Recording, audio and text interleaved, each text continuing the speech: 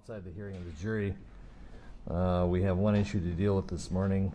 Um, and we're going to deal with that off audio and off video. But it will be on the record, and the press can remain and report on what is going on in the courtroom, but it will not be broadcast outside this room. So, if you could get the juror for us.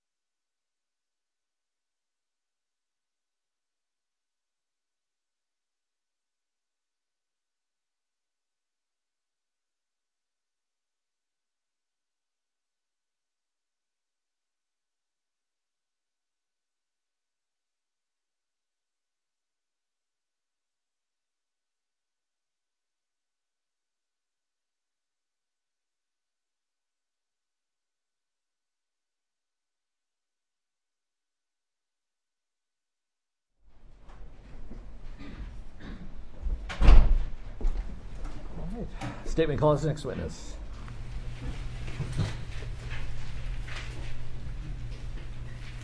Good morning, Your Honor, Counsel, ladies and gentlemen. The state will call for their first witness, Dr. Lindsey Thomas.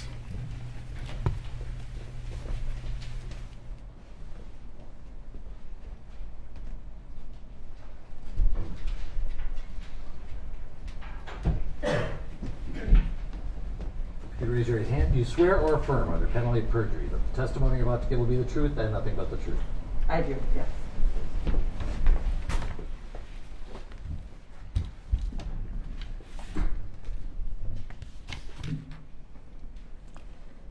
And Dr. Thomas, if you feel comfortable doing so, we'd ask you to remove your mask. I will keep mine on.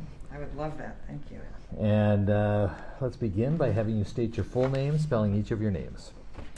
Uh, Lindsey, L-I-N-D-S-E-Y, Carol, C-A-R-O-L, Thomas, T-H-O-M-A-S. Mr. Blackwell. Thank you, Your Honor. Good morning, Dr. Thomas. Good morning. Would you please tell us what kind of a doctor you are? I'm a forensic pathologist. And what is a forensic pathologist?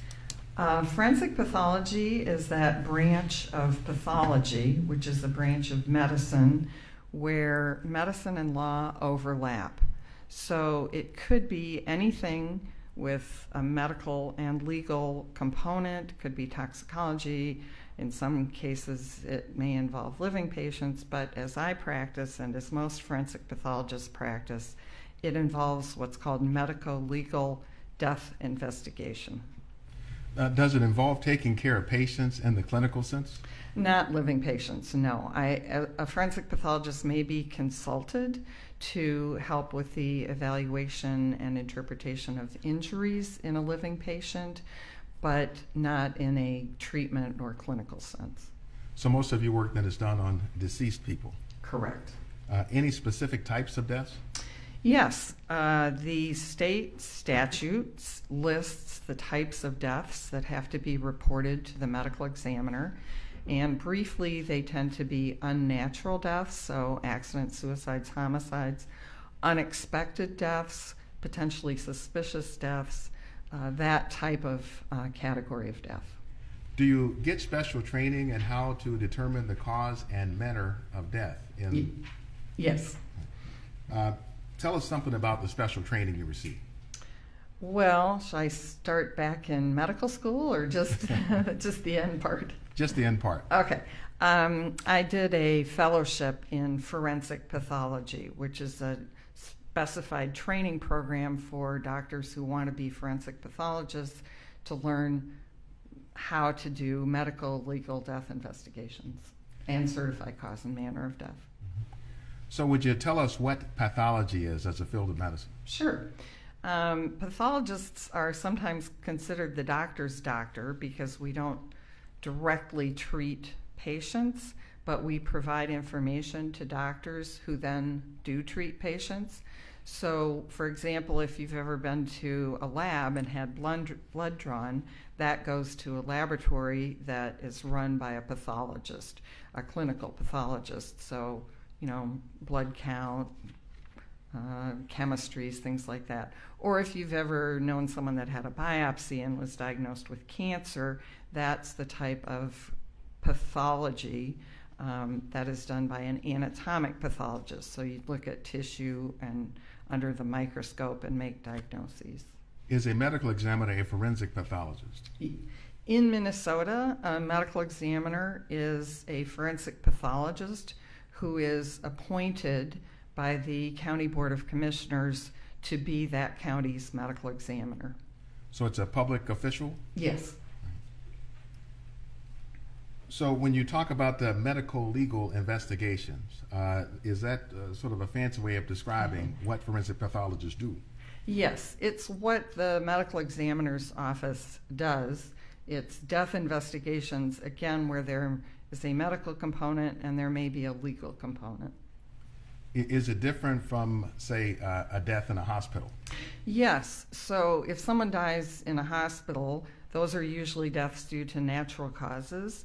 And they may have a medical death investigation in the sense that a hospital pathologist might do an autopsy, but they wouldn't do the full scope of the medical legal death investigation because those are mostly due to natural diseases. What does death investigation entail? Well, the way a medical examiner's office performs a death investigation, I think a lot of people assume it's all about the autopsy, the physical examination of the body, and that's really just a tiny part of the death investigation. The death investigation really starts uh, at the very beginning when a death is found, a person is found deceased, or the office is notified of the death. We, as medical examiners, want to know all about that person. What's their past medical history, social history, family history? So we will do whatever we need to do to get that kind of history. Then we want to know well, what happened? What were their terminal events? What happened around the time of their death? Were they complaining of something? Were they interacting with someone? Were they driving? Were they uh, using, you know, uh, machinery, something like that? And then uh, we'll look at the physical examination, and that part of the exam might include x rays, it could include getting specimens for toxicology, for cultures, for all kinds of other laboratory tests, including looking at things under the microscope, little sections of each organ under the microscope. So that's the physical exam part. Then we'll look at the laboratory results. So that would be usually toxicology, but as I say, it could be blood cultures or um, more recently, it's probably been a lot of COVID testing, uh, that kind of thing. And then uh, look at the microscopic slides and then put all of that together with the history, the terminal events, the physical findings, the laboratory findings, and then that's how the medical examiner reaches the conclusion about the cause and, and manner of death. So all of that goes into a death investigation. Yes. Do you sometimes interview people also as a part of it? Yes, the investigators who go to the scene may um, talk to family members. We certainly will talk to medical providers to get someone's past medical history. We often will interview or talk with law enforcement officers if they were the people who responded. It could be paramedics, EMS, uh, troopers, just depends on the case. Uh, I want to ask you about uh, a phrase uh, use terminal events. Yes. Uh, could you explain to the jury what is a terminal event? Sure. So when we're investigating a death as medical examiners, as I mentioned, we want to know as much as we can about this person leading up to their death because that often how they lived will provide us information about how they died. When I'm talking about terminal events, I'm talking about what happened in the period of time around their deaths, leading shortly leading up to their death. So, for example, he was out shoveling snow, he came in, clutched his chest, and fell over. That would be an example of a terminal event.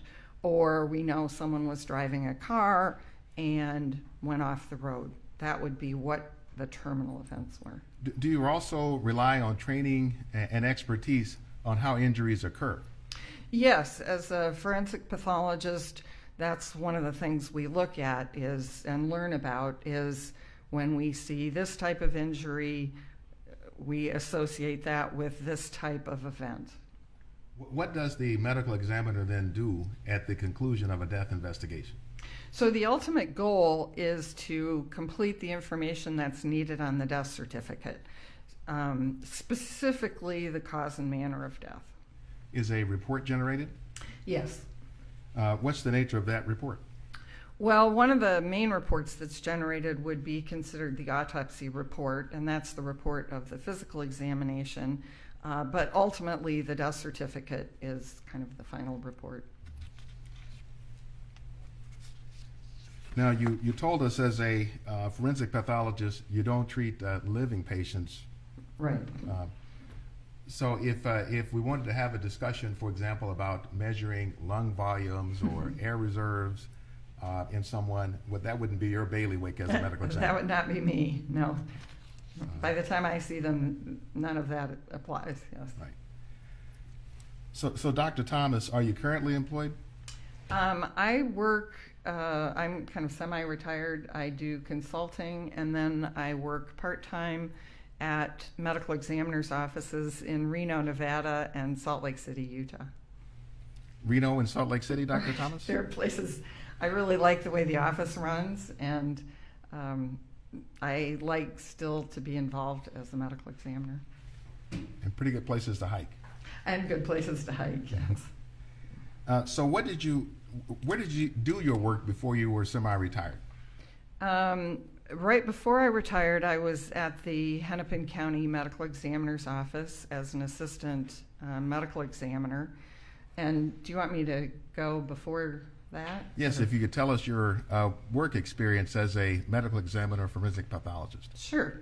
Um, initially, I started after my training at the Hennepin County Medical Examiner's Office, working as a deputy and assistant, then assistant medical examiner, and I was there for many years. And then uh, in 1997, I joined the Minnesota Regional Medical Examiner's Office that was based in Hastings. And then I was chief of that office uh, for 13 years. And we were the medical examiner's office for eight counties in Minnesota, the largest of which were Dakota and Scott counties. And we also served as uh, an autopsy referral service and medical examiner's office for many other counties in Minnesota, as well as uh, Wisconsin and even one in Michigan. And uh, then when our office outgrew that space, Dakota and Scott counties merged with Hennepin County, and that's why then I um, came back to Hennepin County. So over how many years have you performed uh, work or services as a forensic pathologist? Uh, let's see, 37 now? 36? And in Minnesota, how many counties? Oh, gosh. Um, well, I've been the direct medical examiner for eight counties. I've worked in offices that have been consultant to dozens of other counties. And uh, have you also performed those services in parts of Wisconsin? Yes. Uh, when did you stop working at the Hennepin County Medical Examiner's Office? Um, it was uh, early 2017. I retired from Hennepin County. And how many autopsies would you estimate you have performed um, over your career? Um, probably about 5,000 that I myself did, and then um, hundreds, maybe a thousand more where I assisted someone else, or I supervised, or I participated in some way. So, in 5,000 um, or so cases, you've determined the cause and manner of death? Well, actually, way more than that, because as medical examiners, uh, we don't just certify the cause and manner of death for the cases that we do autopsies on. There are numerous other cases that get reported by law to the medical examiner's office where we don't do a physical examination. So, for example, an elderly person falls in a nursing home and gets a hip fracture and then dies a couple months later. That death has to be reported to the medical examiner's office.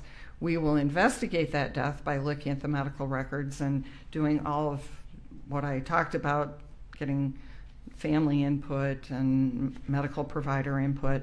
Uh, but we generally will not do a physical examination, but still, by law, we have to sign the death certificate. So, you're still determining then the cause and manner of death? Right. We're just not using an, an physical examination as part of it. And using the medical records primarily? Yes. Uh, Dr. Thomas, are you licensed presently? Yes, I'm licensed in Minnesota, Wisconsin, Tennessee, Nevada, and Utah. Do you also hold uh, any board certifications? Yes, I'm board certified by the American Board of Pathology in anatomic pathology, clinical pathology, and forensic pathology. Have you uh, worked with any professional organizations um, over the years related to forensic pathology? Um, yes, I've been a member of many different organizations um, Minnesota Medical Association, American Medical Association, College of American Pathologists, um, American Academy of Forensic Sciences, and then I've been on the board of the Minnesota Coroners and Medical Examiners Association, oh, probably 30 plus years. And then um, I'm a member of the National Association of Medical Examiners, and I was on that board and a member of their executive committee for a number of years. And, and that goes by the acronym NAME, N-A-M-E. Yes. Um, What does NAME do? Um, well, they're the um, professional organization of medical legal death investigators, specifically forensic pathologists, medical examiners. And as um, an organization, they provide support to medical examiners, they provide information, they provide guidelines, um, an accreditation program, an inspection program, uh, lots of ways of assisting medical examiner offices. Dr. Thomas, have you done any teaching? Yes. Tell us Um, I, I have been a clinical instructor here at the University of Minnesota Department of Pathology. Uh, I've done lots of law enforcement training through the Bureau of Criminal Apprehension here in Minnesota, uh, as well as, oh my gosh, teaching everything from you know middle school science students through high school and college and all kinds of professional uh, groups, whether it's other forensic pathologists, other law enforcement, um, you know, you name the organization that comes into contact with death investigation, and I've probably uh, talked to some of them at some point. Do you have any publications? That hasn't been a main focus of my career, but I uh, was I have several, and early on was involved in a an autopsy protocol that was ultimately published by the United Nations. That's still in use. So let's um, switch topics and uh, talk about your uh, experience testifying in courts. Uh, have you testified before in a court? Yes, probably over a hundred times.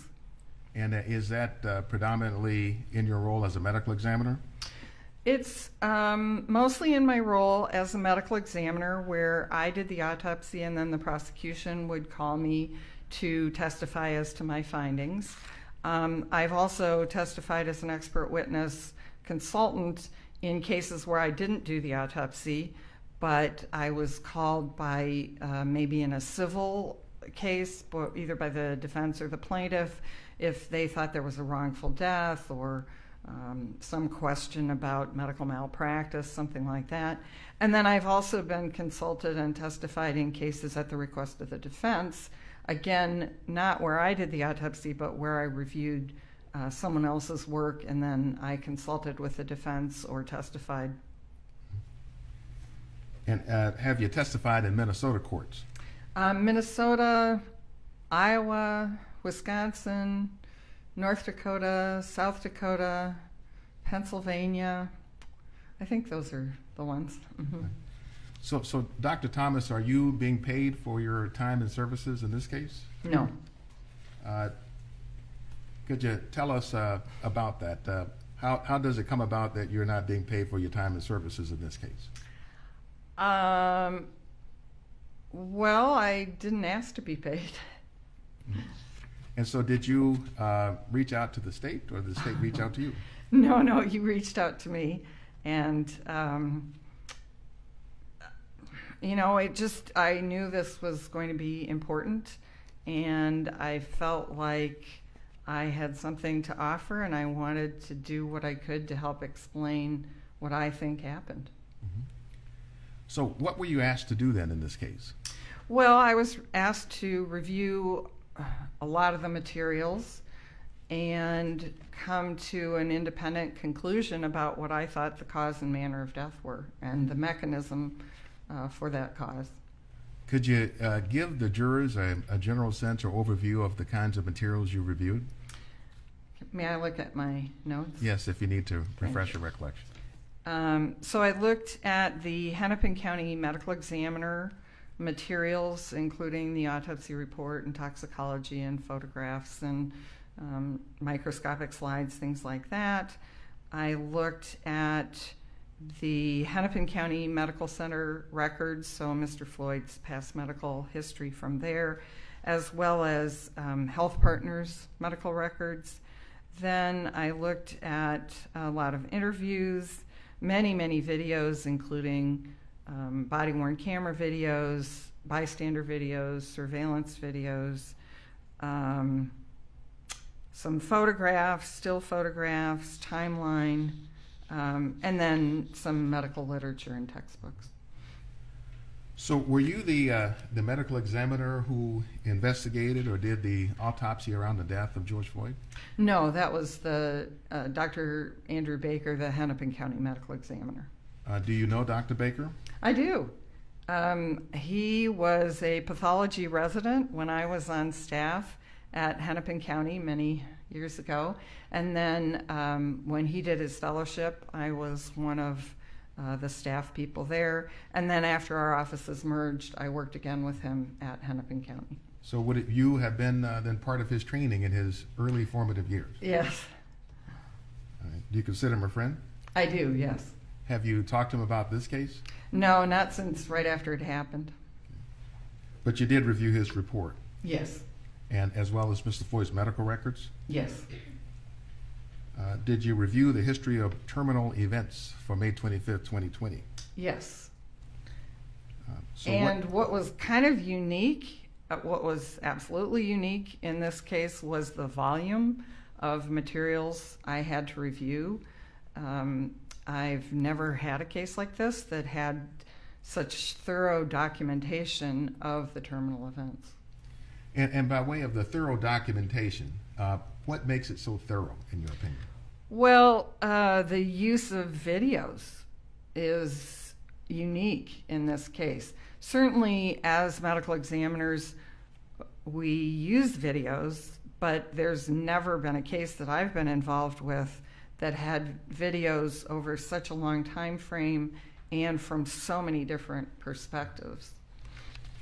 Are you aware then of Dr. Baker's conclusions then on the manner of death? Yes. Uh, Your Honor, uh, I'd like to show Exhibit 193 that's been stipulated to subject to Dr. Baker's foundation.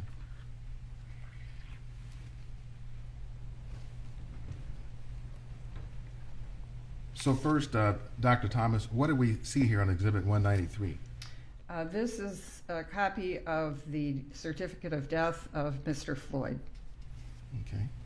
And so, Brett, if we could uh, kind of highlight just through the, uh, the word underlying.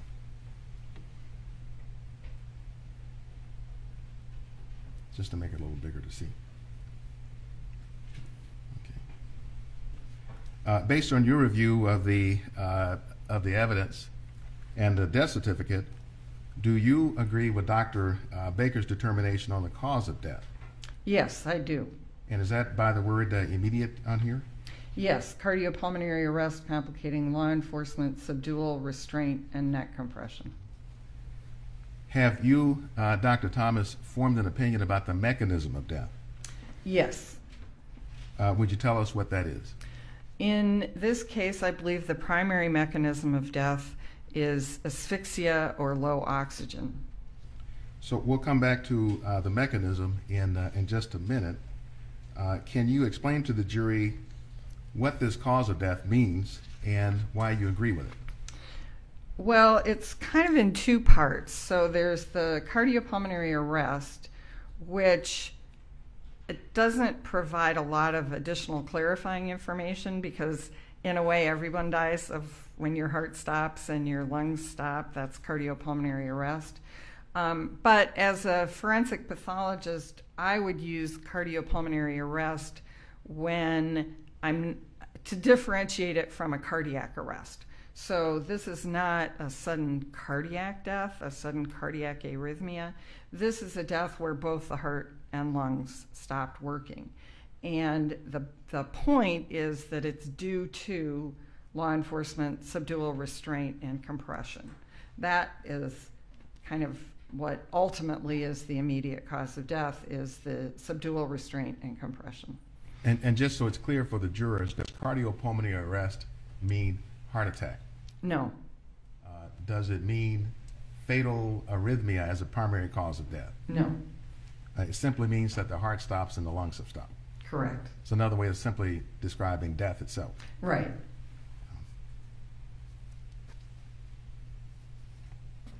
Can you explain uh, what's referred to, looking here at the terms uh, subdual, restraint, and neck compression? Um, those were activities by the law enforcement agency officers involved. Uh, subdual is subduing someone, uh, trying to restrain them, is uh, in Mr. Floyd's case involved uh, handcuffing him, um, his positioning on the ground, the prone position, the people kneeling on him. And the neck compression is uh, the knee on the neck specifically. Um, additionally, there was some back and other uh, things being compressed by the officers. So if you put all this together, cardiopulmonary arrest, complicating, law enforcement subdual, restraint, and neck compression, what does that mean? Well, what it means to me is that the activities of the law enforcement officers resulted in Mr. Floyd's death, and that specifically those activities were the subdual, the restraint, and the uh, neck compression. And does this then also represent your own conclusion? Yes. Uh, a, a conclusion you have reached and an opinion you hold to a reasonable degree of medical certainty? Yes.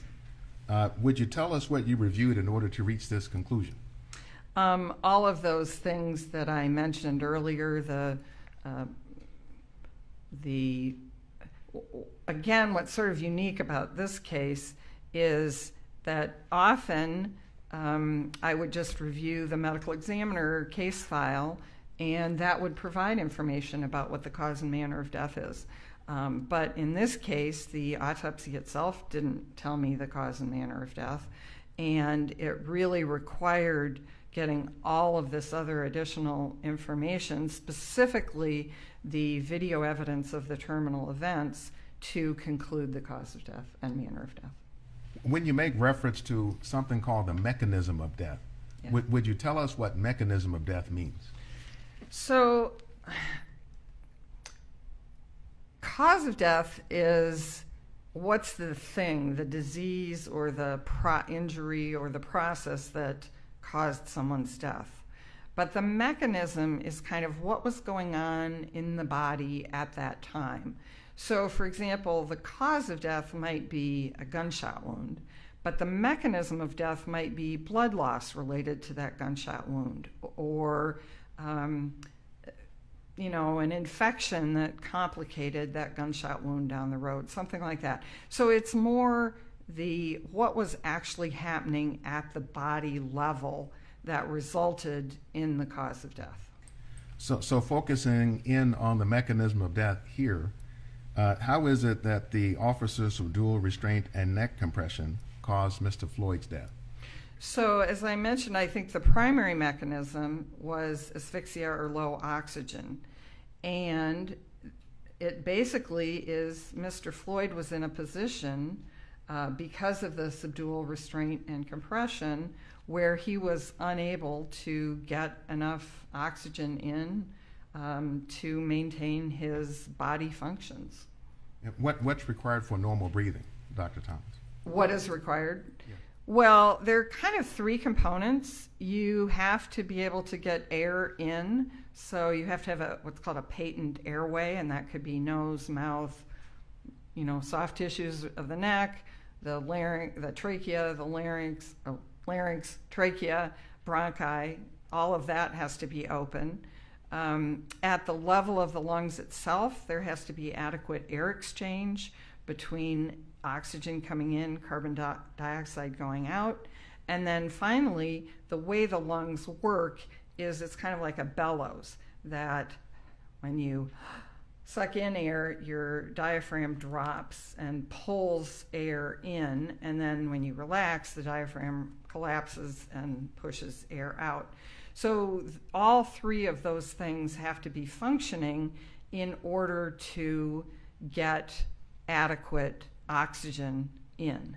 So, for example, if someone is smothered or strangled, or they inhale a piece of hot dog, or they have pneumonia such that their lungs are completely filled, then their airway is obstructed so that there isn't adequate air coming in, oxygen coming in.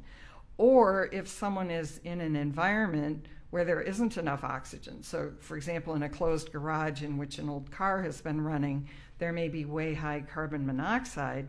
And in that case, they're perfectly able to breathe in and out, but there just isn't enough oxygen. And then the third would be if there's some kind of restriction such that your chest can't expand, your diaphragm can't expand, so the bellows function isn't working. And if any one of those components isn't working, then there will the result will be this mechanism of inadequate oxygen. Uh, doctor, how does narrowing of the hypopharynx fit into this?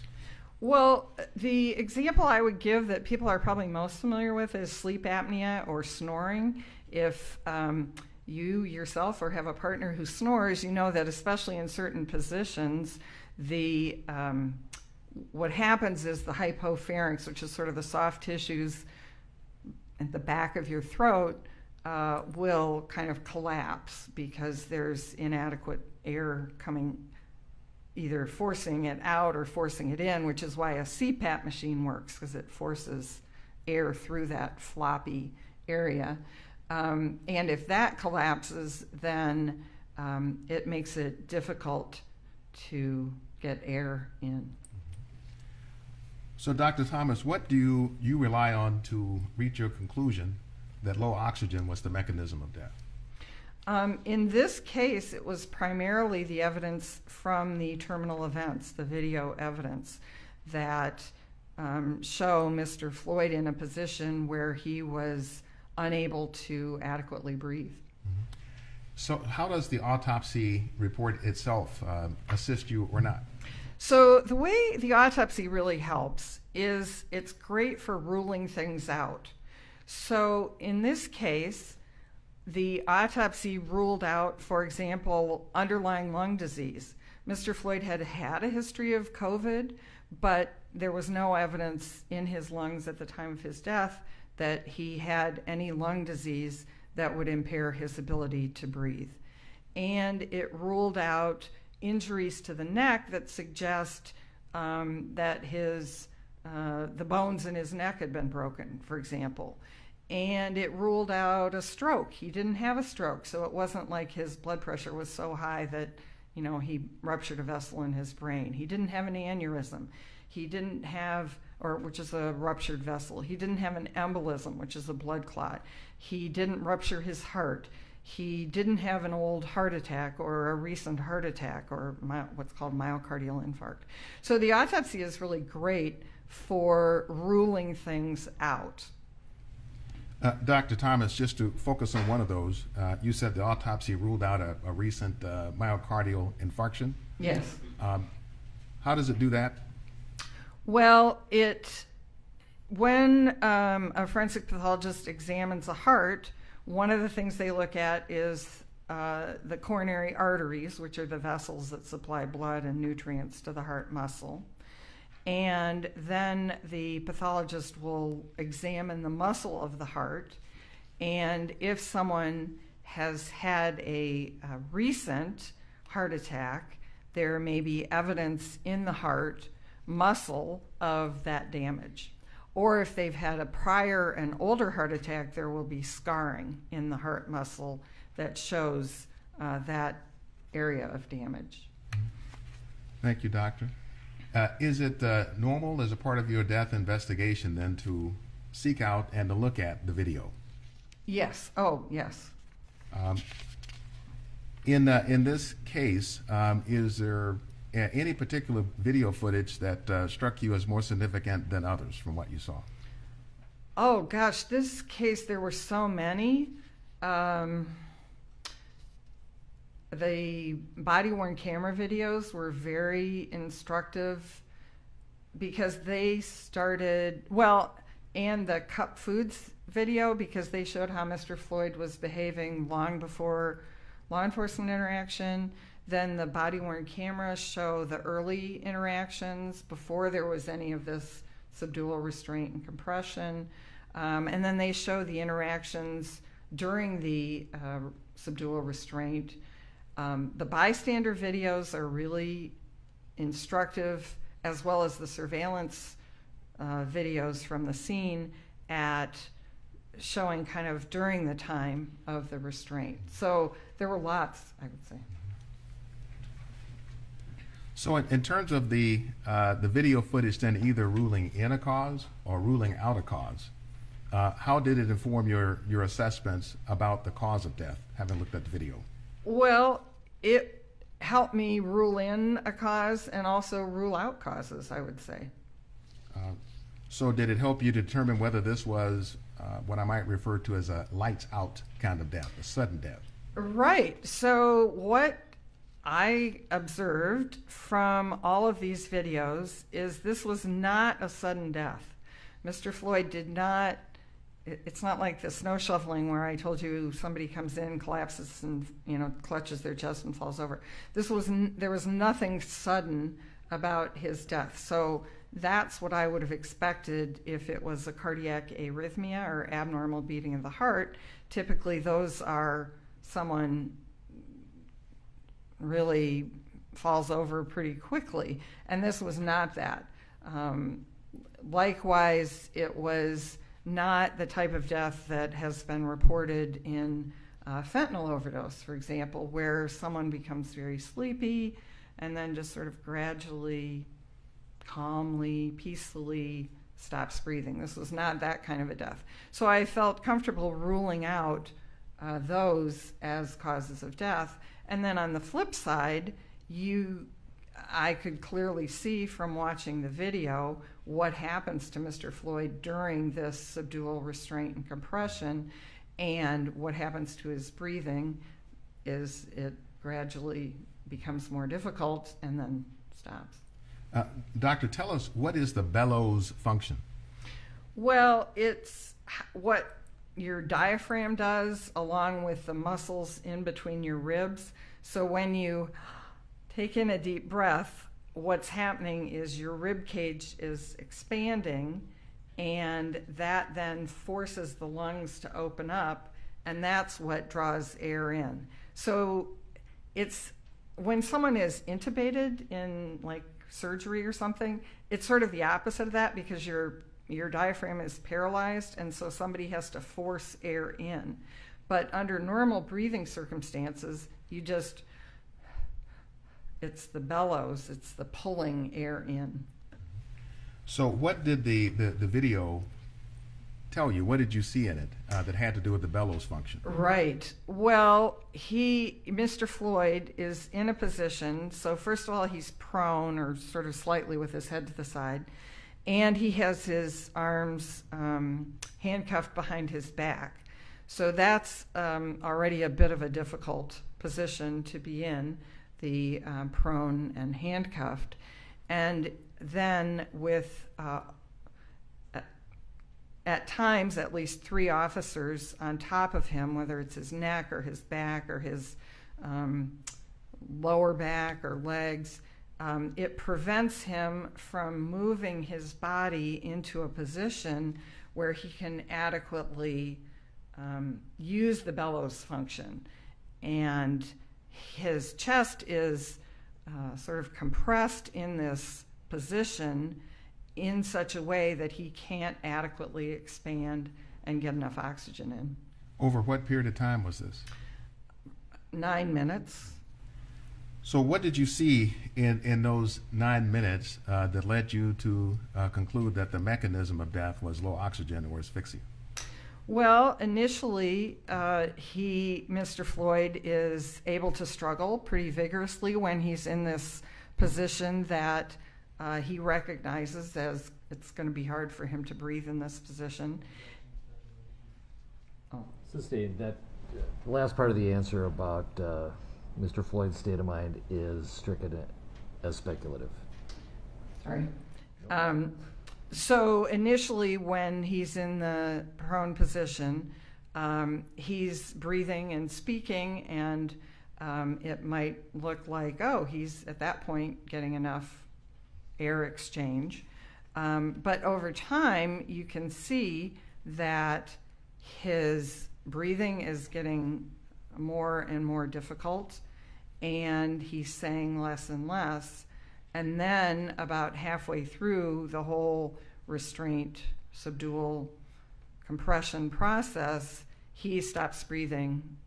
Well, he first stops speaking entirely.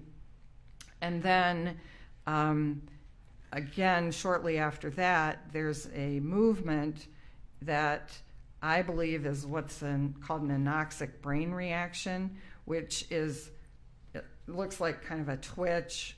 It's something that the body does when the brain no longer has enough oxygen. So that's the point at which um,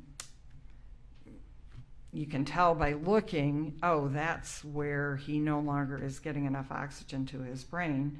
And then uh, the restraint and subdual and compression continue for many minutes more, even after someone checks and says, oh, there's no pulse, they maintain um, the position. So at that point, his heart has also stopped. So he's stopped breathing and his heart has stopped.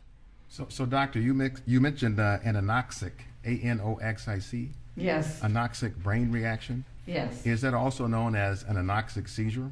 Yes. Uh, is that something that a uh, person does consciously and voluntarily? Oh, no.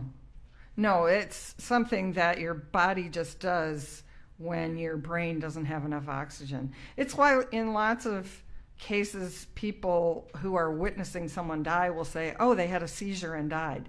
Well, no, what's actually happened is they're they've basically died. Their brain doesn't have enough oxygen, and then they had this muscle twitch that may look like a, a seizure. So, can we uh, go back to Exhibit 193? And I want to ask you about uh, that's right in front of you the other contributing conditions, if we could highlight that. Uh,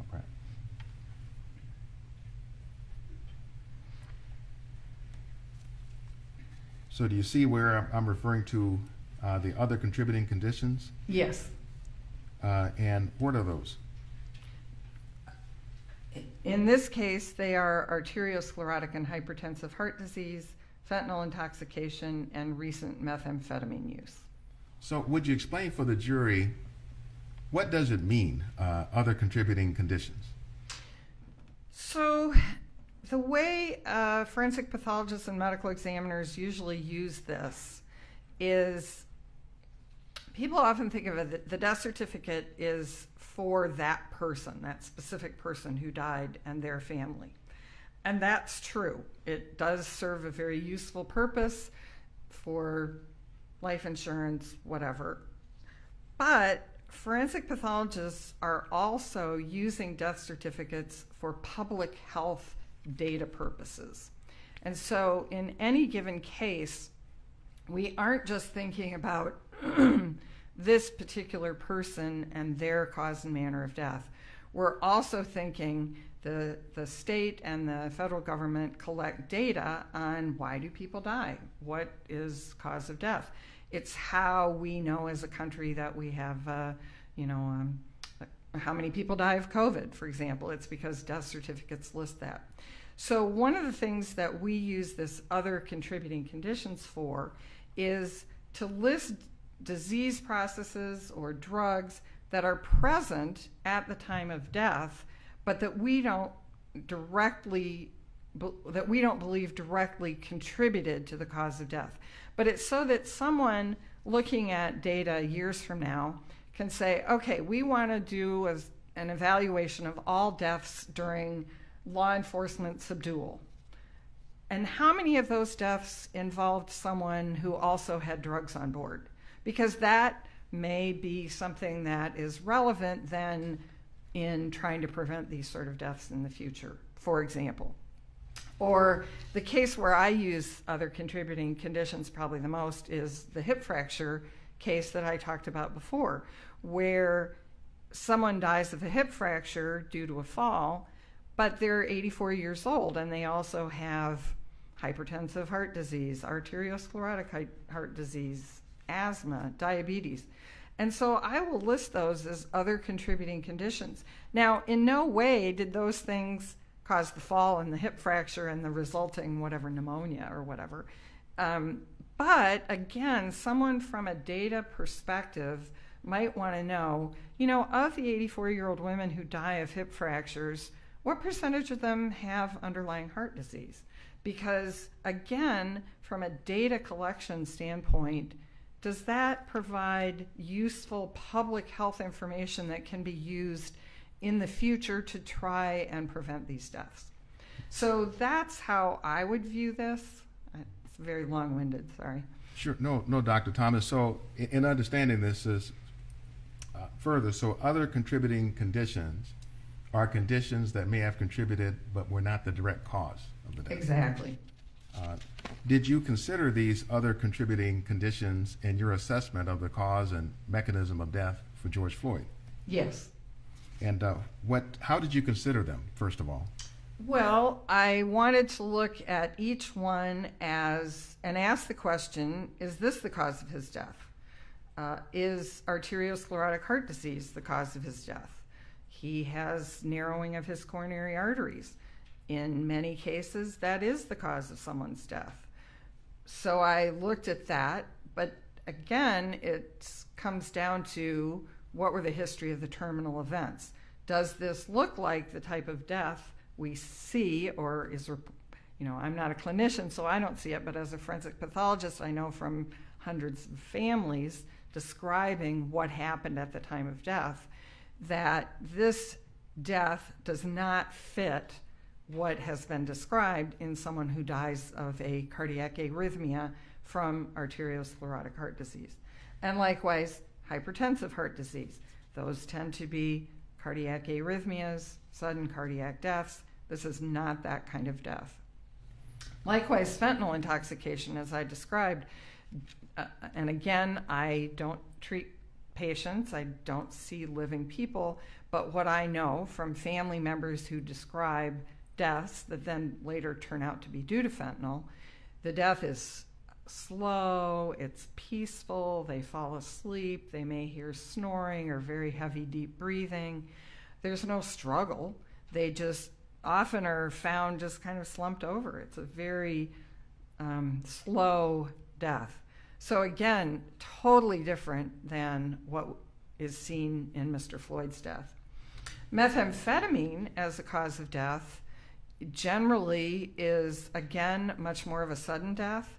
It may cause a cardiac arrhythmia, it may cause a seizure, and by that I don't just mean this sort of terminal anoxic twitch, but like a full blown um, seizure. And again, looking from what I know about Mr. Floyd's death, because it's so well documented, that does not fit with uh, a methamphetamine death. So you reviewed the toxicology. Yes, oh yes. How would you characterize the amount of meth in Mr. Floyd's system at the time? Well, it was there. Uh, it's not particularly high. Uh, certainly in deaths that I have attributed to methamphetamine, it's been much higher.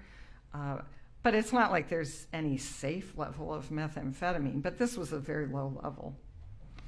So was the methamphetamine uh, significant in your assessment of the cause of death? No.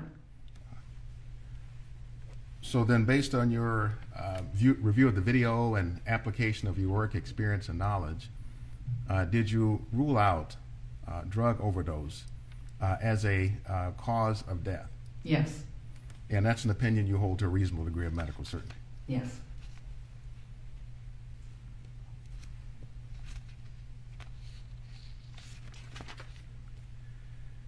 Now, let, I, th- wanted to clarify this earlier and just forgot to. Does the medical examiner also complete the death certificate? Yes, we don't issue it. That comes from the county or state. Um, but as the medical examiner, we fill out all of the cause and manner and how injury occurred and all that kind of stuff. How many death certificates have you filled out? Oh, gosh, well, um, thousands and thousands.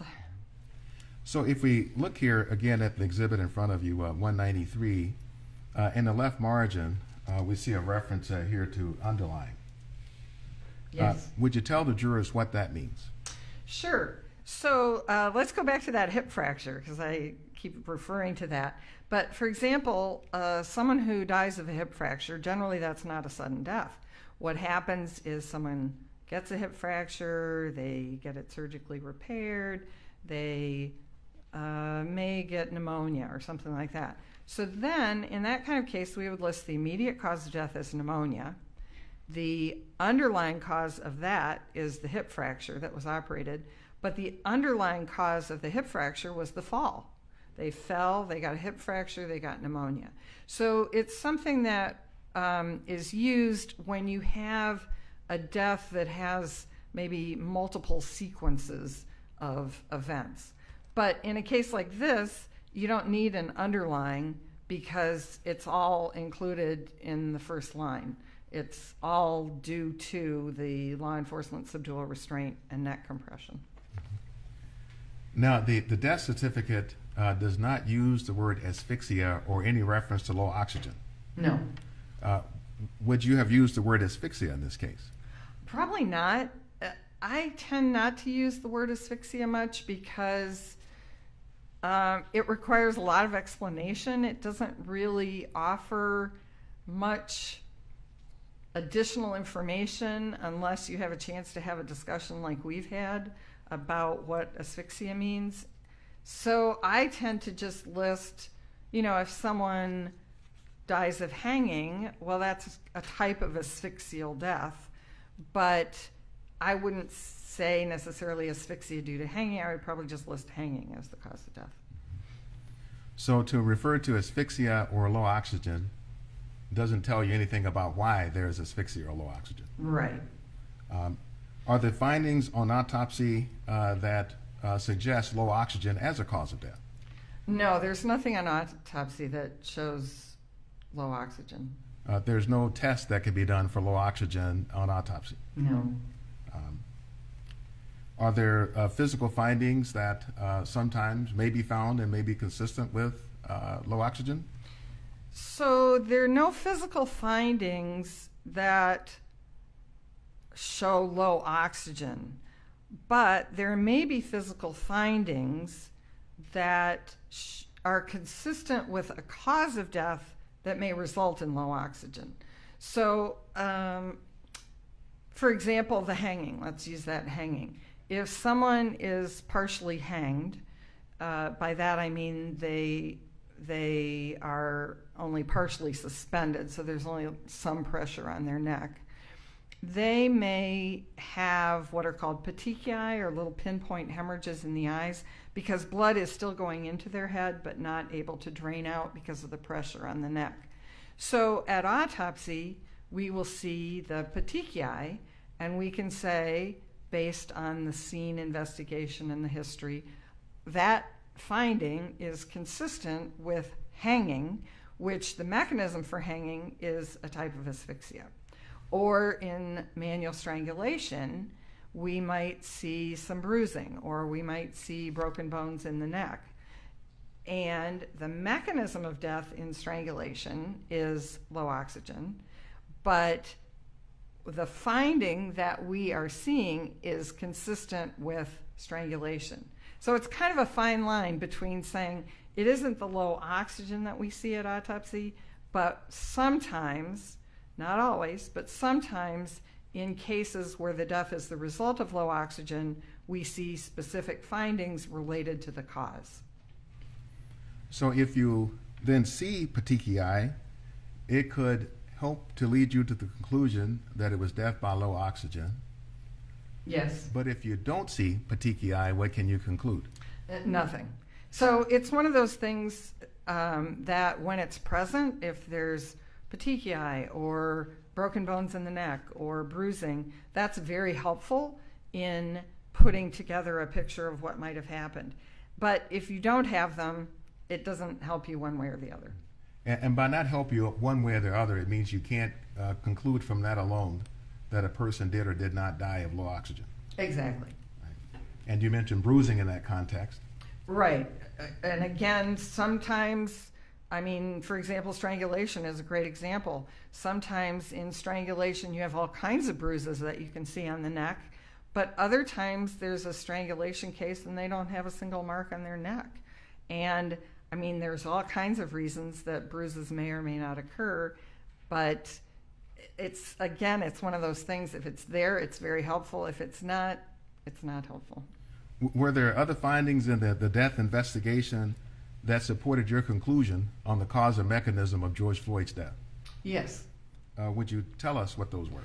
So, Mr. Floyd had superficial injuries, what would be described as superficial injuries, uh, specifically on his face, on his shoulders, on his wrists.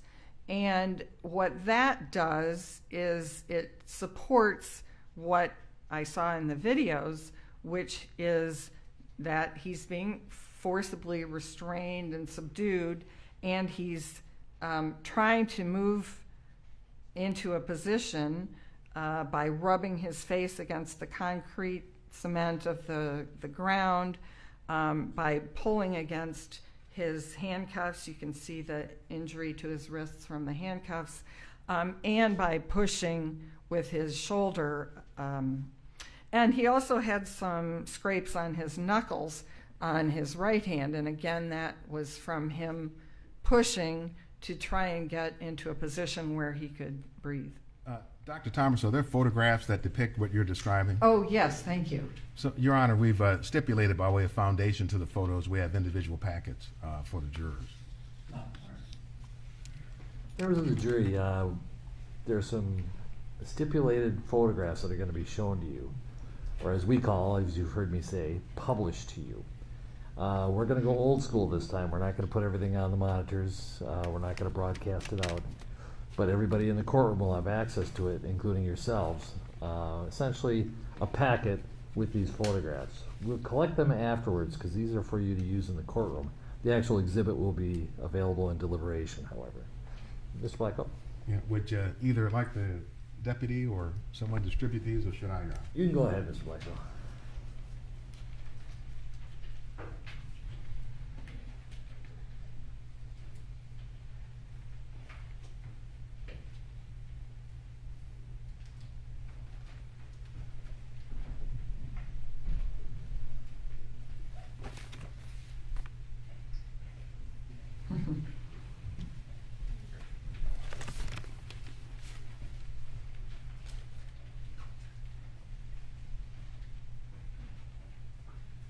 And before you look through them, uh, you can take them out, but don't start looking through them until uh, Mr. Blackwell resumes his examination.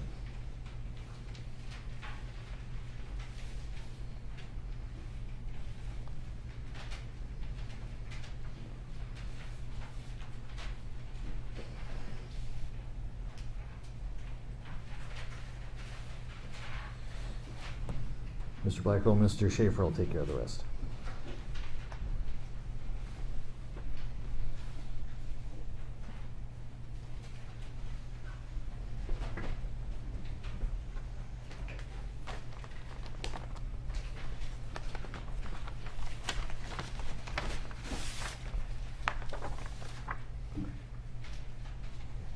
Okay, good. Give the rest of the.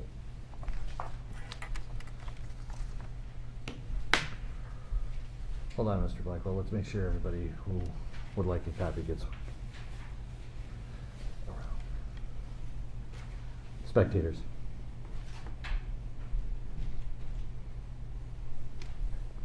Spectators should get, each get a copy if they want one.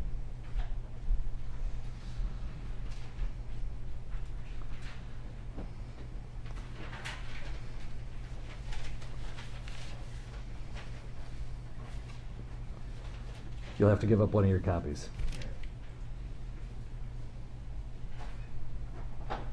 There you go.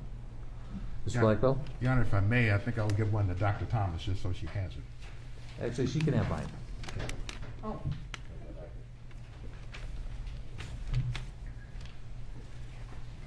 That way, Your Honor won't have to use the camera at all. So, Dr. Thomas, if we start with the exhibit that's marked 185, Yes.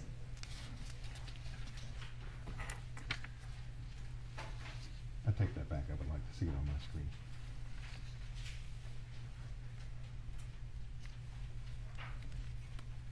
Uh, Dr. Thomas, looking at Exhibit 185, what is significant in this photograph uh, that informs your conclusions pertaining to the restraint and subdual as a cause of Mr. Floyd's death? This is a photograph of Mr. Floyd's uh, face, and it shows some facial injuries, most notably the what are called abrasions, which are scrapes over his left eyebrow and over his left cheek. You can also see there's littler uh, scrapes or small cuts on his nose and lip, uh, upper lip, and then a little on the left side of his lower lip. But the main thing this shows is that the left side of his face was obviously in contact with some rough surface. Dr. Thomas, if we look at Exhibit 235, uh, it uh, may be a close-up of the same area.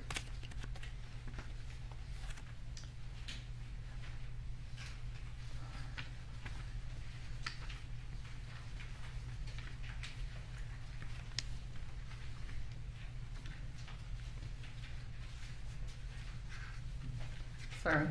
Here we go. Yes. Yes, that is a, a, a close up of the left cheek and the left forehead. And you can see, for example, above the left eyebrow, there's uh, a dark area that's a, a dried scrape, as well as there's a little bit of discoloration of the skin, so that also there was a bruise there. And then on his left cheek, you can see the dark area as well as kind of a lighter orange uh, pink area, and those are again scrapes. The dark area is where a scrape has dried. And, what does that tell you about the, uh, the cause or mechanism of his death? It's uh, consistent with the impression from watching the video that his face was on the ground and he was moving his face in an effort to get into a position where he could breathe. Uh, let's look at Exhibit 188.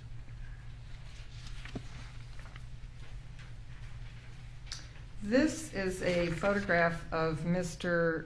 Uh, Floyd's left shoulder. And what did, what did we see here? This again is an area of scrapes and indicates that there was some force uh, between his shoulder and some rough surface, in this case, the ground.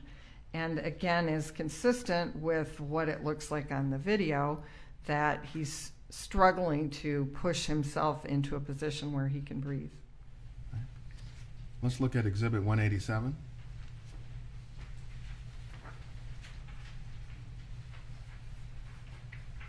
This is a photograph of his right shoulder.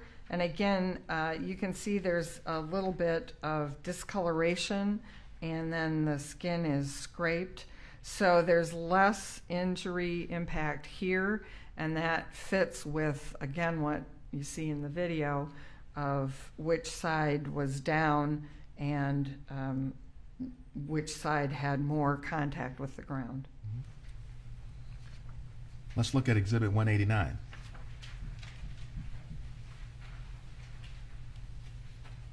This is a photograph of Mr. Floyd's left hand, and if you look at the uh, base of his hand, sort of right over his wrist, you can see there's some areas of red uh, discoloration with kind of a pale area in between and that's uh, consistent with handcuff marks. You can also see on the um, sort of outer edge, there's some white material that's dried skin, and that's an area where his skin has actually been rubbed up from the handcuffs. And Dr. Exhibit 190? Um, exhibit 190 is a photograph of his right hand and wrist. And again, in this case, you can see more clearly the sort of the double lined um, discoloration above his right wrist that's consistent with the handcuff marks and indicates uh, pressure against handcuffs. And again, on the outer edge, you can see there's a little bit where it's darker and then there's some white skin. So that's an area where it's actually been scraped. The skin has actually been scraped uh, by the handcuffs. Also, on this photograph, you can see on the knuckles of his um, index finger and middle finger, there's uh, some skin that is scraped off. And that's consistent with what you can see on the video where he's pushing against, um, I think it's the, the rim of the car tire or something, um, to try and push his body into a position again where he can um, breathe. Thank you, Dr. Thomas. Uh, Your Honor, the jurors may put the photographs away if they'd like. Mr. Schaefer, point. Members of the jury, we're gonna collect those photographs Not the actual exhibits, they're simply uh, for your use during this time.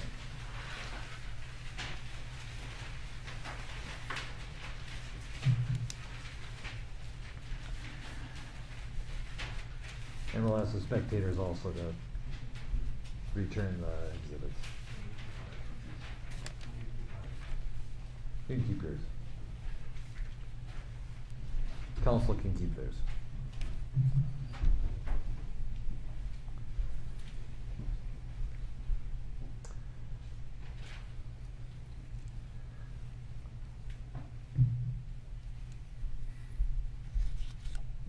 Mr. Blackwell. Thank you, Your Honor.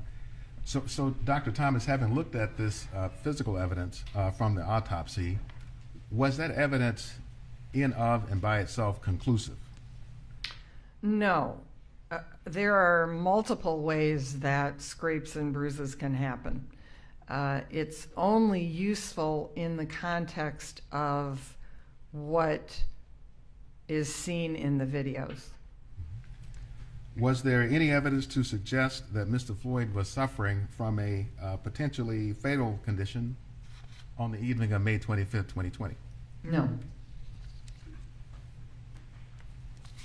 Uh, Do you uh, have an opinion, to a reasonable degree of medical certainty, if Mr. Floyd would have died that night had he not been subject to the uh, subdual and restraint of the police?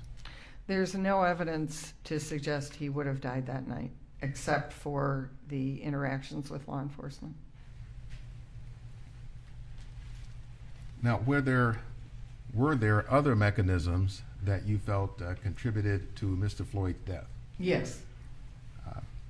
Could you generally characterize what those were? Sure. So I think a secondary mechanism in this case is what I refer to as physiologic stress.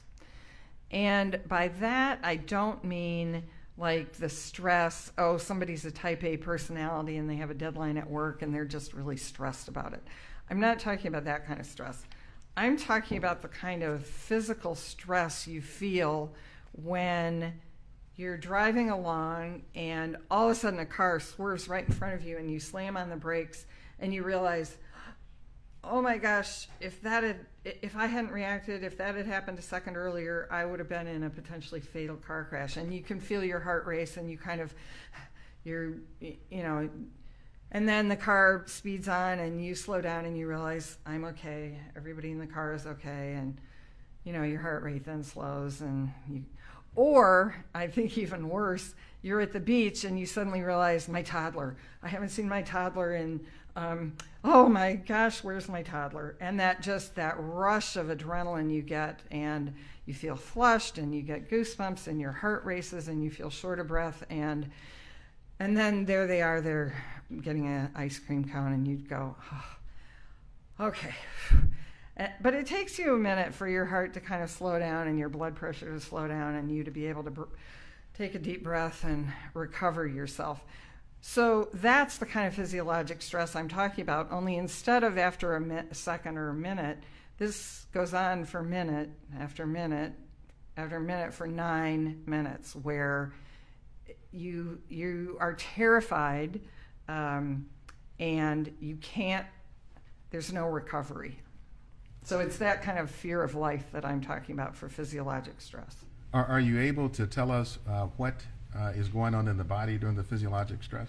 So it's um, the reactions are you get chemical release, you get adrenaline, noradrenaline, or epinephrine, norepinephrine, and those are things that make your heart race, your blood pressure go up, you uh, require more, uh, your muscles get ready to act, to go run, to do whatever you need to do, slam on the brakes. And so you start um, needing more oxygen in your muscles, you need to take more breaths. Uh, you you need more oxygen for your heart rate uh, because your heart's beating faster.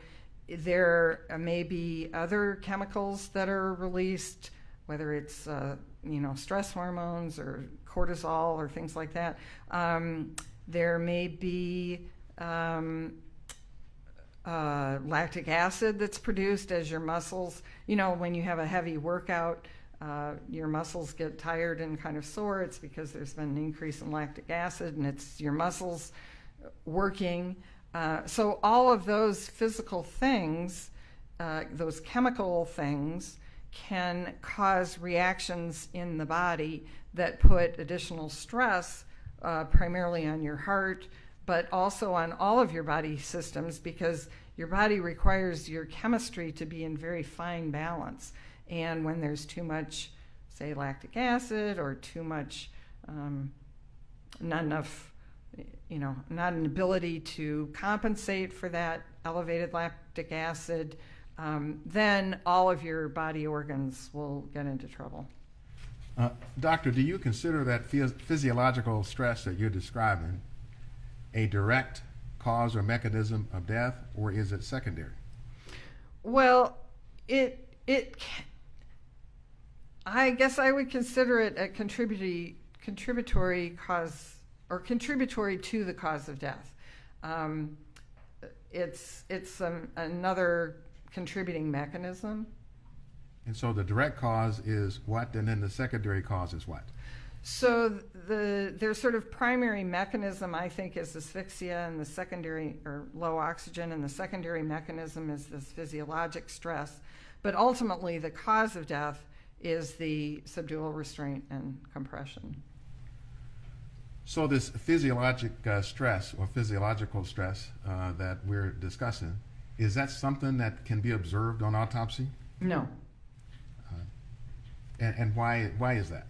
Well, it's a chemical reaction. It's uh, increased heart rate, which of course we don't see at autopsy. It's increased um, chemicals that we don't can't test for at autopsy. So it, none of it is anything that can be seen physically. So it's a functional mechanism. Yes, yes, that's a good way of describing it. Is uh, low oxygen then also a functional mechanism? Yes.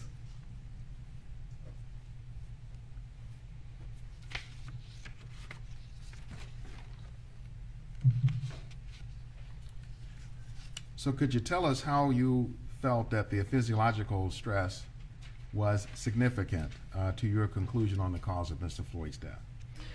So Mr. Floyd was already in a position where he was experiencing difficulty breathing and getting enough oxygen in his body. And on top of that, now there's this physiologic stress that's putting increased demand on his heart, increased demand on his lungs, increased demand on his muscles. So, all of the things that he's using his muscles, his um, strength, his body to try and get himself into a safe position where he can breathe, those are being doubly stressed by the position that he's in as well as the underlying um, chemical reactions that are going on in his body. So it's kind of a double whammy to his heart and lungs and muscles and his whole system.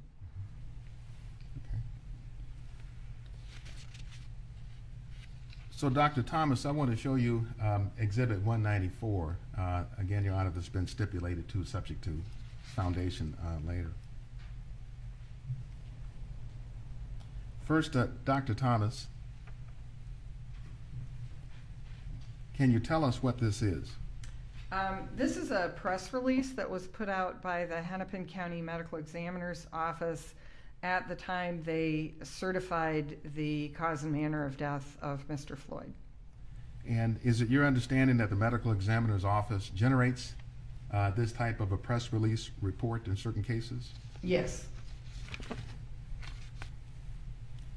So there is a section in the press release report that refers to manner of death. Yes. Let's see if we can highlight that. And we see the word there, um, homicide. Yes. We saw, we see also in here, uh, information we saw on the, on the death certificate, uh, where the press release says also how the injury occurred. Yes. And would you read that for the record? How injury occurred, decedent experienced a cardiopulmonary arrest while being restrained by law enforcement officers. Again, you agree with that? Yes. Uh, So let me show you uh, what's, uh, was marked as Exhibit 918. And homicide is a manner of death. isn't it? Yes. And, uh, and uh, would you explain to the jurors a little bit about what it is medical examiners look to when they're trying to determine manner of death? Sure. So, unlike cause of death, which could be anything, uh, we only have five options for manner of death. So, a death can be natural, meaning that all of the conditions that contribute to the death are due to just innate processes. Could be cancer, could be heart disease, something like that. Second category is an accident, and that would be something like a motor vehicle crash or an unintended drug overdose. Third category is a suicide, which is death at one's own hands, uh, with at least probably some element of intent. Uh, the fourth category is homicide, and that means death at the hands of another. And then the fifth category is undetermined. And that means generally we don't have enough information about this type of death to make a determination to fit it into one of the other categories. So, for example, we talked a lot about terminal events early on. And in some cases, we have no idea what the terminal events were because the person is just found dead in their residence. And we don't know because they've been alienated from family. We don't know were they saying they were going to take their lives? Did they have a prolonged did they history of using drugs? Did they just get out of prison? You know, we're unable to get enough information to sort it into was this an accidental death or was this an intentional suicide death? And so that would be an example where we might use undetermined, where we just don't have enough information. So. Dr. Thomas, if you uh, look then at the, the screen in front of you, does this uh, depict or show the manners of death? Exactly. And uh, homicide is highlighted, reflecting what Dr. Baker found. Yes. And, and do you agree with that finding Yes. in the case of George Floyd? Uh, Your Honor, we offer uh, Exhibit 918. Any objection?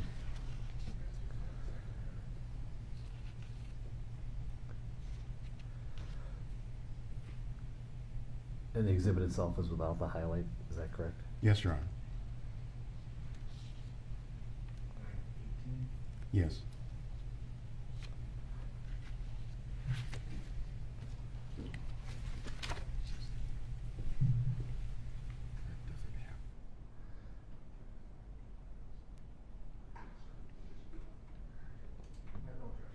Nine eighteen is received.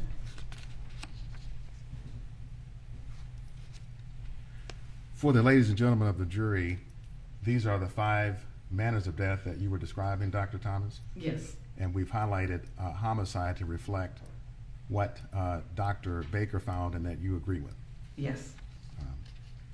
Is there any uh, guidance given to medical examiners about how to select homicide as a manner of death? Yes. And, uh, a guide that was published by the National Association of Medical Examiners that provides um, assistance in how to make a determination between these different. I want to show you uh, what's been marked as Exhibit 952.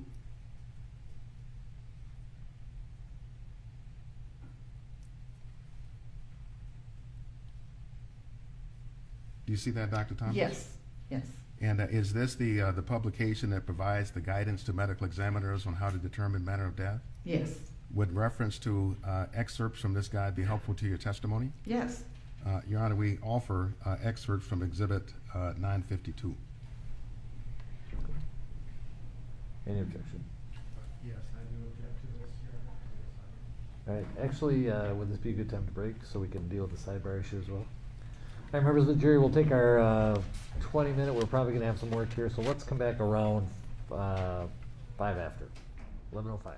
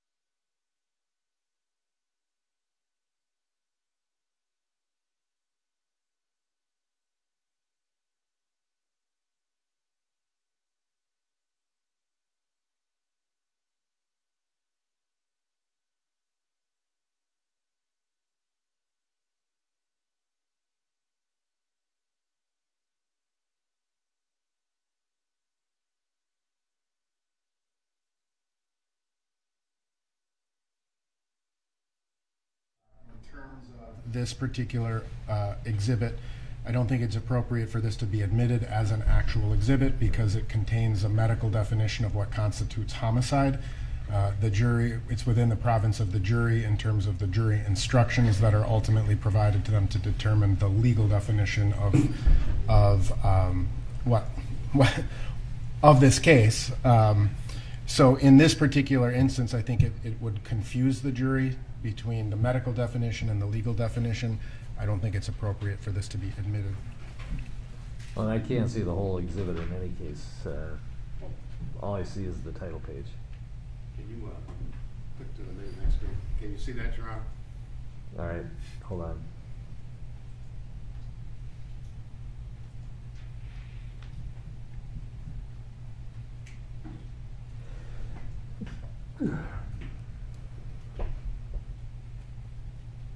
Do you have any objection to this being shown as a demonstrative?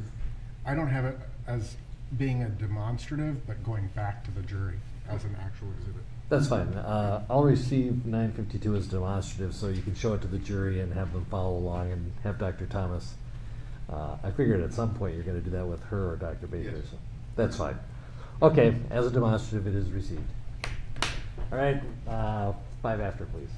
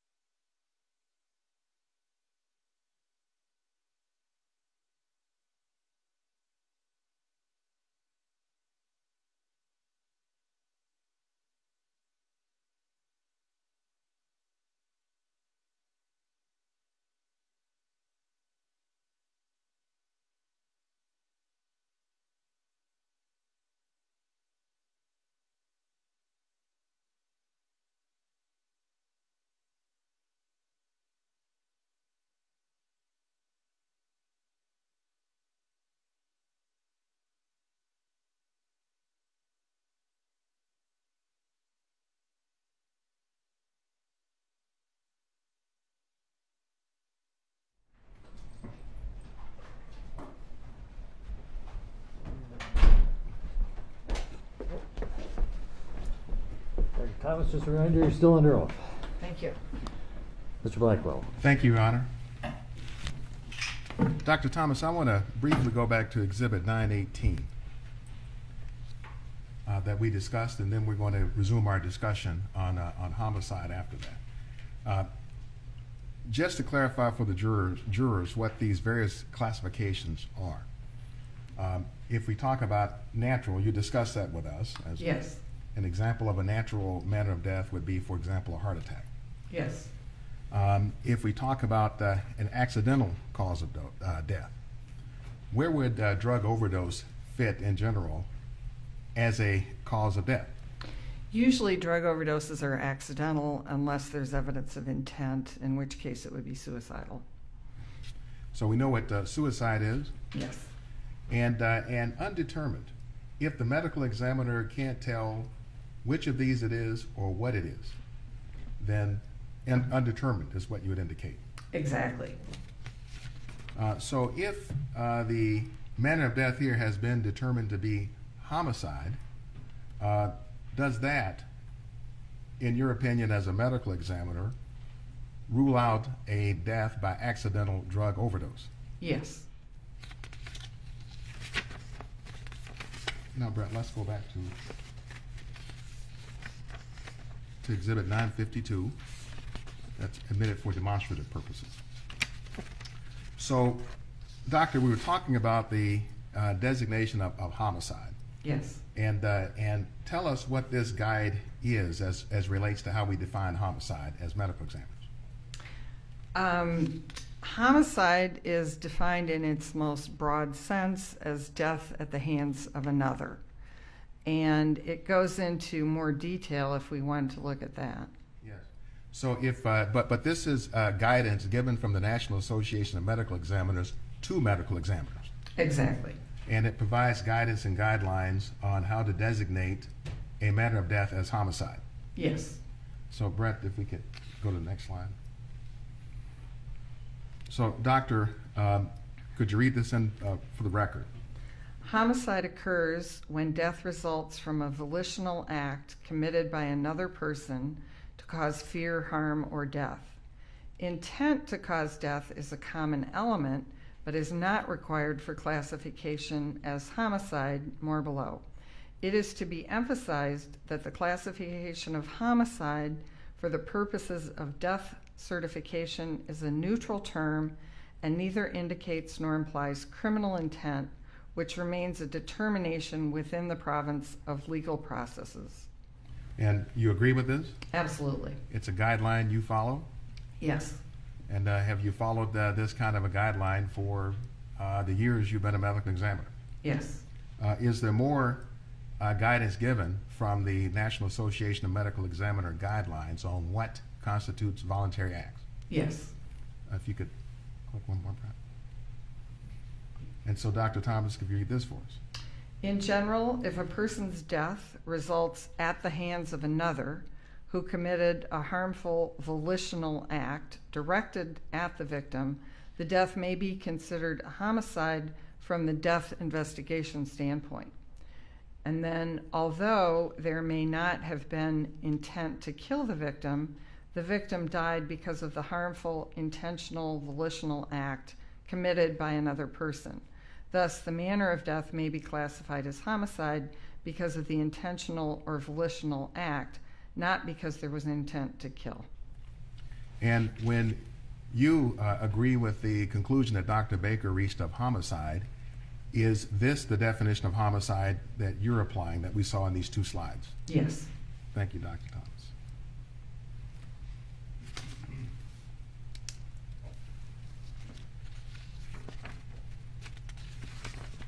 Now, I want to ask you uh, about a new subject, and this has to do with uh, certain studies that assess whether the prone restraint uh, is dangerous from a breathing uh, point of view. And I'd like to get your perspective as a forensic pathologist and a medical examiner in this respect. Um, are you aware of any such studies? Yes. Uh, do you agree generally with the research uh, that, that comes to a conclusion that the prone restraint uh, is not dangerous for respiration? In certain laboratory safe settings, that may be true, but I do not agree with their applicability to real life situations. If, if you could generally characterize for the jurors, what's the punchline of these studies? What do they show? Well, they purport to show that putting someone in a prone position, even with some restraint and with weight on their back, is perfectly safe. And uh, do you find the studies to be reliable or do you find them controversial? Well, I think they are fine for laboratory purposes, but they bear no resemblance to real world situations. So I would say they're irrelevant for purposes of what we're talking about here. And so, how do they uh, then not relate to the real world? What's artificial about them? Well, I would say for starters, these are volunteers who have agreed to be put in this dangerous position of a prone restraint. But they know perfectly well at any point if they feel scared or uncomfortable, all they have to do is say, stop. And that has happened in some of these studies that a couple of the volunteers have said, wait, no, I can't tolerate being in this position. It's too scary. So that to me immediately takes out that whole element that we were talking about about the terror, the physiologic stress. So that's number one. Number two is they're healthy volunteers. These are young people who have, uh, mostly young people, mostly healthy, who have agreed to be part of this study. So it doesn't relate to someone who may have other underlying factors that um, may contribute. Thirdly, there's um, they're put on a uh, like a gymnastics mat to be face down, so it's completely different when you're squished between a person and a hard ground versus having a evenly distributed weight on your back and you're on a, a mat. Um, third, none of, the, or fourth, I guess, um, and perhaps most significantly here, uh, none of them went on and on and on beyond the point where the person stopped breathing and where their heart stopped. So they were being monitored the whole time. And if at any point they had had significant respiratory or cardiac difficulties, the study would have stopped. And the person volunteering knew that. So it to me it just it bears no resemblance to what Mr. Floyd experienced. Did any of the studies involve a knee on the neck of any of the volunteers? No.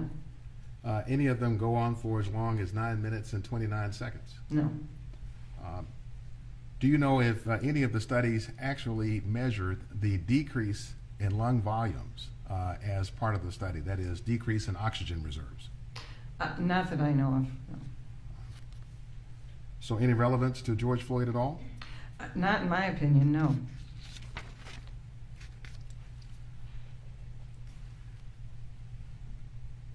So, Dr. Thomas, have you uh, done any calculations or kind of work of your own uh, to measure what the subdual and the restraint with the knee on the neck and the back of George Floyd uh, would have done to his oxygen reserves or lung uh, capacities? No, that would be something I would completely defer to a pulmonary doctor to address. So then, are you able to tell the ladies and gentlemen of the jury, if you uh, haven't done that work, whether the forces that Mr. Floyd was subjected to would have even killed a normal, healthy person? In the way you phrased that, uh, not based on lung volume and that kind of study. I mean, from watching the video, I certainly wouldn't want to be in that position, but that's a different answer. Thank you, Dr. Thomas. No further questions. Mr. Nelson.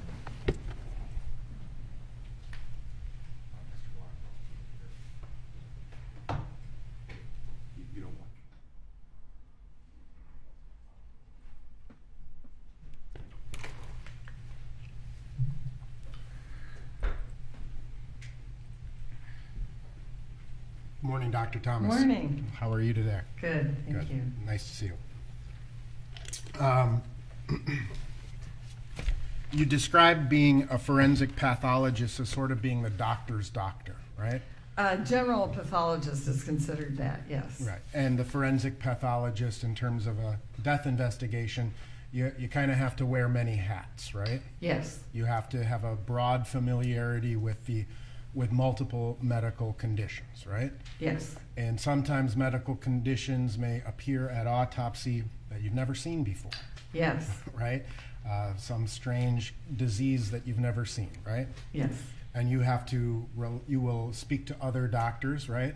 yes, You will gather information and um, share that, they'll share information with you to help you conclude, uh, make conclusions in an autopsy, right? yes, And you also described how being a medical examiner is, is more than just the autopsy, right? yes, The autopsy is one small part of a uh, death investigation, right? yes, You described um, reviewing uh, videotapes in certain circumstances, right? yes, Um, past medical records, right? yes, Interviews with friends, family members, people who were uh, who knew the decedent, right? yes, And ultimately, um, the medical examiner's office compiles a massive, you know, amount of information itself about the cause and manner of death, right?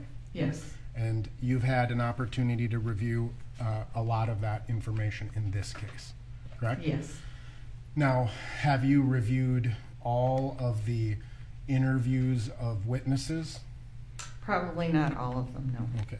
Have you, um, after you prepared your report, have you been provided with additional materials that may be relevant to your uh, considerations? Um, not that I can think of off the top of my head. Okay. Um, and we'll come back to that. So I just kind of want to, but you, you did have an opportunity to review Dr. Baker's entire file. right? Yes, And um, I believe we'll be hearing from Dr. Baker later this morning or this afternoon, but we'll have some questions for him. I would like to follow up on some of your conclusions.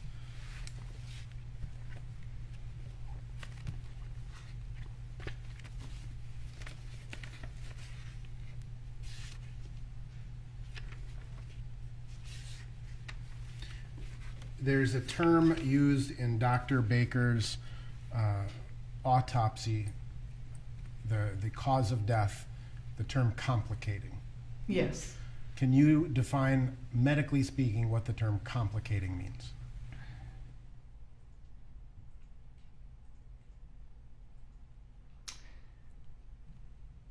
Oh, I guess it could be used in lots of different ways. Um,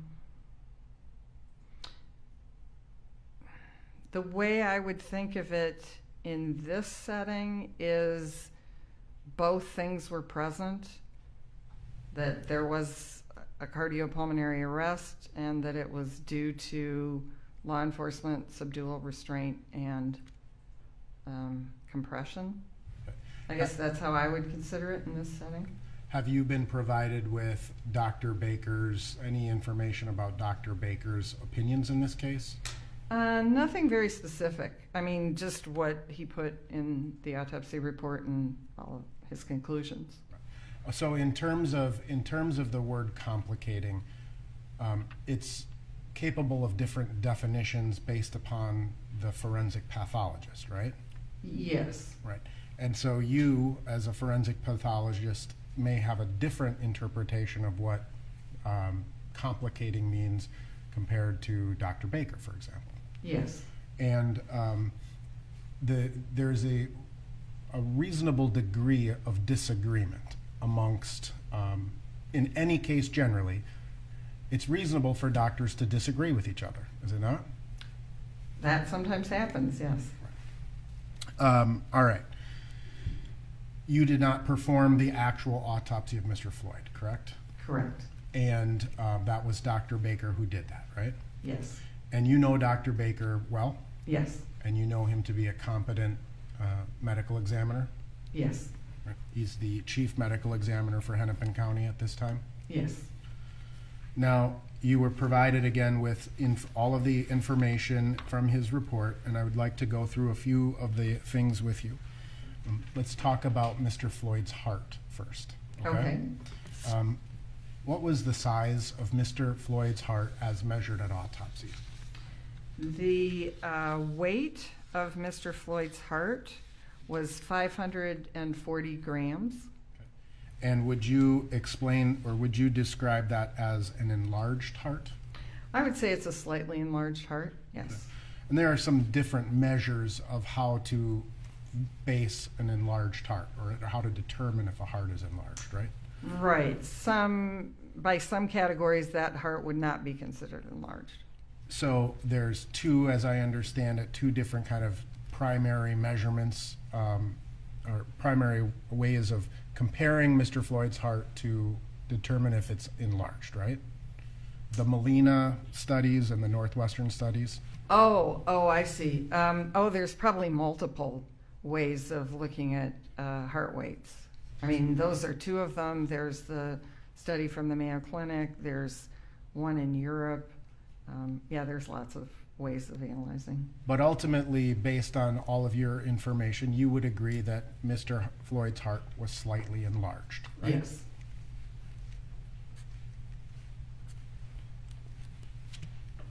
In terms of the DiMaio and Molina standard, uh, what would a normal male heart weight weigh for a person similar to Mr. Floyd? Oh, I don't know off the top of my head. Would you disagree if I said it was 383 grams? That well could be. For the average, I mean, For the average, right? yeah. So, according to, if that were the average heart rate, or heart size, excuse me, heart weight, 383 grams, relevant to Mr. Floyd's heart, Mr. Floyd's heart would be considered profoundly enlarged. Well, the thing about using averages in, um, especially medicine, which is, of course, what I'm most familiar with, is we don't generally say, we do- don't generally just compare it to an average. We usually compare to an average plus or minus two standard deviations. So that's why the range that um, I usually use is, you know, from 253 to 510 grams would be the range of normal for someone of Mr. Floyd's height. Um, and so I don't know in the DiMaio uh, Molina study what their two standard deviations would be. But I, I, I wouldn't use just the average. Okay, and so in, in terms of your, how you would assess the weight or size of the heart, um, you would say 510 is grams is the high, 510 grams is the high end Right, right, of, of that, and 540 is exceeds that, right? right. And so, in terms of a whether it's a, a very enlarged heart or even a relatively minimally enlarged heart, a larger heart requires more blood, right? Yes, it has greater demand, yes. What are some of the things that cause a person to have an enlarged heart? Probably the primary cause is high blood pressure. You understand, based on Mr. Floyd's medical records, that he did in fact have a history of high blood pressure, correct? Yes. Can you describe the uh, blood vessels of the heart? There are several major coronary arteries that's, as I mentioned, uh, supply blood and nutrients to the heart muscle. Uh, there's the left and right, and then the left branches into the left anterior descending and the left circumflex, and then there's some other branches off that. And how would you describe narrowing or stenosis of the coronary arteries? So the way we as forensic pathologists describe it is we look at the opening. So if an opening is fully open, then that would be 0% narrowing. And if it's completely closed, then that would be 100% occluded. And so then we look at anything ranging from, you know, 25, 50, 75, 90%. Obviously, it's just an eyeball estimation. We don't actually get out calipers and measure because the actual percentage doesn't really matter. It's more, uh, did they have coronary artery disease? Was it pretty good, pretty bad? Um, that sort of thing. Um, can you describe the difference between proximal and distal narrowing? Um, w- w- the way the coronary arteries supply blood to the heart, they come off of the aorta, which is the main vessel that takes blood from the heart to the rest of the body. And so, in close to the aorta is called proximal to the aorta, and then the further out it goes, distributing blood along the way to the heart muscle, is called distal. And when you have proximal uh, narrowing, how does that affect the heart?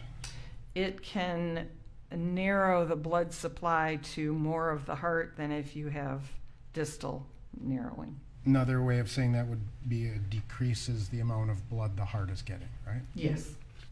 And um, it also affects how things are removed from the heart, right? Like CO2, carbon dioxide.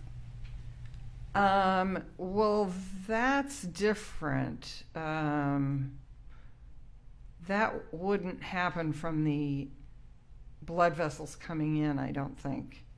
Um, so I, I wouldn't include carbon dioxide in that. Um, is there a standard within forensic pathology where pathologists would consider to be that there's enough of a narrowing to cause sudden death? So the way I would describe that is anything over more than 70 to 75 percent is, in the view of a forensic pathologist, something that, in the absence of another cause of death, could be used to explain death. Now, it's also true that people live with 100% occlusion and go on and do fine. So you have to understand this is strictly my perspective as a forensic pathologist, and everyone I see is dead. So that's kind of a different perspective. Uh, can you dis- uh, explain what myocyte necrosis is? The myocyte is the name of the heart muscle cell. So cyte means cell, it's C Y T E, and myo means um, muscle. So when you have a heart myocyte, it's the heart muscle cell, and necrosis means death. So if you see myocyte necrosis, that means there are dead heart muscle cells. And do you have to have myocyte necrosis to cause sudden death?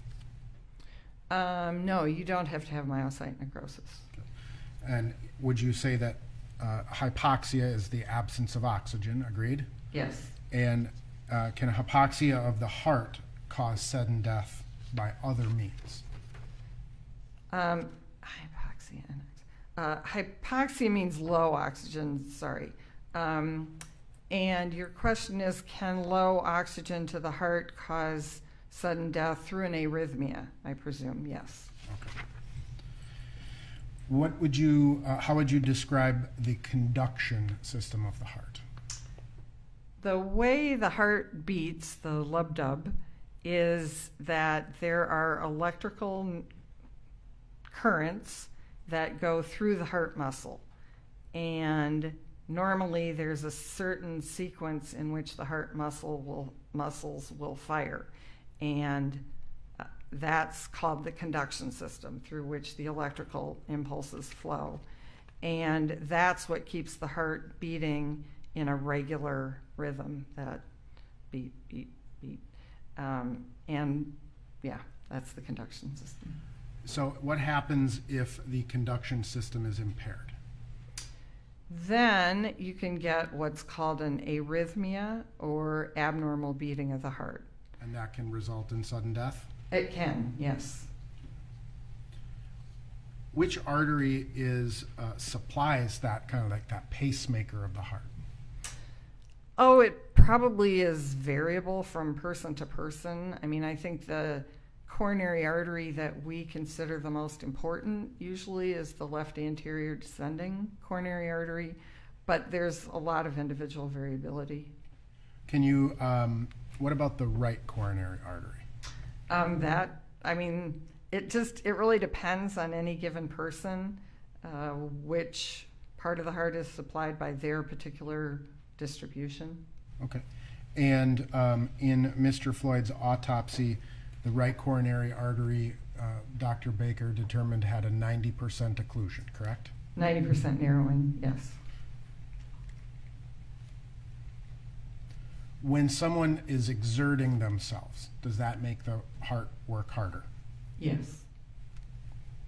Does that mean that more blood, uh, oxygen, it needs more blood to, to function? The heart needs more blood to function at that time? Yes. It's kind of like when we think about exerting anything like jogging, running, the heart needs more blood and, and hence more oxygen in order to function properly, right? Yes. You also described the fight or flight kind of a, uh, the, the physiology of, of that in your consideration, right? Yes, the physiological stress. Mhm. And the, uh, the physiological stress produces adrenaline, right? Yes. And that also causes the heart to work harder Yes. and therefore need more blood Yes. and more oxygen. Yes. So let me ask you this. In this particular case, right, um, we have a heart that is at least above average, right, needing more blood. We have a heart with a occluded right coronary artery, right, Narrowed. narrowed. hmm We have a uh, heart that uh, the left anterior descending uh, artery also had a 75% narrowing, right? Yes. And so you have, you know, and then you have an exertion of stress producing adrenaline, right? Yes. So the heart has to work very, very hard in this case. Fair to Yes. say? Let's take the police out of this, and I'm going to ask you a hypothetical. Let's assume you found Mr. Floyd dead in his residence, no police involvement, no drugs, right? The only thing you found would be these facts about his heart. What would you conclude to be the cause of death? In that very narrow set of circumstances, uh, I would probably conclude that the cause of death was his heart disease. So have, have you, as a forensic pathologist, ever certified a death due to uh, arteri- arteriosclerotic cardiovascular disease? Probably thousands of times, yes. Similar to, with similar degrees of narrowing of the arteries? Yes. Have you ever certified a death due to hypertensive cardio megaly? I'm trying to, Yes, uh, hypertensive cardiovascular disease, yes, absolutely. with a heart at this weight or even smaller? Well, if it was, again, in this setting where that was the only abnormal finding, um, then I would probably go with that, yes. So, um, one of the things that has to be considered in this particular case is uh, Mr. Floyd's heart, right?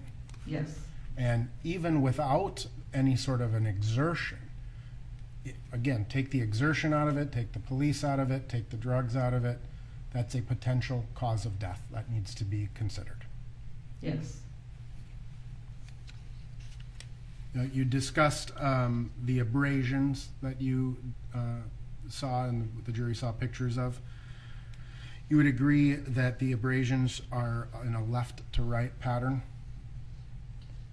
um, meaning there are more on the left than on the right.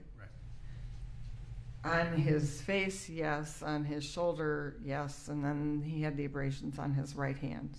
And even in terms of the, the pattern of the abr- abrasion, there's, there's up and down abra, like, uh, uh, an abrasion could go from the bottom of my body up, or it could go from left to right, right? Yes, I guess I didn't really focus on what direction the abrasions were going in that sense. Okay, and that's fine. Um, but you would agree that one possible way that some of, at least some of these abrasions occurred would be when Mr. Floyd was initially put down on the ground. Um, I, I guess they could, yes. Right. And not all of those abrasions necessarily occurred while Mr. Floyd was in the prone position, right?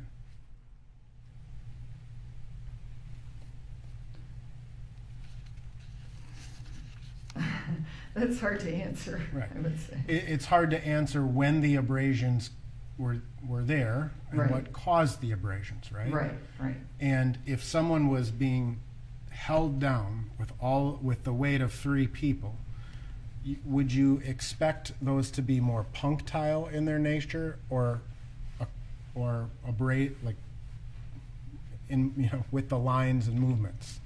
Oh, gosh, there are too many variables there, I would say. Okay. Now, you ultimately determined that um, this case was an asphyxiation, essentially, right? Yes, that that was the primary mechanism. Right. And asphyxiation is simply the lack of oxygen to the brain, Yeah, low oxygen, inadequate oxygen. inadequate Mhm. oxygen to the brain specifically. Yes, And um, in terms of asphyxiation, you would agree that there are multiple things that can cause asphyxiation.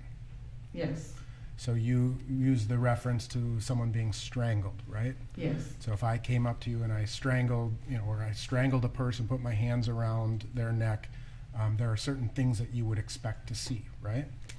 sometimes you do, yes, and that's great when you do. You don't always, but And those would be things like a broken hyoid bone, yeah, right? The petechial hemorrhaging that you discussed. yes, And um, in an asphyxia death, there are oftentimes, frequently, those types of signs available, right?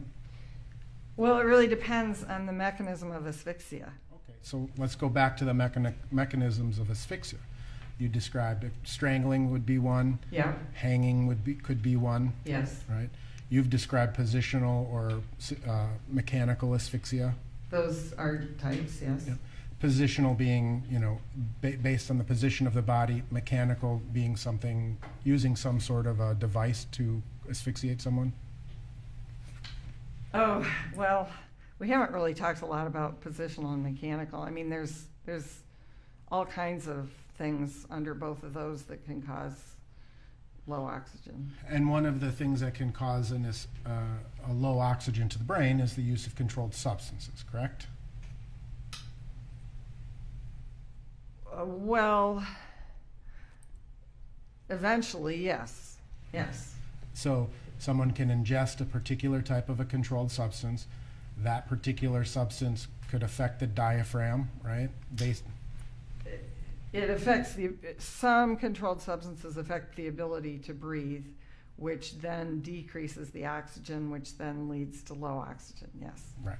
And that's essentially um, what you're saying is is that there, in, in this particular case, as I understand it with my notes, is um, that essentially what happens is there was some event that happened that resulted in a decrease of oxygen to the brain, and that resulted in uh, d- in death. Yes, And that's essentially what asphyxia is generally. inadequate oxygen, yes. Right. Okay. And you you were asked a series of questions about um, some studies in terms of I think they're called the um, they're out of San Diego or Yes, Dr. Chan and. his Dr. group. Chan's, Mhm. right? Yep. Um, are you uh, familiar with the Journal of Forensic and Legal Medicine? Yes, Now, you, you testified that some of the uh, problems with the Chan studies were that they were in laborato- lab, lab, laboratory settings. Sorry, uh, laboratory settings. Uh, that they were controlled environments, healthy individuals, etc. Right? yes, Are you familiar with um, the work of Dr. Christine Hall and her paper "Incidence and Outcome of Prone Positioning Following Police Use of Force in a Prospective Consecutive Cohort of Subjects"? is that the one from Canada? Yes. Yes, And that was essentially an analysis of actual police encounters, correct? yes, in And- Canada. in Canada, understood, uh, but they actually, the, the, that study, they go through and they look at the number of police-citizen interactions, correct? Yes, And then from those police-citizen interactions, they further go in to look at um, how many involved being placed in the prone position or a non-prone position, correct? yes, They consider various actual real-life variables, agreed? yeah, And including drugs, whether drugs were on board, whether the length of time to a certain extent that someone was in a, in the prone position, agreed? yes, And uh, ultimately, they analyzed about, what was about 3,000 uh, prone positional placements yes, out of a total of like 1.1 million police interactions. yes, So 1.1 million police interactions, resulting in about 3,000 prone position, uh, prone position arrests. That those prone, pos- these are real people, real incidents, right? yeah, And in those uh, 3,000 or so interactions, there were no deaths that occurred. Isn't that amazing? When you consider that virtually every forensic pathologist in the United States has probably had an officer involved death like this. How did they?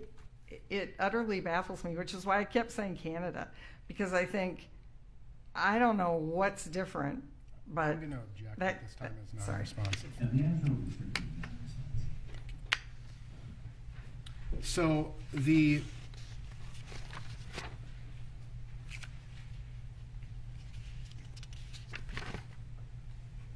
let me ask you um, in terms of hypoxia. Can you d- again define hypoxia? uh, low oxygen. Right. And which organ is more sensitive to the uh, lack of oxygen? The brain. Brain, The brain. absolutely. The brain's the most. It needs the most oxygen, right? Yes, And that's because it's doing millions of things simultaneously, right? Agreed? Uh, Yes, it, I'm sure there's lots of reasons metabolically why it needs oxygen. Right.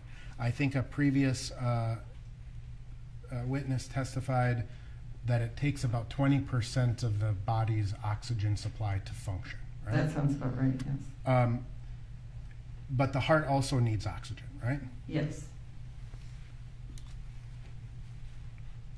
So, in terms of the professional standards for determining an asphy- asphy- asphyxia death, um, is it true that you have to first exclude all natural and non natural cases or causes of death?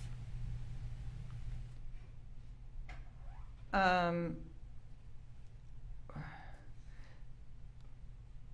Well, you can have natural and non-natural causes of low oxygen.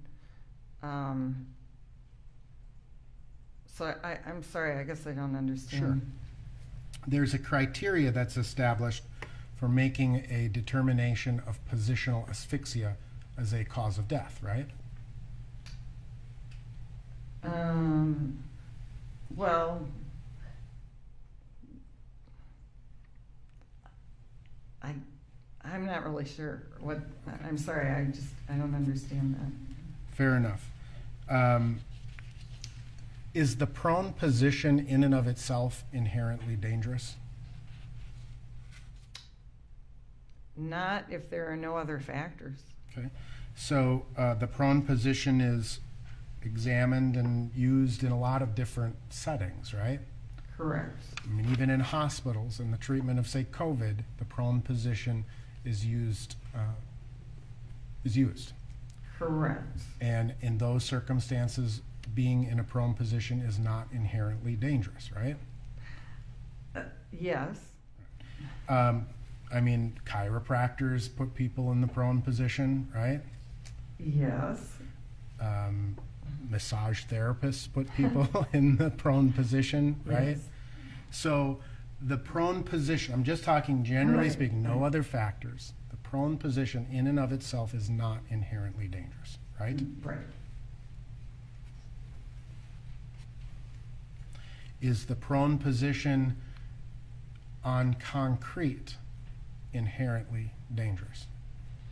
Again, with no other factors, as long as someone can breathe, no. Right. I could be laying by the pool in Florida, right?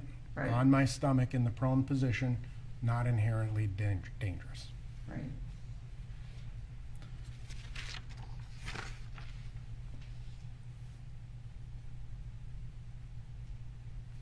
Do you know, uh, or did you con- take into consideration Mr. Chauvin's weight in your analysis? Oh, I'm aware of his weight. Um, I would say I took it into some consideration, but it wasn't a major factor one way or the other. Okay. Um, you reviewed all of the videos, right? Yes. And it's fair to say that um, portions of his weight were placed on Mr. Floyd's body at a different distribution. Yes. And ultimately, in terms of the autopsy that con- Dr. Baker conducted, um, in terms of the area in the shoulders, the back, and the neck, no bruising was found, right? Right. Um, in, in your experience as a forensic pathologist, um, if someone is placing a significant amount of weight on a person's area for a prolonged period of time, would you expect to see bruising? You might or might not. It's so variable. And you would agree that there are no abrasions or bruising described in the autopsy in the neck area of Mr. Floyd? Correct. There's no bleeding into the muscles in his, uh, in his back, right? Correct. You would uh, agree that the knee is sort of a pointy or a more protru- protuberant uh, part of the body? I guess so. Kind of flat on top because of the patella, but Right. And when we talk about the shin, the shin bone, the shin bone itself, there's not a lot in between the skin and the shin bone, right? that is true. Yes. And it's sort of a triangular shape, right? Yes. And again, um, along Mr. Floyd's back, there's no long bruise consistent with a shin bone, right? Right. And there's no more circular bruise consistent with a kneecap. Right. You've uh, reviewed obviously a lot of strangulation type cases uh, in those uh, in your career. Yes. Strangulation with the hands, right? Primarily manual, but also ligature. Um, ligature being like a rope or a phone cord or something. Exactly. And in those manual strangulation cases, the pressure that's exerted in that will frequently leave bruises, fingerprint size bruises, right? Frequently, but not always.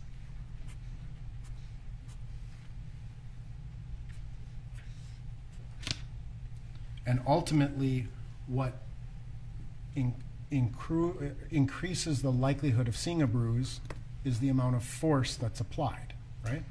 You know, I don't know what all the factors are. Whether it's fragility of the vessels, whether it's the length of time, whether it's the force, whether it's the location. I think there are lots of variables. So, yes. And everyone bruises differently. So yesterday depends on what medications they may take, right? Right. So, so yesterday there was an analysis or an analogy to sitting on a church bench uh, and you don't bruise your behind. and that can feel long. Uh, would it be different if you're sitting on a church bench under with a with a baseball, for example, underneath your butt? I- I really couldn't say. All right. So, in terms of Dr. Baker's uh, autopsy, you would agree that there's really no objective evidence showing any pressure to the back of Mr. Floyd. There is nothing at the autopsy. That's correct. Did you find, uh, or did Dr. Baker find hypoxic changes in his brain?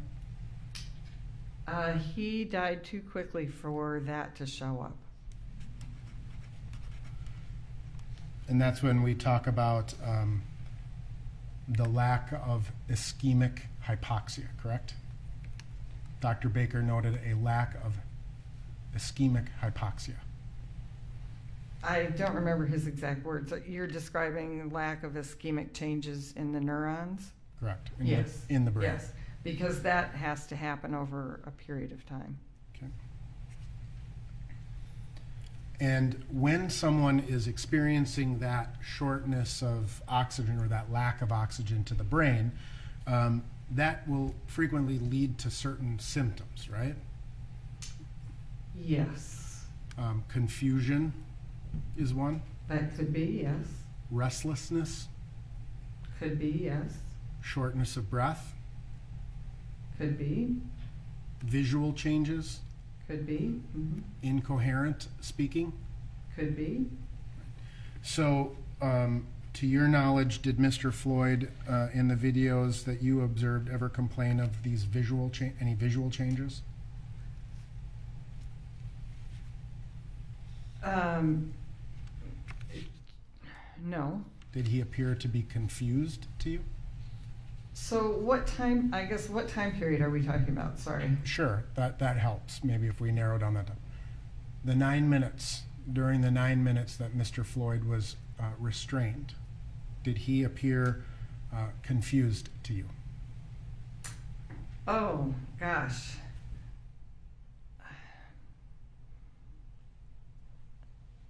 How do you describe his behavior? Well, I mean, did did he he was articulating that he was in pain, right?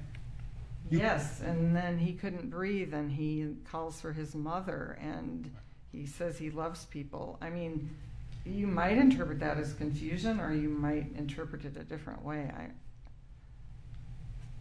Did he appear to be breathing during this time frame? not effectively. Do you know how many breaths per minute? No. If uh, one expert indicated it was at a rate of 22 breaths per minute, would you disagree? I would have no way of assessing that. When someone is hypoxic, they start breathing faster, right? That can be a mechanism mhm, of trying to balance. At least uh, for the first five minutes or so, Mr. Floyd was talking, right? Well, again, I mean, talking, yes or no? He was talking. he was, yes, there was, there were words, yes. So he had an open airway. Yes. And you'd agree that, um, or would you agree that at some point he went limp, Yes. right? And would you describe what you saw as the progression of hypoxia in that instance at the point he goes limp? It's, that is certainly a good explanation for it, yes. Was not a sudden hypoxic event, right? That is my interpretation, yes. You would agree that if he was progressively growing hypoxic, you would expect whole body hypoxia?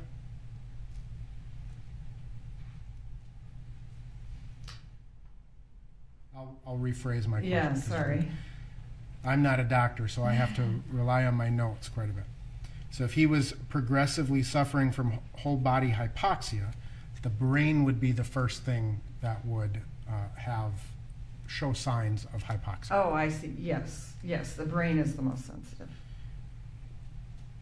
And you would agree that um, that would not occur in a matter of seconds, but it would take a matter of minutes, right? Correct. And asphyxia due to position or compression that prevents air from getting into the lungs, right? Yes, And that leads to what we would call a global hypoxia. um, we haven't really used that word global. Um, Whole body. I mean, if there's inadequate oxygen, the blood flows everywhere, so I, I guess that's what you're talking about. Um, But the brain is the first thing to show symptoms of hypoxia. Right, that's the most sensitive organ.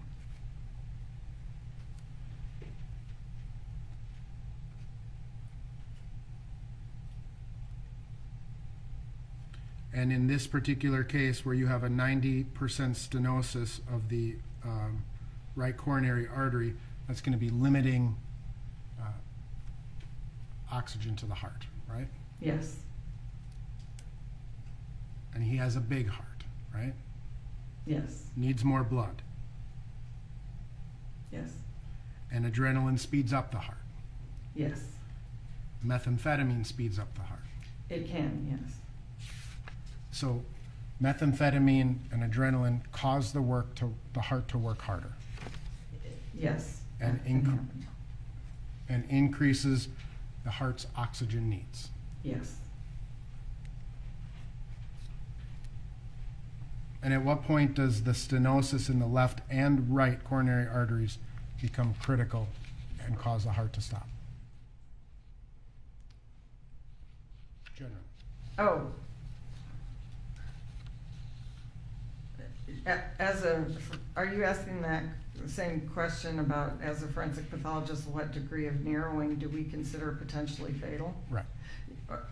Seventy, seventy-five percent and above. Now, in terms of um, drug use, right, you obviously were aware, based on the toxicology, that Mr. Floyd had certain drugs in his system, right? Yes, And so when we say on board, that means in the system. yes. Um, would you describe the use as a, as you know, based on the information that you have, uh, as sort of a binge use of drugs? Oh, I guess I couldn't, I couldn't answer that. Um, are you familiar with um, drug use uh, taken or used interrect- interrect- rectally? I've heard of that, yes. And that increases or speeds up the distribution of controlled substances in a person?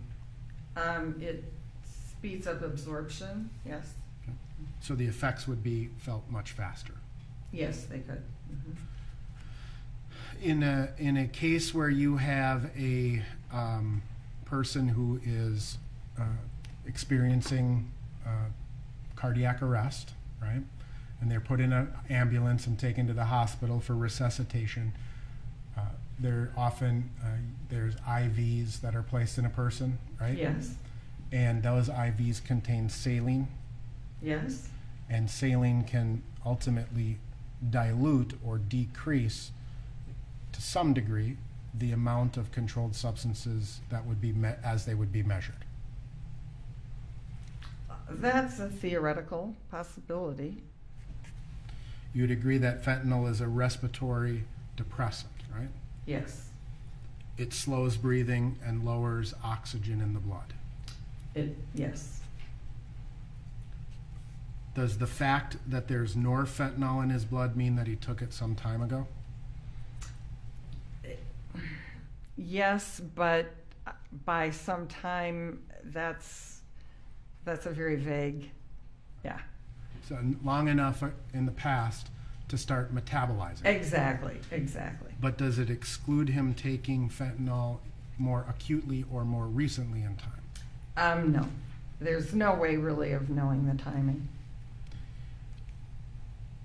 Um, fentanyl depressing the respiratory system can also act with the coronary artery uh, ves- or can interact with coronary vessel disease, correct? Um,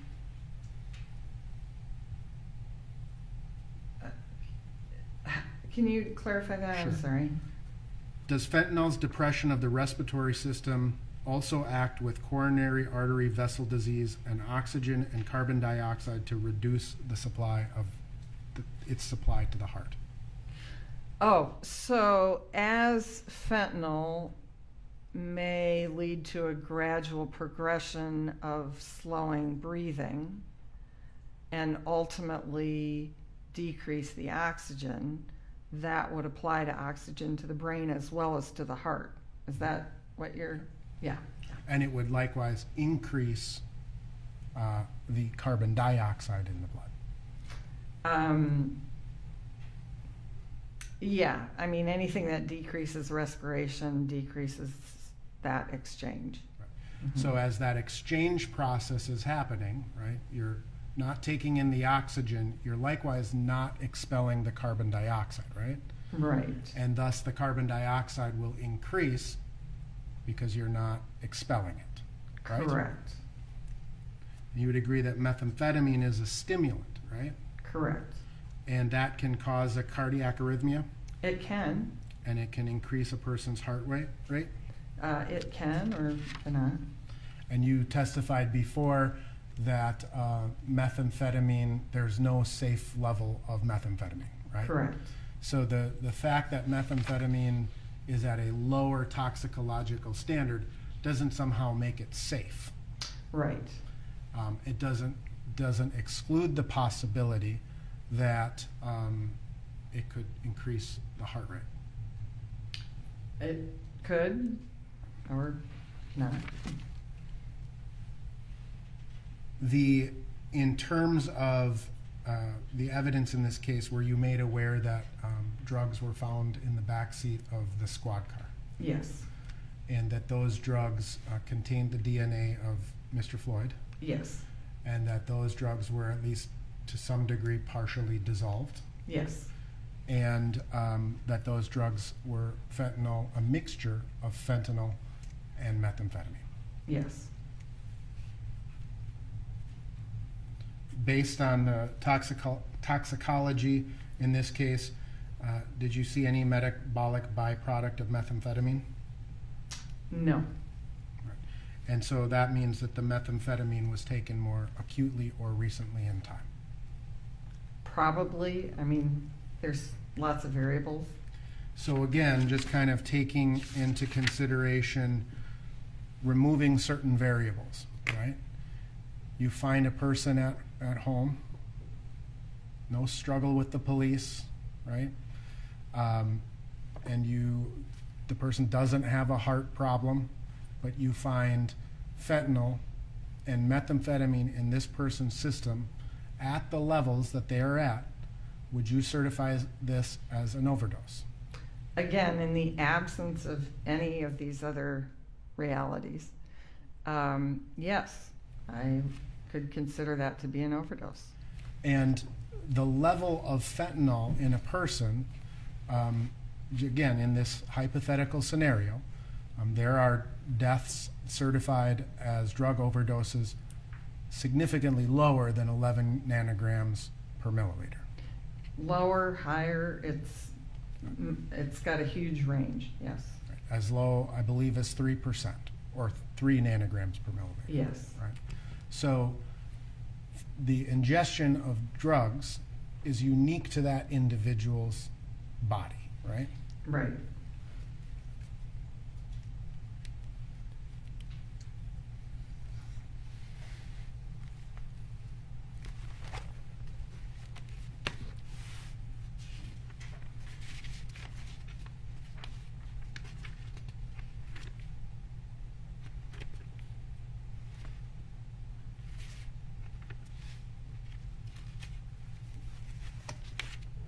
Your Honor, I have no further questions. Ms. Blackwell?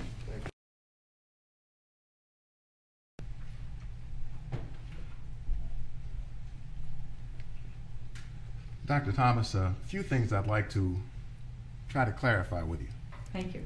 Uh, you were asked a number of questions that were to the effect that if we take the police subdual, restraint, and neck compression out of this, what would you conclude Mr. Floyd's cause of death to be? Remember those questions? Oh yes. Uh, aren't those questions a lot like asking Mrs. Lincoln, Yeah. if we take John John Wilkes Booth out of this, Objection uh, argument. may I finish? It's my No, analogy. That's Your argumentative. Dr. Thomas, uh, if we put the police subdual, compression, and neck uh, compression into this, restraint uh, and neck compression into this, what was the cause, the manner of death for Mr. George Floyd? The cause of death was the law enforcement subdual, restraint, and compression, and the manner of death is homicide. Does it make any sense to you whatsoever from the standpoint of trying to assess cause and manner of death for Mr. Floyd to be answering questions having to do with hypothetically taking the facts of this case out relating to his subdual, restraint, and neck compression? She's a, You can, you can finish the question. uh, Dr. Uh, Thomas, from your standpoint as a forensic pathologist and your analysis of manner and cause of death, uh, would you ever approach an assessment of manner and cause of death by taking out of it the facts that you found relevant and highly pertinent to assessing and determining the manner and cause of death? No. And in this case, those factors are what? The law enforcement subdual, restraint, and compression. And uh, you were asked questions again about fentanyl and meth. Uh, remember those questions? Yes. Uh, do you know what quantity of meth uh, was even involved or found in Mr. Floyd's bloodstream? Uh, I have the number, Well, let, let me ask you a question. but it was very small. I mean, I do know that. And so this was the point. It- You found it, that it was a very small amount. Correct. Uh, were you able to assess, based on the amount, what kind of effect, if at all, it would have on the stress or strain on his heart? No. It- Uh, it- There's too much individual variability to correlate one number with one person's reaction. Well, let's see with respect to fentanyl, if there's a, a, a punchline we can get to with respect to fentanyl. Um, fentanyl has been uh, discussed uh, with, uh, with you, Dr. Thomas, as a respiratory either depressant or suppressant. Yes. Uh, in order for us to go from fentanyl to death, in the middle, there are certain symptoms and responses and reactions a person would have who's suffering from fentanyl overdose or intoxication. Yes. Uh, if the person doesn't have those symptoms, uh, those indicators, then would you feel that it's possible even to conclude that they are suffering from fentanyl intoxication or overdose? No, if there's no signs of fentanyl tox- overdose, then it makes no sense to conclude that there was an overdose from fentanyl. And to be clear for the ladies and gentlemen of the jury, what are those symptoms of fentanyl overdose or intoxication? So, fentanyl is an opioid. It's like morphine or heroin, and it causes slowing. Well, first of all, it's a potent pain medication and given mostly for that, but it also can cause slowing of the respiratory rate in a very gradual, peaceful, non struggle kind of way. What is described as people just fall asleep and uh, may just kind of slump gradually over because they very peacefully stop breathing. Or it slows and then eventually stops. And they fall into a sleep out of which they can't even be aroused. Correct. Uh, would that be also known as a coma? Yes, ultimately it's a coma. Uh, when George Floyd was on the ground for the 9 minutes and 29 seconds, was he asleep to the point of not being able to be aroused? Not for the first half of it, no. And then afterwards, he was completely unresponsive, but that's a different. For the second half, he was unresponsive with no pulse. Exactly. Uh, was George Floyd during the 9 minutes and 29 seconds ever in a coma that you saw? No.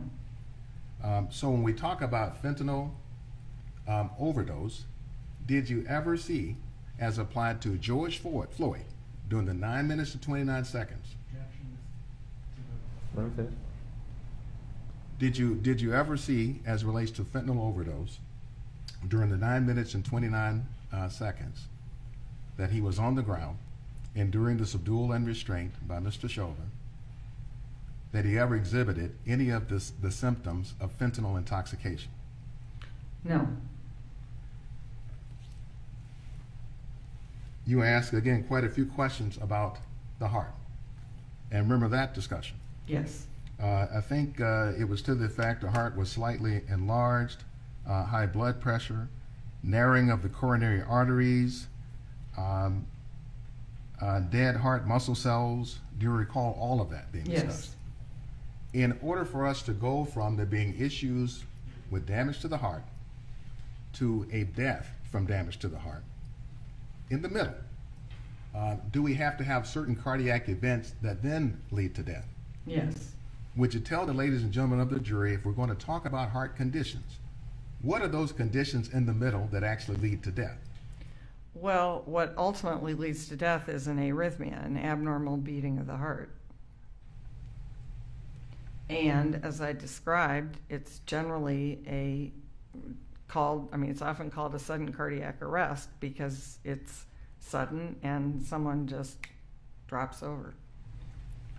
Now, to be clear, when we're talking about these various heart conditions and a sudden cardiac arrest, fatal arrhythmia, did you see any indication with all this discussion about heart conditions that Mr. Floyd ever suffered from a sudden fatal cardiac arrhythmia as the primary cause of death? No. Uh, did was there any evidence that Mr. Floyd suffered from a heart attack? No. Uh, if you uh, bring to mind what was found during the autopsy, was there any injury found to Mr. Floyd's heart whatsoever? No. So, if we talk about, for example, uh, dead heart muscle cells, any dead heart muscle cells seen on autopsy? Not that Dr. Baker described and not that I saw, no. In fact, his heart was so ordinary in terms of non injury that it wasn't even photographed intact, was it? Not intact, no. Dr. Baker took one photo that showed no scars and no acute injury.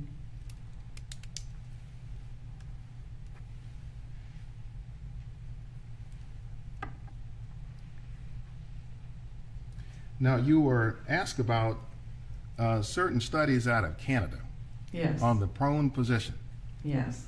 And now, uh, and the findings out of Canada, sup- supposedly with real police and real police settings, was no fatalities. Yes. Are you familiar with any such studies reaching that conclusion in the United States of America? No.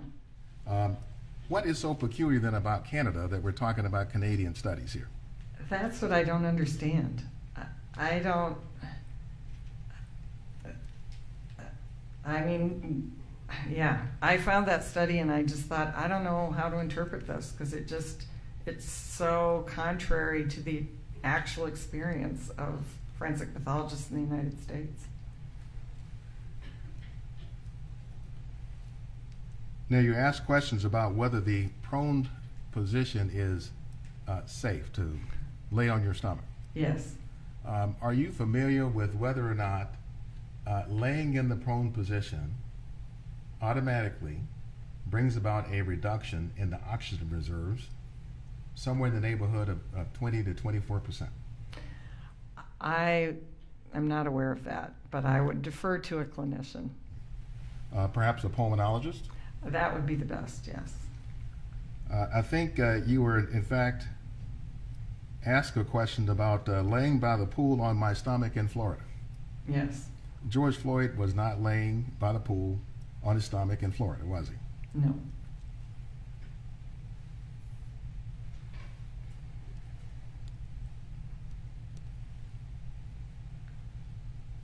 I know the answer to this, but I'll ask you. You asked a question about sitting on a church bench with a baseball under your butt.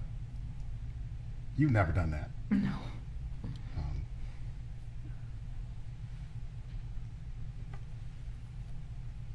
Now, you were asked questions about symptoms of damage uh, to the brain Yes. and whether there was any evidence of damage to Mr. Floyd's brain.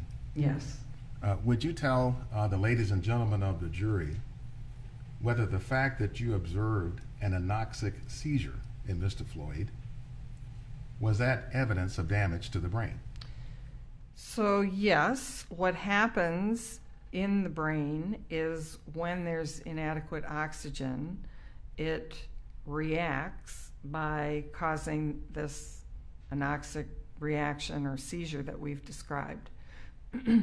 if someone then goes on and essentially is brain dead, but their heart can be restarted and they're kept alive for, say, a day, and then they die, then you will see changes in the brain.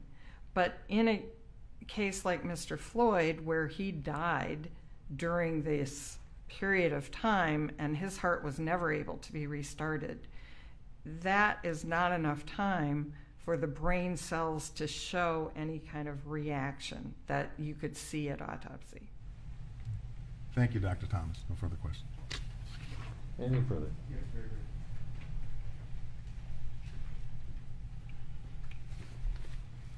Dr. Thomas, um, after the heart stops, if the heart stops, is it possible that the body will continue to breathe or respire? Um, yes, I suppose it could in some circumstances. And that could, that continued respiration after the heart stops could be a matter of a minute or two, correct? I suppose that could happen. And you would agree that methamphetamine also further constricts uh, the arteries, right? It can do that.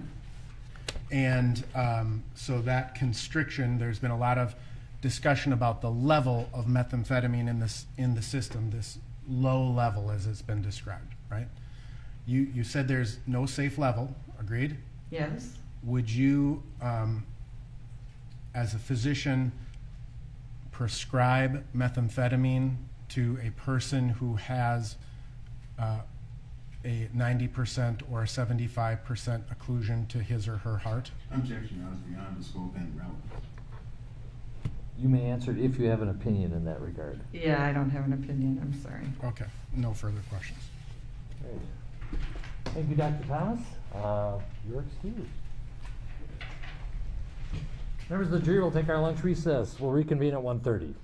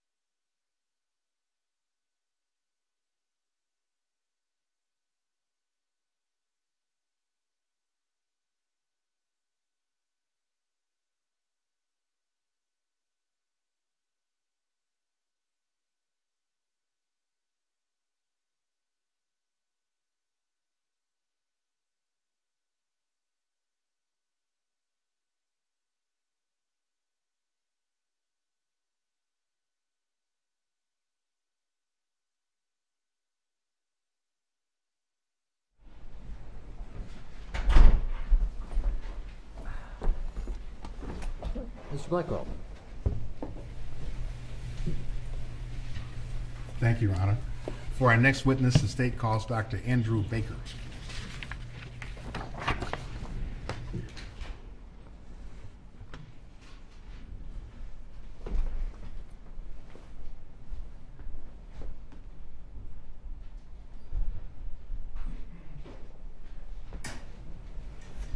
Raise your hand, please.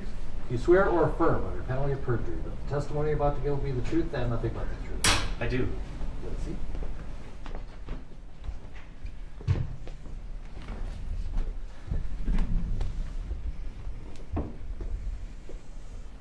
And if we could begin by having you state your full name, spelling each of your names. My full name is Andrew Michael Baker, A N D R E W M I C H A E L B A K E R. Mr. Blackwell. Thank you, Your Honor. Good afternoon, Dr. Baker. Good afternoon. You know, before we, well, first of all, you conducted the autopsy on Mr. George Floyd. I did. Before we get into the specifics of the, uh, the autopsy, uh, why don't we explore your background a bit? Uh, you're the, uh, the chief Hennepin County medical examiner, That's correct. and would you tell us what it means to be the chief medical examiner in Hennepin County? So I've been the chief medical examiner for Hennepin County since 2004. Um, I'm actually the chief medical examiner for Hennepin, Dakota, and Scott counties. My office provides service to all three of those counties, which is about 1.85 million Minnesotans, or about a third of the state, um, falls within our catchment area. Being the chief medical examiner means that I supervise the rest of the staff, in particular my other physicians. I have six other doctors as well as a doctor in training that work under me. And so before becoming the chief, you were the assistant chief, Correct. And uh, that was in roughly 2002. Correct. I was the assistant chief medical examiner for two years. So all in, it's been going on 19 years as either assistant chief or the chief. Correct. Uh, what did you do before joining the Hennepin County Medical Examiner's Office? Um, are you asking me to go back to my educational background or just my postgraduate training? Maybe to the Air Force. To the Air Force? Oh, prior to coming to Hennepin County from 1998 to 2002, I was a major on active duty in the United States Air Force. I served as a forensic pathologist for the Department of Defense. Um, our unit was known as the Armed Forces Medical Examiner, and at that time we were headquartered in the Washington, D.C. area. Are you uh, board certified in any areas? I am. Would you tell us which ones? I am board certified in anatomic and clinical pathology, and I hold subspecialty certification in forensic pathology. Uh, doctor, would you tell us what the National Association of Medical Examiners is? Yes, the National Association of Medical Examiners is the professional organization for people who do what I do for a living. Um, I want to say we have about eight or nine hundred members. Um, many of those are fellows like me, meaning they're fully board certified forensic pathologists. We do have a variety of other membership categories as well for investigators, for administrative personnel, and for other support personnel um, in the profession. Now, you uh, are former president of the National Association of Medical Examiners. Yes, I am. In fact, uh, at least as of to date, uh, you're the youngest president, or were the youngest president uh, ever to hold that position with the NAME. I, I don't actually know that that's true, but I will take your word for it, Counselor. I, I, I did not know that. Yeah, I thought I was just listening to you, Dr. Baker. so, um, but in any event, you have been the president of NAME. Yes, I have. Um, so let's move now to the uh, specific uh, autopsy of, uh, of Mr. Floyd. Um, could you give us some sense of what you knew about the, uh, the circumstances surrounding his death before you started your work um, on Mr. Floyd? Yes, so I was aware that Mr. Floyd had become unconscious while in police custody, that he had been transported to Hennepin Healthcare, and that that was where he was pronounced dead. I believe at the time I started the examination, my staff was probably still working to confirm Mr. Floyd's identity and uh, properly notify his next of kin. But that was basically the background information that I had.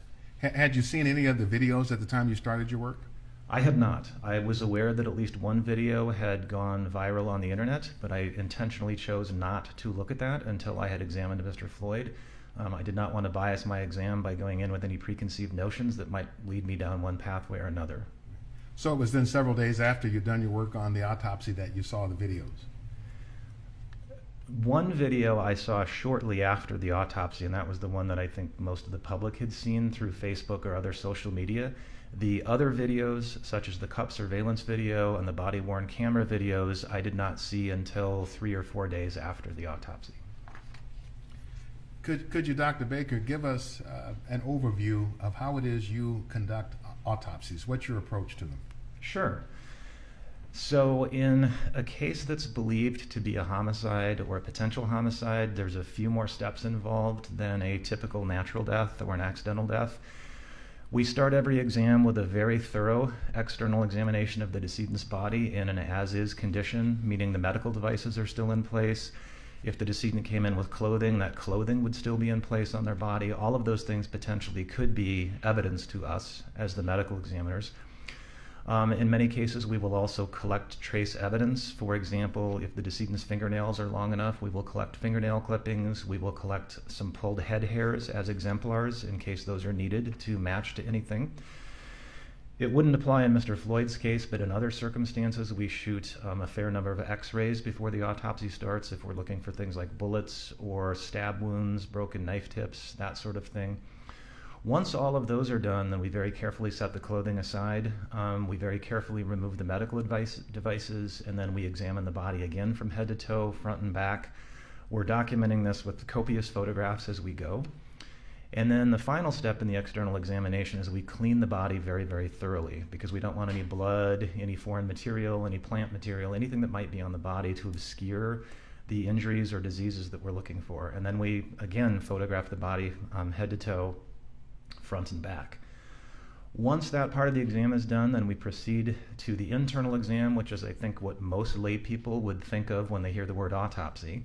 We make a set of very careful incisions on the body that allow us to remove all of the organs one by one so we can look for evidence of natural disease, internal evidence of injury, and while we're doing that, we're collecting specimens for toxicology. Typically, blood and urine are the ideal specimens. Um, we do remove all of the organs from the tip of the tongue to the bladder. Um, we also remove the brain. We also remove all of the structures from the front of the neck, looking for any injury or evidence of disease. Um, in a case like Mr. Floyd's, there are some additional steps we will take that wouldn't occur in most autopsies. So, for example, in Mr. Floyd's case, I did make incisions of his wrists and dissect around the skin underneath to look for evidence of what we would call subcutaneous bruising or bruising under the skin from the handcuffs that were applied. Overruled. Please continue. And then the last thing that I was going to say is also in Mr. Floyd's case, um, I did make a special incision from the back of his head all the way down to his buttocks. And I dissected underneath his skin all the way out to the sides of his neck, all the way out to his shoulders, and all the way out to his flanks. And you might ask why we would do something like that, and the answer is because sometimes fresh bruises can be difficult to see in some people, and so we look underneath the skin to make sure that we haven't missed something. Again, those last few steps wouldn't be part of a typical autopsy, but in circumstances like this, um, it's a generally accepted practice that we do that. And, and Dr. Baker, is the autopsy part of a broader death investigation? Yes, the autopsy is just one piece of the medical examiner's death investigation. And could you generally characterize the uh, the the umbrella. What's the uh, the the death investigation entail uh, overall? So the, the medical examiner's ultimate mission, in addition to properly identifying people, is to ascertain their cause of death and their manner of death. The autopsy is just one component of that. It obviously has a great deal to do to inform the cause of death and manner of death, but we also need to know the decedent's past medical history. We need to get a hold of the decedent's next of kin to see if the decedent could potentially be a donor if there's any family history that we need to know about, we will typically contact the decedent's primary care physicians as well as get their hospital records.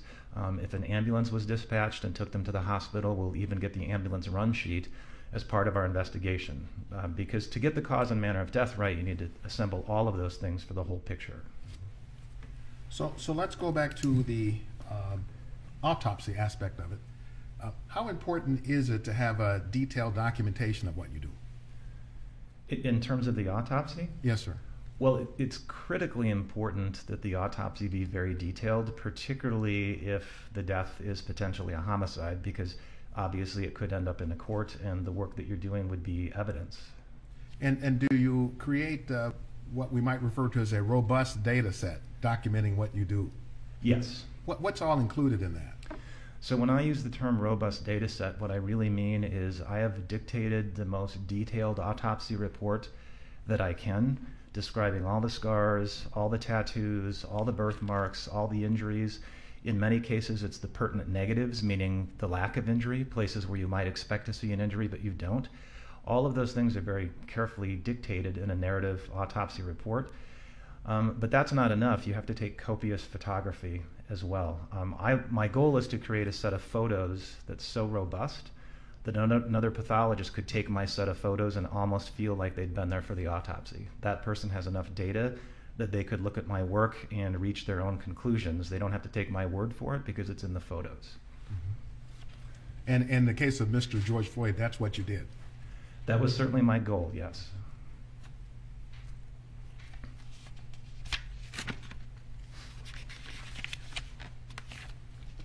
Your Honor, at this point, uh, I'm going to ask Dr. Baker to identify the uh, photographs from the autopsy. I still have them here in hard copy.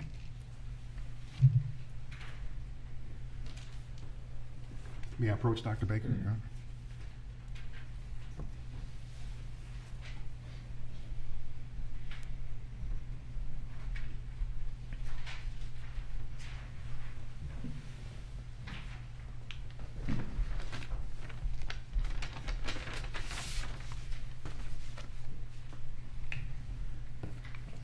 Dr. Baker, I've handed you uh, a number of photographs that should have uh, exhibit numbers 186, 235, 185, 236, 187, 188, 189, 190, 191, and 192. I'll represent to you, that's what you have.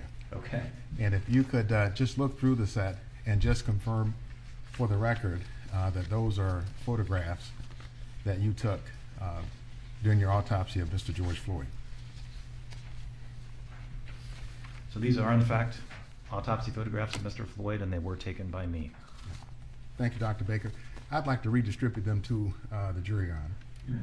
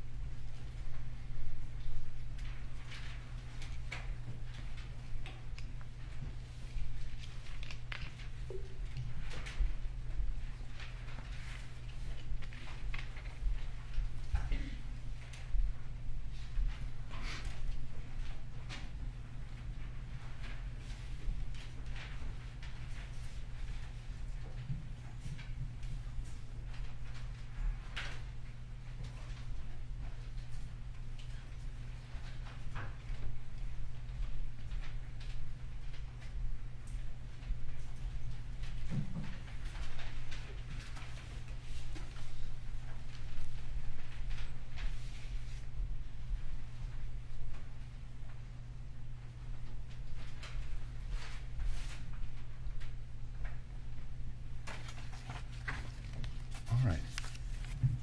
So, Dr. Baker, let me just ask you generally first uh, about documented injuries uh, that you saw with respect to Mr. George Floyd, and I'll ask you about specific parts of the body. Okay. Uh, Did you note any injuries to Mr. Floyd's back? I did not. Uh, Didn't see any bruises, scrapes, etc. Correct. Uh, What about the injuries to Mr. Floyd's face? Yes, Mr. Floyd had several injuries to his face. And if you could, uh, Dr. Baker, look at Exhibit 186 and Exhibit 235.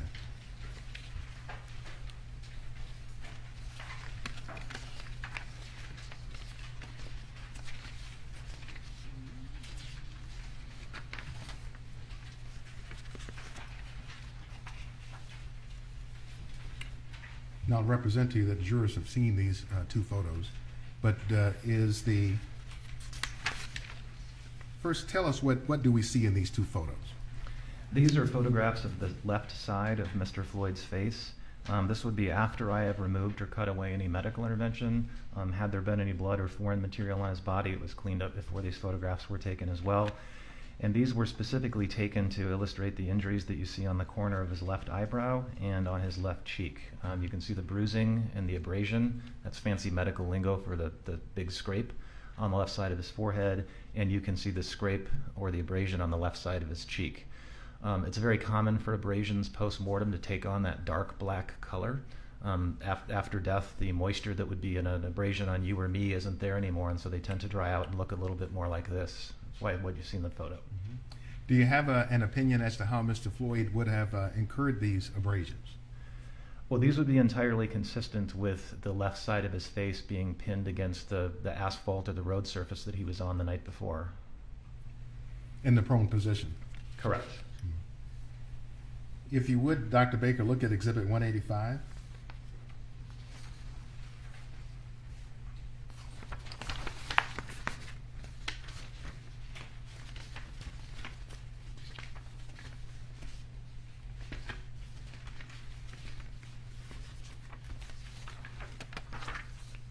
Got it. All right.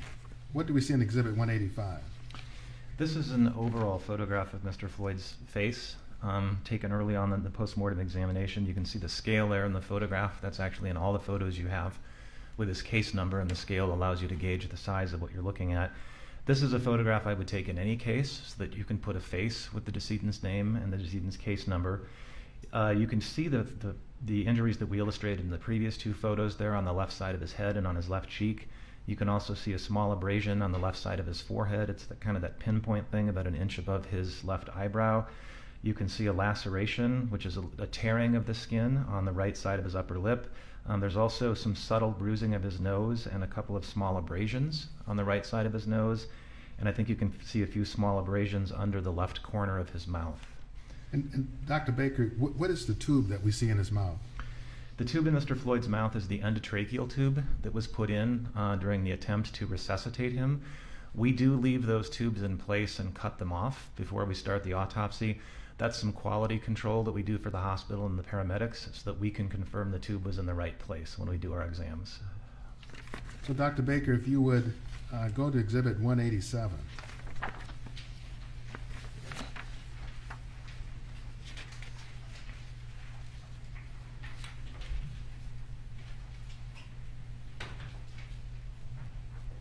What do we see in Exhibit 187? This is a close-up photograph of Mr. Floyd's right shoulder. Um, centered in the photograph just above the scale, you can see what I would call an abraded contusion, which is a fancy medical lingo for a bruise that has some scraping superimposed on it. And Exhibit 188?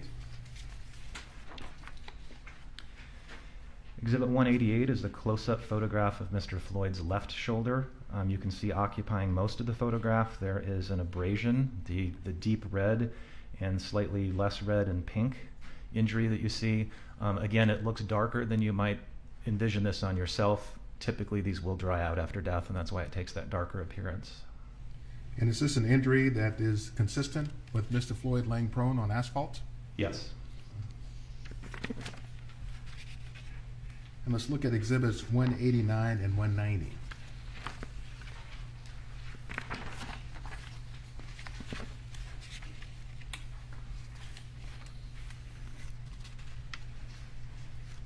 What do we see in Exhibits 189 and 190?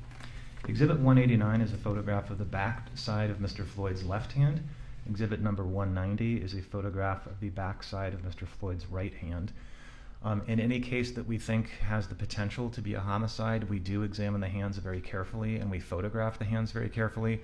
Um, our hands are largely the way that we interact with the world around us, and so injuries on the hands, or sometimes lack thereof, can tell us something about what happened. Specifically in Mr. Floyd's case, you can see a number of scar like areas on his knuckles on the left and some scattered across the back of his right hand. Um, I don't specifically know what those are from. Those obviously predate um, the events of his death, and I don't know where those came from. The more acute injuries that you see in the photograph, um, right above the scale in each picture, you can see kind of a patterned bruise. It almost looks like a tram track, those parallel marks. That's pretty typical for what handcuff marks look like when we see them at autopsy. And Dr. Baker, Exhibit 191.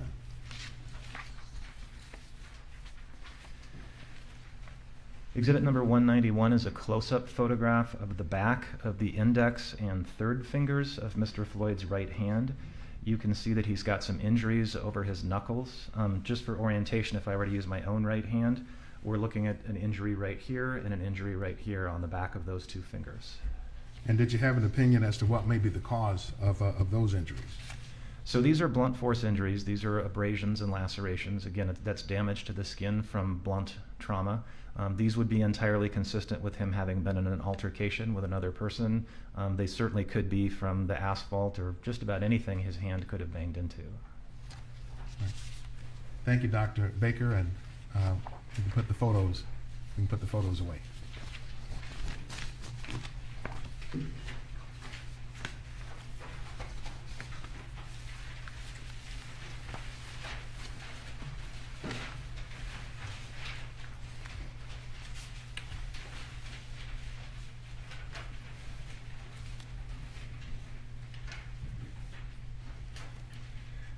Now, I'd like to talk with you for just a moment about your examination of Mr. Floyd's heart.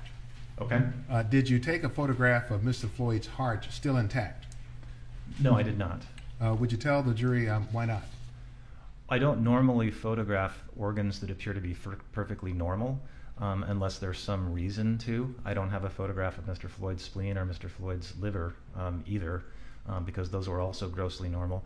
His heart was enlarged by weight, but that wouldn't really be something you could capture in a photograph unless it were so excessively enlarged that, that it would be obvious from the, from the picture. And, and so when we talk about the, uh, the tissues of the heart, uh, are you able to describe them generally, such as the endocardium, uh, the myocardium, et cetera? Sure. Would you tell the jurors what those are that you ordinarily look at? Yeah, so um, dissecting the heart is one of the most important things we do in every autopsy because the heart is involved in so many of the deaths that we investigate. So the first thing we do is we carefully remove the heart from the lungs. The next thing you do is you carefully make sure that there's no blood or clot left in the heart because you want to get a very accurate weight. Um, it turns out that the weight of the heart is a very good predictor as to whether that heart is normal or not. Um, people who have high blood pressure for a long period of time, their heart will actually get heavier, just like any muscle that's that's worked hard. The heart will grow in response to that kind of stress. So we do weigh the heart first. The next thing you typically do is you very carefully dissect the coronary arteries. And when I say carefully dissect, I mean you take a scalpel blade and you cut every two, three, four millimeters in very fine slices along every one of the coronary arteries. A normal adult heart will generally be described as having two coronary arteries, the left and the right. The left immediately branches into the left anterior descending and the left circumflex. So we dissect those two very carefully. And then we look at the right coronary artery. So usually you'll hear people describe three coronary arteries the circumflex, the left anterior, descending, and the right. So we want to make sure those arteries are in the right place. We want to make sure they have normal openings where they connect to the aorta. And then we go tiny slice by tiny slice, making sure that none of those arteries have narrowings or blockages in them. After we've done that, then we typically will carefully slice the heart, meaning the whole organ where we're now cutting through the muscle. And as you're making those slices, what you're looking for is evidence of previous heart damage. Is there a scar in the heart? Is there hemorrhage in the heart, suggesting maybe a more recent heart attack, if you will? There's many more rare conditions of the heart that we're also looking for while we do this. None of those apply in Mr. Floyd's case, but those are always in the back of our minds as we do this. And then the last thing we do is once we've cut through the muscle of the heart, we open all the valves of the heart generally in the same direction the blood flows. We make sure the valve leaflets are normal, make sure there's no infections, there's no calcifications, there's the normal number of leaflets. Um, so yeah, we've now we've now looked at the outside of the heart, the coronaries, the muscle of the heart, and the valves. So, so having done all of that with respect to Mr. Floyd, uh, did you find any previous damage to his heart muscle? No, Mr. Floyd had no visible or microscopic previous damage to his heart muscle. You know, and I apologize to you, Dr. Baker, and the jury, but there is one other photograph I do want to look at. Okay. So if, uh, if we could pull out uh, just number 192, which uh, should be the heart valves.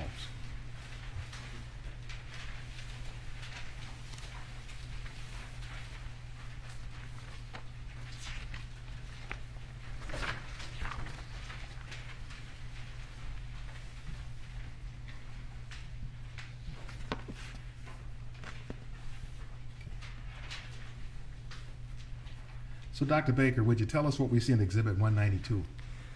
Yes, Exhibit 192 is cross sections of the what I would describe as the worst or the narrowest lesions that I found in Mr. Floyd's coronary arteries. So, above about the three mark on the ruler, you can see three pieces of coronary artery that are fairly close together. The uppermost one in your photograph is what we would call the proximal left anterior descending coronary artery. So that means that's pretty close to the aorta, that's close to the origin of the artery. And in most adults, the left anterior descending is the largest of the three coronary arteries. So in this picture, you can see that Mr. Floyd's left anterior descending artery is, is quite narrowed. Um, I would put that at 75% narrowing. The cut that you see right below that, which is the middle of the three, that's another section through Mr. Floyd's left anterior descending coronary artery. So you can see that that area of very tight narrowing is still there. Again, I would put that at about 75%. Um, and then the third one you see in that series of three, the one closest to the ruler, is the first branch off of his left anterior descending coronary artery. Um, that's called the first diagonal branch. Um, that can be a big one in some people. It was pretty good sized in Mr. Floyd's case, but that one is also quite narrowed, as you can see in the photograph. And I should probably back up and explain that when I when I say narrowed, I mean the yellow plaque that you see eccentrically lining those coronary arteries like a partially clogged plumbing pipe. That's the that's the cholesterol, that's the fibrous tissue, that's the scar that you don't want in your coronary arteries. That's why your doctor checks your cholesterol and asks you not to smoke and tells you to watch your weight and your blood pressure. This is what he or she is trying to pre- prevent is that plaque buildup. That's the, the yellow discoloration you see in these arteries. They should be wide open. You should be seeing through a round hole in each of those, but, it, but they're pretty severely narrowed. So getting back to the description of the photograph, the fourth cross section you see, which is more closer to the one on the scale, that's Mr. Floyd's right coronary artery. In most adults, that would be the second largest of the three coronaries. You can see that one is also significantly narrowed by atherosclerotic plaque as well. So, uh, Dr. Baker, are you kind of familiar with the concept of acute changes in plaque buildup? Yes. Uh, would you tell the jurors what that means? So there are times at autopsy when we can tell that a plaque has suddenly changed because it has fractured. These plaques can actually be kind of hard. That's why this is known as hardening of the coronary arteries.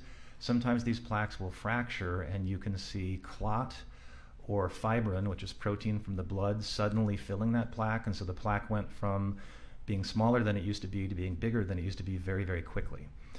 Um, sometimes you can even get hemorrhage into a plaque as it fractures, and so the plaque can grow very quickly. We can we can see that with the naked eye at autopsy. Sometimes we can see that under the microscope as well.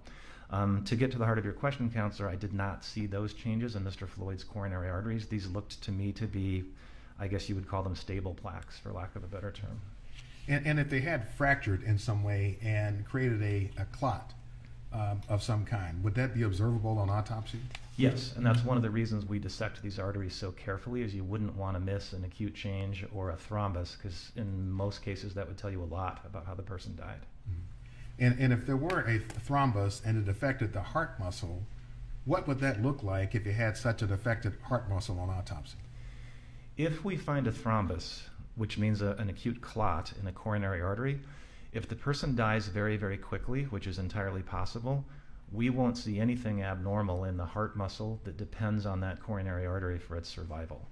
People typically need to survive for hours from their acute cardiac event before we can see any changes in the heart, either under the microscope or with the naked eye. So, again, if a person dies very, very quickly from a coronary artery event, we, we can only infer what happened based on the fact that they have bad coronaries and the circumstances of their death. We wouldn't expect the heart muscle to look abnormal. And if uh, the heart muscle does show damage from a clot, what does that look like? So that depends on how long the clot has been there and how long the person has survived. Um, there's a generally good progression of changes that we see very, very early. All you might see under the microscope is some of the heart cells start to look a little bit wavy and abnormal. Um, shortly after that, they start to take on way more pigment under the microscope than the surrounding heart cells do. They look much brighter to us under the microscope. Then those heart cells start to die or necrose, as we say in pathology. That necrosis then brings in an inflammatory reaction from the body, and so you see inflammatory cells come and start to clean up those dead heart cells. And then eventually the body will bring in what we call granulation tissue, which is new blood vessels and early scar tissue. And if the person survives long enough, that, that dead area of heart will just turn into a scar. Um, dead heart cells, unfortunately, don't grow back. And so once they die, depending on how long the person survives, we'll see anything from those very early changes all the way out to a, a scar. But, but with respect to Mr. Mr. Floyd, uh, you didn't see any damage to the heart muscle. That's correct. Let, let's talk about the, uh, the brain. Uh, did you note any uh, injury or damage to his brain tissues? I did not. I did not notice any acute injury to his brain in the sense of physical trauma, nor did I note any injury to his brain in the sense of it being deprived of blood or oxygen. Did you note anything uh, regarding Mr. Floyd's lungs?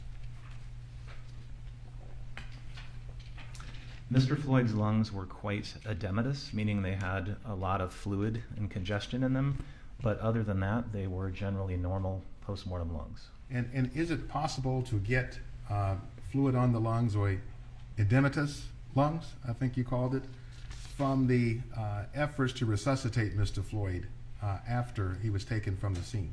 Yes. Uh, and what, what kinds of fluids could cause that? Well, basically, what we're seeing at autopsy is just called edema fluid, which is a lightly protein filled fluid that seeps out of the blood into the lungs and fills up the breathing spaces.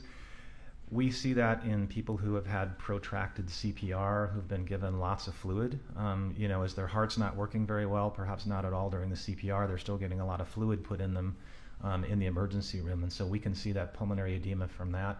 There's other circumstances in which we see pulmonary edema as well. It's a, it's a fairly non-specific finding. And, and so, in, in this instance, with respect to Mr. Floyd, uh, you, you, you didn't or didn't need to take the time uh, to try to understand what was the source of his pulmonary edema. I don't know that I could pinpoint the source with any accuracy. Again, given that he got CPR, there's multiple potential explanations for his pulmonary edema.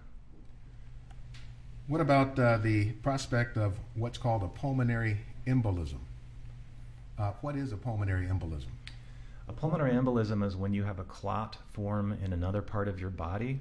Most commonly, it's in the lower legs or the pelvis, although it can form in other places.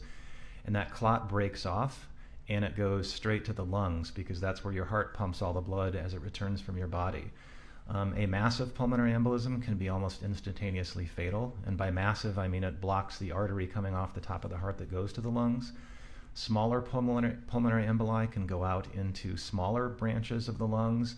Sometimes they're completely asymptomatic, um, sometimes they're symptomatic, sometimes they can be life threatening if the person has underlying conditions. Uh, we do always look for pulmonary emboli as part of a forensic autopsy.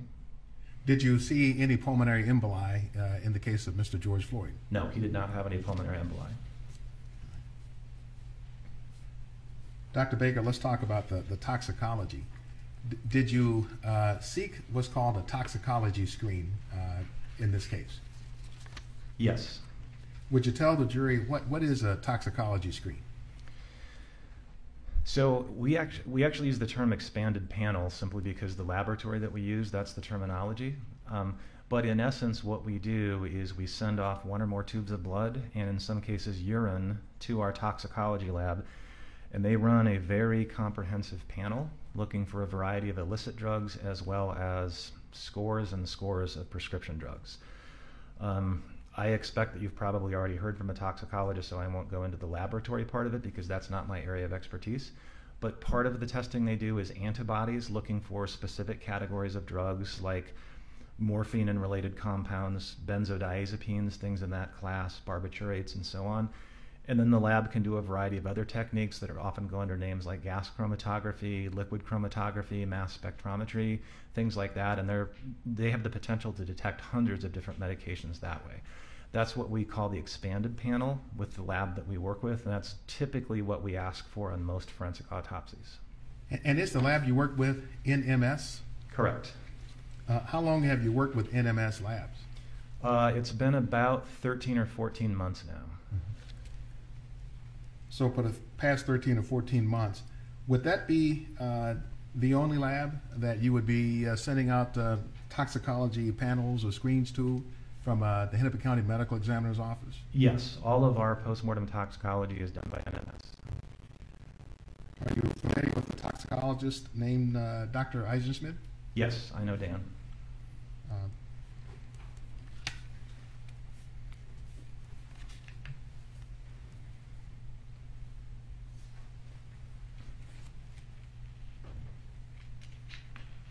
Dr. Isenschmid uh, testified uh, here just, uh, time flies, I don't know if it was yesterday or two days ago, but he testified here. Do you have a, um, a, uh, a good opinion of him as a toxicologist? Um, he has been great to work with so far. We have, we, Objection is sustained. Well, you know Dr. Isenschmid. I do. Um, did you examine the contents of Mr. Floyd's stomach as part of your autopsy? I did. What did you note regarding the contents? Counselor, can I refer to my report so that I don't? Yes, if it helps uh, refresh your recollection.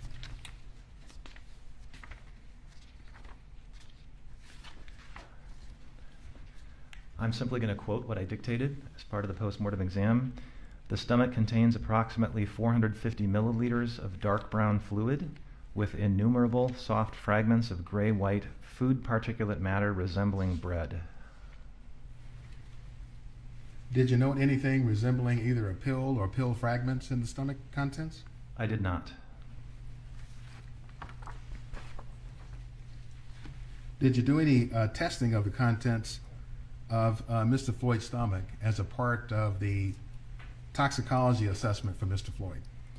So I wouldn't do any testing of that. It is possible that we could send it to a lab like NMS for testing, but I did not request that.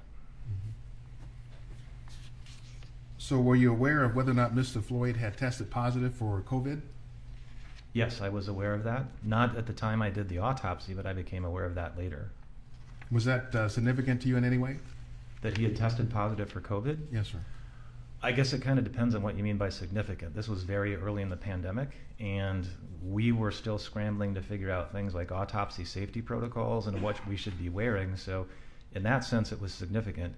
In Mr. Floyd's specific case, the fact that he had been COVID positive seven or eight weeks before he passed away did not factor into my cause of death determination because I didn't see any signs of COVID at his autopsy, and his lungs did not have any of the stigmata of COVID that I would expect to see under the microscope. So was he uh, clinically uh, symptomatic from your point of view? Um, I can't assess that because I didn't I didn't know Mr. Floyd when he was alive. As, to the best of my knowledge, he was generally healthy on May 25th before the events of that evening. I'm, I'm unaware that he was suffering from any acute COVID symptoms at that time. Uh, you also noted that Mr. Floyd had uh, sickle cell trait. What can you tell us about that? Sickle cell trait is uh, carried by about 8% of Americans of African heritage. What it means is that one of the genes that codes for the beta gene, chain of hemoglobin has an abnormal substitution in it. If you just have sickle cell trait, chances are you will go through life and never have any symptoms from it because you make plenty of normal hemoglobin. That's very different than sickle cell disease, which means that both of the genes have that um, gene substitution, and then you have sickle cell disease. People with sickle cell disease can get very severe anemia, they can have sickle cell crises, they're subject to a variety of infections and other complications. But Mr. Floyd didn't have that, he just had the one gene for sickle cell trait.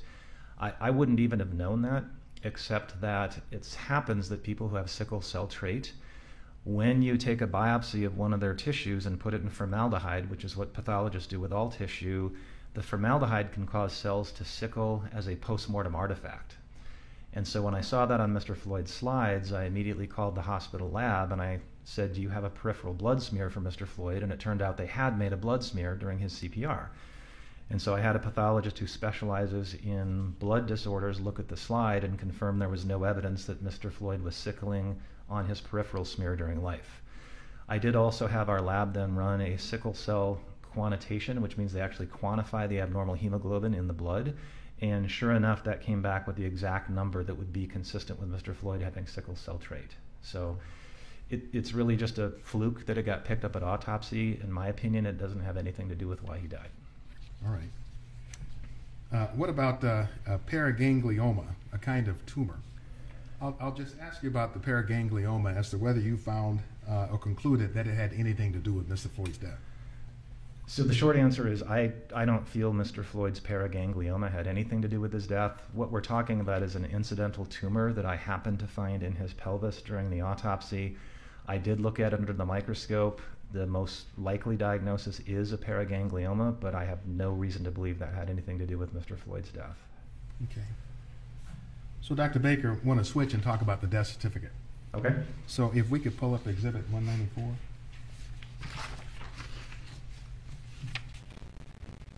Well, First, I'd like to talk to you about the press release report. Okay. And, and ask you first, uh, Dr. Baker, if you would just identify what this is for the record. Yes, what you are looking at is the final press release my office put out once I had reached my conclusion as to the cause and manner of Mr. Floyd's death. Okay. Can you explain to the jury uh, what it means to certify a death? To certify death as a physician means that you fill in the decedent's cause of death and their manner of death. And if their manner of death is other than natural, then you also have to fill in the how injury occurred box on the death certificate. Death certificates are relatively standard in the United States. Most of what's on them is largely dictated by the Centers for Disease Control. They vary a little bit in appearance from state to state, but the core elements are pretty much the same in every jurisdiction. Most of what's on a death certificate is actually filled in by family members and the funeral director. So, you know, what's the decedent's full name? Where were they born? What are the names of their parents? Did they ever serve in the armed forces? There's all kinds of things that are captured. The medical examiner's primary role, again, as I mentioned, is the cause of death, the manner of death, and the how injury occurred. Um, most death certificates in the United States are actually filled out by clinicians, meaning your primary care doctor that you see. That person fills out death certificates for their patients who die of routine natural conditions.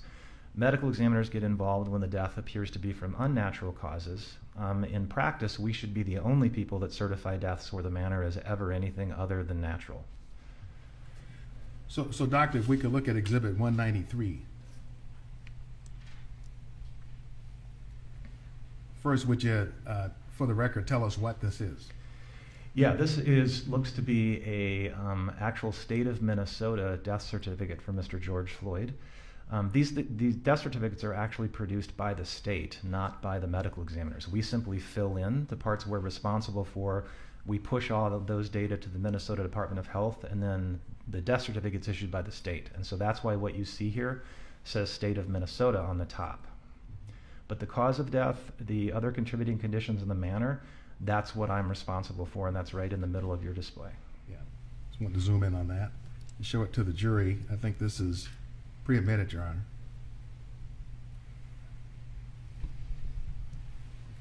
So if we look at the cause of death, uh, immediate, underlying, other contributing conditions, this would be the section that you fill out then. Correct. So if we see here under manner of death, is uh, it uh, indicates um, homicide. Um, tell us what does homicide mean to you as a medical examiner? So, as a medical examiner, we applied the term homicide when the actions of other people were involved in an individual's death. It's one of five manners of death that we can choose from, the other four being accident, suicide, natural, or undetermined. Um, homicide in my world is a medical term, it, it's not a legal term. From a vital health and public statistics point of view, it's critical that medical examiners fill in a manner of death on every death certificate because, from a public health point of view, you want to know how many people committed suicide in your state, how many people died of accidents in a given year in your state. And so it's a, it's a key piece of public health data, but we don't use it as a legal term. So we look at 918, correct? Dr. Baker, in front of you, Exhibit 918 is a list of uh, manners of death, the ones you just uh, uh, talked to us about. Natural accident, suicide, homicide, which I've uh, highlighted because it's what you found in this instance, and then undetermined. Uh, would you tell us from uh, your point of view as a medical examiner, what does natural mean? Natural means the person died exclusively of natural diseases. Right, so an example of a, of a natural disease might be a heart attack or a fatal arrhythmia as a primary cause of death. Those are actually pretty vague terms. We're much more specific. Um, so, to your point, counselor, arteriosclerotic heart disease causing a heart attack would be a natural cause of death. A ruptured brain aneurysm from long-standing untreated high blood pressure would be a natural cause of death. Metastatic lung cancer would be a natural cause of death. There's almost an infinite number of potential natural causes of death. And if we look at accident as an accidental cause of death, uh, is a drug overdose um, an example of what could be an accidental cause of death? Most drug overdoses are accidental causes of death. Um, some are suicides. Um, but yes, we do regard most drug overdoses because we don't believe the person intended to die. We do regard those as accidents. And we, we know what suicide is. Um, Doctor, what does undetermined mean?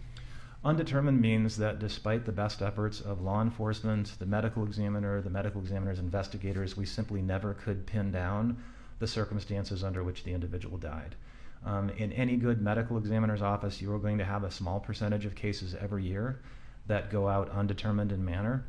Most of those, as it happens, are people who died of drug toxicity, and based on the drug levels, based on the person's known history, we just don't have enough data to know whether this was a suicide or an accident. And so, if we don't know their intent, it's often undetermined. More dramatic but slightly less common example you know, you find a skeletonized body out in the woods. You have no idea why the person was there, how long they were there. There's very little left to work with, so you don't really know what happened. A case like that might go out undetermined as well. Again, much, much less common, but undetermined essentially means we never really did figure out the circumstances. Now, in uh, Mr. Floyd's case, you listed the immediate cause of death as cardiopulmonary arrest, complicating law enforcement, subdual, restraint, and neck compression. Correct. What does cardiopulmonary arrest mean? That's really just fancy medical lingo for the heart and the lungs stopped. The heart, no pulse, no breathing. So, with respect to the term uh, complicating, am I right in the understanding that this term uh, means occurring in the setting of? Yes, Or, or in other words, cardio, cardiopulmonary arrest occurring in the setting of law enforcement, subdual, restraint, and neck compression. correct. So, Dr. Baker, can you tell us how it is uh, physiologically that the subdual, restraint, and neck compression uh, caused Mr. Floyd's death? In my opinion, the physiology of what was going on with Mr. Floyd on the evening of May 25th is you've already seen the photographs of his coronary arteries, so that you know you know he had very severe underlying heart disease. Um, I don't know that we specifically got to it, counselor, but Mr. Floyd also had what we call hypertensive heart disease, meaning his heart weighed more than it should. Um, so he has a heart that already needs more oxygen than a normal heart by virtue of its size, and it's limited in its ability to step up to provide more oxygen when there's demand because of the narrowing of his coronary arteries.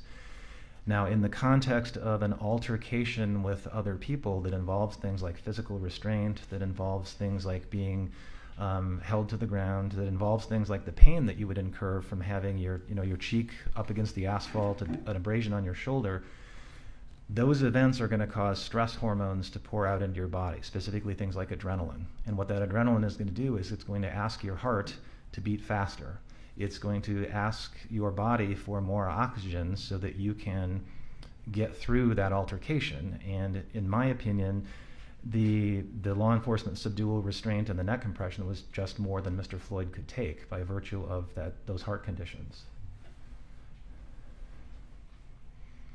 So, Dr. Baker, just a, a point of clarification that frankly occurs to me as you were talking.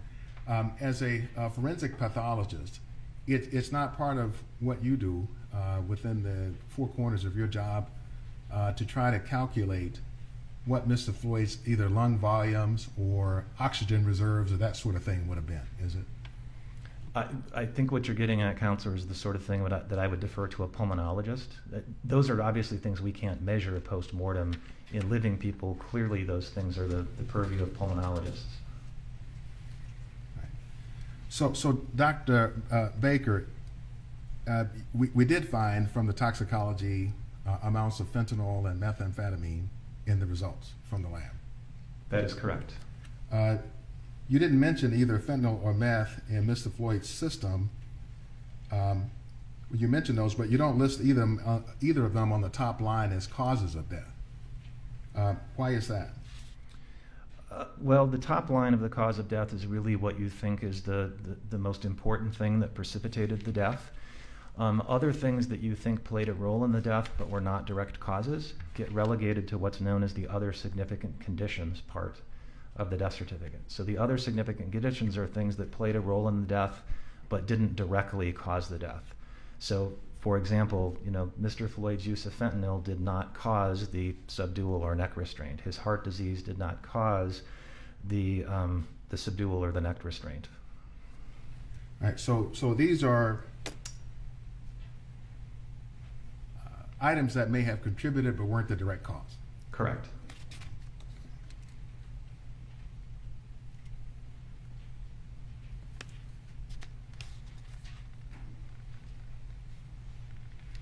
No further questions, Dr. Bates. Mr. Nelson? Sure.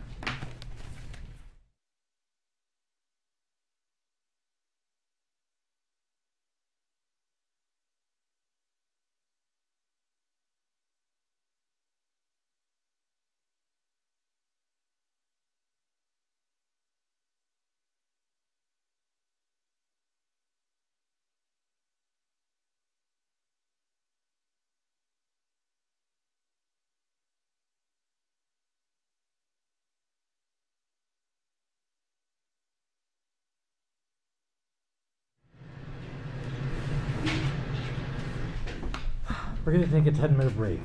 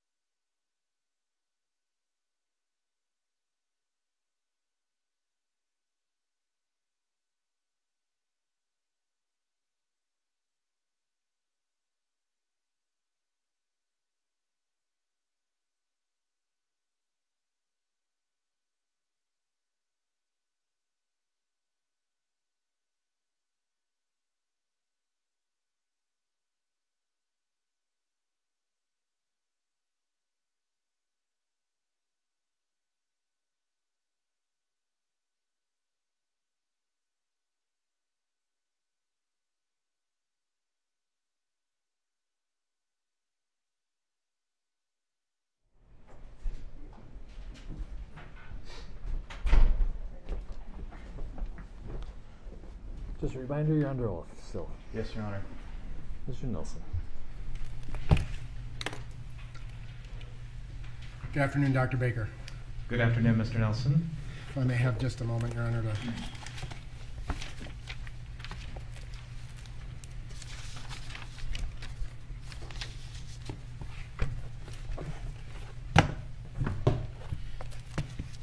So, Dr. Baker, uh, thank you for being here with us this afternoon. Uh, Just some follow-up questions I kind of want to break up into two different sections. One about the autopsy, and then um, some other questions about events after autopsy, okay? Okay. All right. So you understand, Dr. Baker, that um, through, you've testified in many cases in Hennepin County before, Yes, I have. Dakota, Scott County as well. Not nearly as much, but yes. And you understand that uh, as a part of uh, the process of exchanging information, the defense receives copies of, of everything, your reports, meeting notes, prior uh, statements you've given, things of that nature. Yes. Right? Okay. And um, have you had opportunities to review all of that information prior to your testimony today? To the best of my knowledge, yes. Okay. And ultimately, what you testified is in a death investigation, it's, it's much more than just simply an autopsy, agreed? Correct. And in fact, if, you know, you pull your file, it usually ends up being a few inches thick, right? We're actually paperless at the medical examiner's office, but if you printed it out, uh, yeah, I guess it would be a few inches thick. yeah. Well, that's what I did, and that's what it is. Uh, I guess I got to get with the times. Um, but ultimately, that file contains your autopsy report, correct? Correct. Death, death certificate, the, the paperwork that you fill out for the state of Minnesota. Y- Yes, we don't actually get a copy of the death certificate from the state, but everything we put on the death certificate is in our file. Right. Um, and then you also keep track of conversations that you have with people, right? Generally, yes. That's that's usually more my investigators who are talking to family, treating physicians, uh, you know, hospital records departments and stuff. So you keep sort of a log, so to speak, of today investigator so and so spoke with X, right? Again, I don't personally do that so much, but yes, my investigators do. Right. And it's all a part of this file, right? Correct. And then in addition, you obtain any known medical records um, that may factor into your analysis as well, right? Yes. um, previous, uh, you had received some uh, hospital records from HCMC regarding Mr. Floyd, correct? Correct. But you don't go out and try to search, or perhaps you do, try to search for every f- uh, provider that he or that any person generally may have seen, right? In most, in most cases, that's correct, counselor. There wouldn't be a lot of point in us trying to get every medical record ever generated for a particular decedent. It would only be if I thought it would help me understand the cause and manner of death better. Okay, fair enough. Um, now, I want to talk to you first about um, the word complicating. How do you define the word complicating as you used it as to the cause of Mr. Floyd's death? I use the word complicating the way I think most physicians use the word complications, and I'm guessing that most people who've ever been a patient or had a loved one who's been a patient knows what physicians mean by the word complications. It means that an intervention occurred and there was an outcome that was untoward on the heels of that intervention. So, for example, somebody goes into the hospital for hip surgery and they develop a blood clot in their leg. That's a complication. You get started on a new medication for a heart condition and you have an allergic reaction to it. That's a complication. So it's it's an untoward event on the heels of an intervention that that happened. That's that's how I look at it as a physician. Right. And, and it could be during an incident as, or as a result of an incident, right? Again, we don't usually use the word incident in medical practice, but yeah, it could be an immediate complication as a result of a medical intervention or therapy, or it could be what we call a delayed complication. Right. And um, there are certain circumstances that precede those complications. Agreed? Um, that's a little vague, counselor. I, I wonder if you could. Well, I mean, in, in any death investigation, you're trying to determine the cause and manner of death, right? Correct. And in this particular case, you obviously took into consideration the police restraint, right? Correct. But you also took into consideration the heart disease, correct? Yes. as well as the toxicology results. Agreed? Yes. And you factored those in in your uh, in your cause. There's the cause and manner of death, uh, and then there's the second thing that you left blank, right? And then there's the contributing causes or contributing factors. Yes, the, the term of art is other significant conditions, is what you're getting at, Counselor. Yeah. And that's simply just something you have to do for the CDC, or did you take those into consideration as contributing to Mr. Floyd's cause of death? So when you put those on a death certificate as a physician, what you're saying is, I think these played some role in this death. They had a contributing condition. I'm, I'm unaware of how the CDC would mandate what goes on there. Presumably, the goal is you put things on there that you believe are relevant. You, you don't list tr- trivial stuff on there that didn't play a role. And so, if something was significant enough, uh, you put it on, but if it's insignificant and didn't contribute, you leave it off. Generally, yes.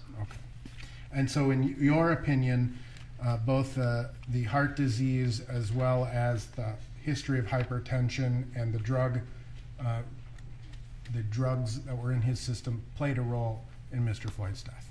In my opinion, yes. All right.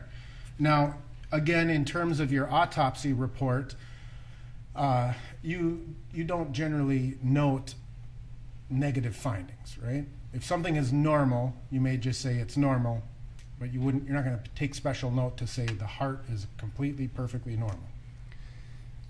Uh, that's a really long question, counselor, but I think I can give you a reasonable answer to that. For most normal organs, we have a boilerplate description for what that organ is. So if a spleen is normal, I'm going to give a normal description of a spleen with the weight of that spleen. The same for a liver. Depending on the nature of a particular case, there are, I used this term earlier, pertinent negatives, things that you think might be on the body based on the circumstances. So you specifically seek those things out, and if they're not there, you document them because their lack, their the fact that they're not present really means something. So I don't know if that answered your question. There's some things that are normal, that they're almost always normal, and we go on to the next step of the autopsy. There's some things that, depending on the complexity of the case, the fact that it's not there, you're going to dwell on that. You're going to do a special dissection. You're going to take a picture, whatever you need to do to document that you specifically looked for something and it wasn't there. Okay, and so in that in that regard, if you note something, uh, whether whether it's odd or irregular, or it's the negative, right? You're gonna you you take special precaution to note those things in your autopsy. Ideally, yes. You not only do you document that in your narrative report, but you take a picture of things that are there and you document things that aren't there that, that people might have expected to be there. Okay, and it was it's interesting to me that you made a conscious decision not to watch any videos before you performed the autopsy, correct? Correct. And that was to prevent bias, you described? In general, yes. Um, I don't want to go into an autopsy with a preconceived notion that I already know what happened because that might tempt you to skip certain steps or not do certain things that could turn out to be relevant. So, and just, just full disclosure, counsel, to fully answer the question, I did see the video that the entire world saw later that day after Mr. Floyd's autopsy. I did not release his body until the following morning. So, had I seen something on the video that triggered yet another thought in my mind, I still had the chance to act on it. But I did not want that to be in my mind when I physically performed his autopsy on the morning of the 26th. Understood. But you had received some briefing from law enforcement or from somebody to say, here's generally what we know about what happened. It was pretty high level, but yes, I got a phone call from the BCA that, that a man had gone unresponsive in police custody while he was being restrained. He had died at Hennepin County Medical Center, um, and that was largely what I knew going into the autopsy. I, I believe I was aware that there had been pressure applied to his neck, uh, but beyond that, that's pretty much what I knew going into the autopsy. So you were, um, you took special, because you had learned that there was potential pressure to the neck, you took special steps to look at the neck, neck area, shoulders, etc., right? Yes. And because of that, you did this unique incision or this specific incision to uh, lift the skin off to look uh, under the surface, so to speak. That's correct. All right, and we'll come back to that in a second. Um, you did note, I want to focus on the heart for a little bit. You noted that uh, the heart was dilated. Yes. What causes that? So dilated is just fancy medical lingo for has gotten a little bit bigger than it used to be. Like when you blow up a balloon, it dilates, for lack of a better um, lay description. Mr. Floyd's heart was, if I can refer to my report, counselor, Refresh your recollection. it would.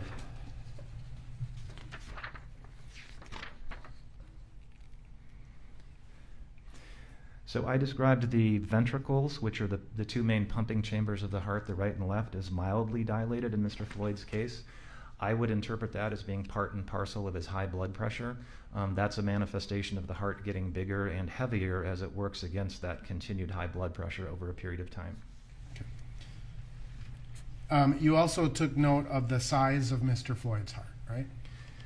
Um, it's actually the weight, counselor, but Sorry, yes, a- weight, yes. absolutely did take note of the weight. Yes, All right, and that was 540 grams. that is correct. And uh, you're familiar with the papers of DiMaio and Molina on the normal heart size? I am familiar with DiMaio and Molina paper, although the one that I usually use is the Kitzman paper from the Mayo Clinic. Okay. And what's the maximum size of a heart under that standard? So the Kitzman paper normalizes heart weights as a function of your body length and your body weight. Because if you think about it, a very large person is going to have a larger heart than a very small person. So you don't want to penalize people for being too big or too small. That's why you normalize their heart weight. So in Mr. Floyd's case, um, the upper limit of normal for his body length, according to the reference that I use, is 510 grams. The upper limit of normal for his body weight would be 521 grams. Again, he was 540 grams, and so he is outside the upper limit of normal. That means on the bell-shaped distribution of heart weights for a man his size, he's way out on one of the tail ends, the heavy end. Okay. And um, all of these various standards in terms of the weight of a heart, they're peer reviewed? Um, as far as I know, yes. The reference I use is from the Mayo Clinic proceedings, which I'm going to assume is peer-reviewed. Right. And as would be, say, DiMaio and Molina's or the Northwestern studies or any of these other studies? Um, I'm not familiar with the other studies you're referencing, Counselor. The DiMaio and Molina paper, I believe, was published in the American Journal of Forensic Medicine and Pathology, which I know to be peer-reviewed. Okay. And you would agree that the larger the heart is, the more blood it needs uh, to provide adequate oxygenation. Agreed? As a general rule, I would say that is true, yes. What types of things cause a person's heart to be bigger than normal? The most common cause by far in adults in the developed world would be high blood pressure. There are a number of far less common causes. Um, aortic valve disease could do it if the heart's pumping against a defective valve. There are genetic causes of an enlarged heart. Um, typically, we can tell those by looking at the heart grossly and microscopically. Um, those are much farther down the list than, than high blood pressure, which again is the number one by a long shot. And based on your review of Mr. Floyd's medical records, you determined that he has a history of high blood pressure, correct? Yes, that was, it was very helpful to learn that from his medical records. He was known to be hypertensive. Um, can you describe the narrowing or the stenosis of the coronary arteries a little bit more detail? I can, Counselor, if I may refer to my report again. So, as I mentioned uh, when I was describing the photographs earlier, he had 75% proximal and 75% mid narrowing of his left anterior descending coronary artery. Again, in most people, that would be the largest of the three coronary arteries. He had 75% narrowing of the first diagonal branch of his left anterior descending coronary artery. And then in his right coronary artery, which in most people is the second largest of the three, he had 90% proximal narrowing. And what do forensic pathologists generally consider to be enough narrowing of the arteries to cause a sudden death? We usually look to 75% greater as the as capable of causing sudden death. And are you familiar with uh, myocyte necrosis? Yes. And do you have to have myocyte necrosis to cause a sudden death? No, you do not. In an arrhythmia, there would be no necrosis, correct? So an arrhythmia is a is an electrical phenomenon, not an anatomic one, and so I I really can never diagnose an arrhythmia post mortem. We just have to infer that from the circumstances and from the condition of the coronaries. And when we describe hypoxia of the heart, that's the reduction of oxygen to the heart, correct? Correct. And can you, uh, the, can hypoxia to the heart cause sudden death by other means? Or would it just be the arrhythmia? Um, well, there's there's many ways that a lack of oxygen to the heart could cause death. One could be a sudden dysrhythmia, where the person's heart goes from a normal beat to a non-perfusing beat, and the person would literally just collapse right in front of you. Depending on the nature of the coronary uh, artery disease, a person could have a thrombus. They could present to the emergency room with crushing chest pain and sweating and difficulty breathing. That would be a different mechanism of death. So there's there's different ways the heart manifests that is not getting enough oxygen, but one of them is, is sudden collapse and death. And um, sometimes people can survive that f- for a longer period of time. Survive. The thrombus you just described? I mean, like. correct, correct. I mean, I, I don't know the numbers, but obviously people can and do survive thrombi in their coronary arteries. That's why we have clot busting drugs and cardiologists on call for emergency rooms for urgent catheterizations and stuff like that. Gotcha. Now, can you generally describe the conduction system of the heart? Uh, only in the broadest terms because I'm not an expert in the conduction system of the heart. I have other people I rely on for that, but it's basically the electrical system of the heart. Um, there's a heart, part of your heart called the sinoatrial node, and that's like the little watch in your heart that starts every heartbeat. Um, you would be able to see what it's doing on an EKG if you were looking at an electrical tracing in a living person. That's then conducted to another node that's known as the AV node, the atrioventricular node, and then the electrical impulses go out from that to the ventricles that cause them to beat. Um, you can actually see the conduction system under the, micro, under the microscope if you take it out and look for it. Um, and there's on r- very rare occasions we do that. Um, it wouldn't have been necessary in Mr. Floyd's case, but that's basically what the conduction system does. If the conduction system is impaired, what happens? I'd, I'd have to defer to a cardiologist on that because there's so many different ways it can be impaired. Sometimes it's completely benign. Sometimes a person might need a, a pacemaker or even a defibrillator. It totally depends on the nature of the derangement.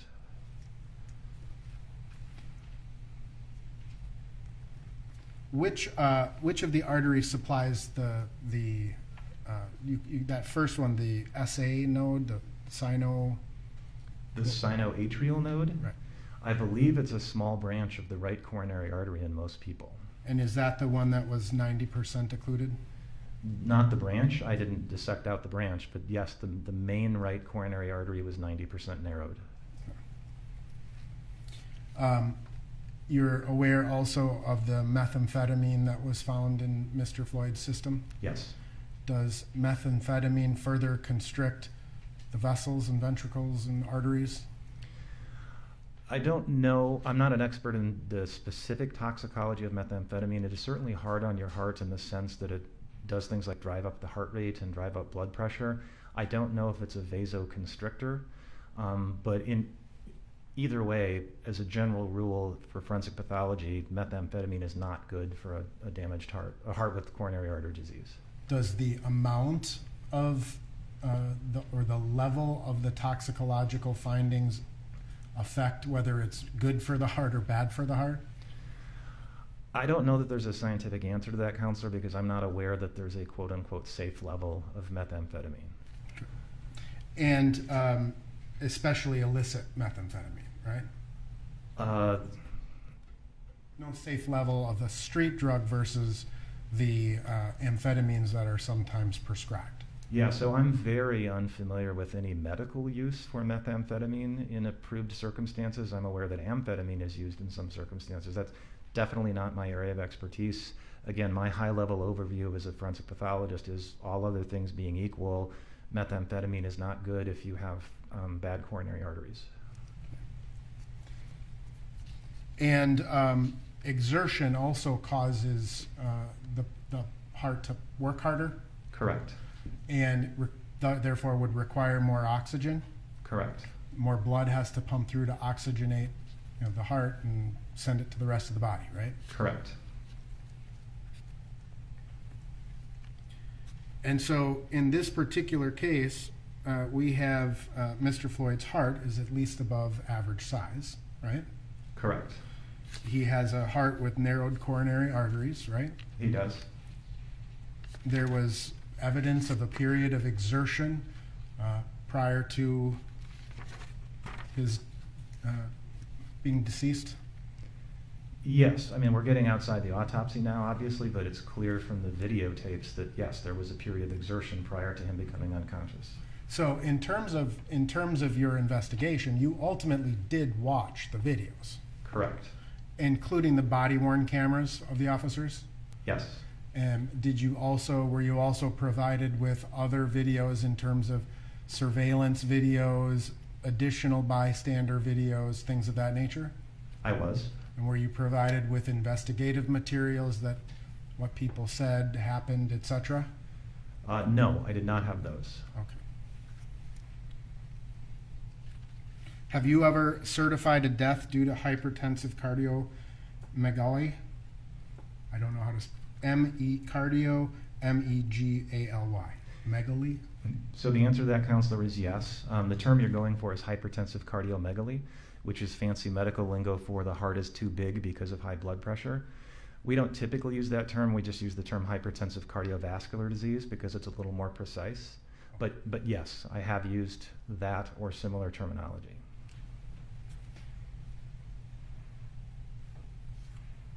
Have you ever certified a death due to arteriosclerotic cardiovascular disease? Yes. And similar with similar narrowings of the arteries compared to Mr. Floyd? Yes.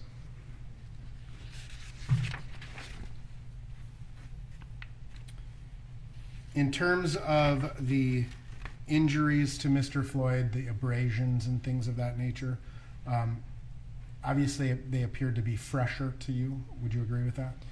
They, they do appear, appear to be fresh, but I want to be very careful in my answer. There's not any literature that allows you to date those kinds of injuries with any precision.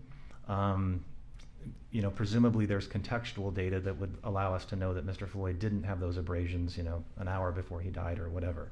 If you just showed me those abrasions blindly, could I tell you how old they are as a pathologist? And the answer is no, not with any precision.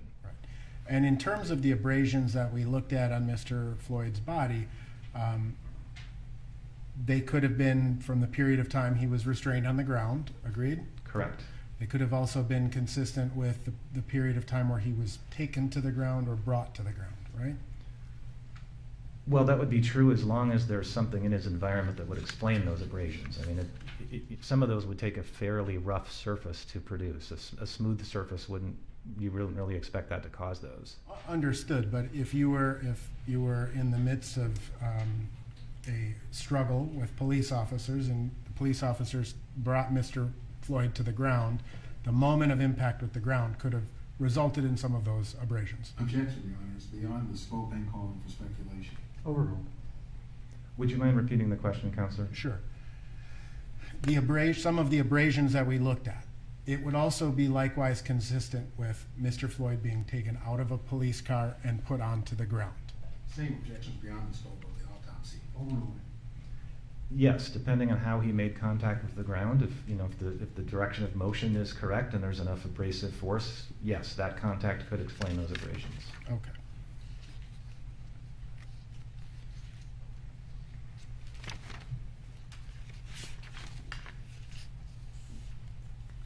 Would you agree with the general proposition that the prone position is not inherently dangerous? As far as I know, based on my understanding of the medical literature, that is true. Now, in terms of your autopsy reports, um, there is no, uh, you, you dissected Mr. Floyd's shoulder and neck area, right? That's correct. And you found no bleeding into the subcutaneous tissues of the neck and back, right? That is correct. And there's no bleeding into the muscles of the back, correct? That's correct.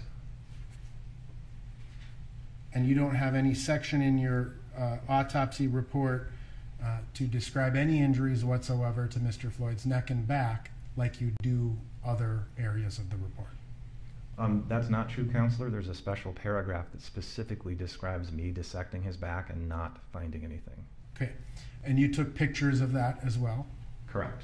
And all of those procedures um, were documented in the normal course of how you, uh, when you conduct a, an autopsy, right? Yes, all of those things were photographed.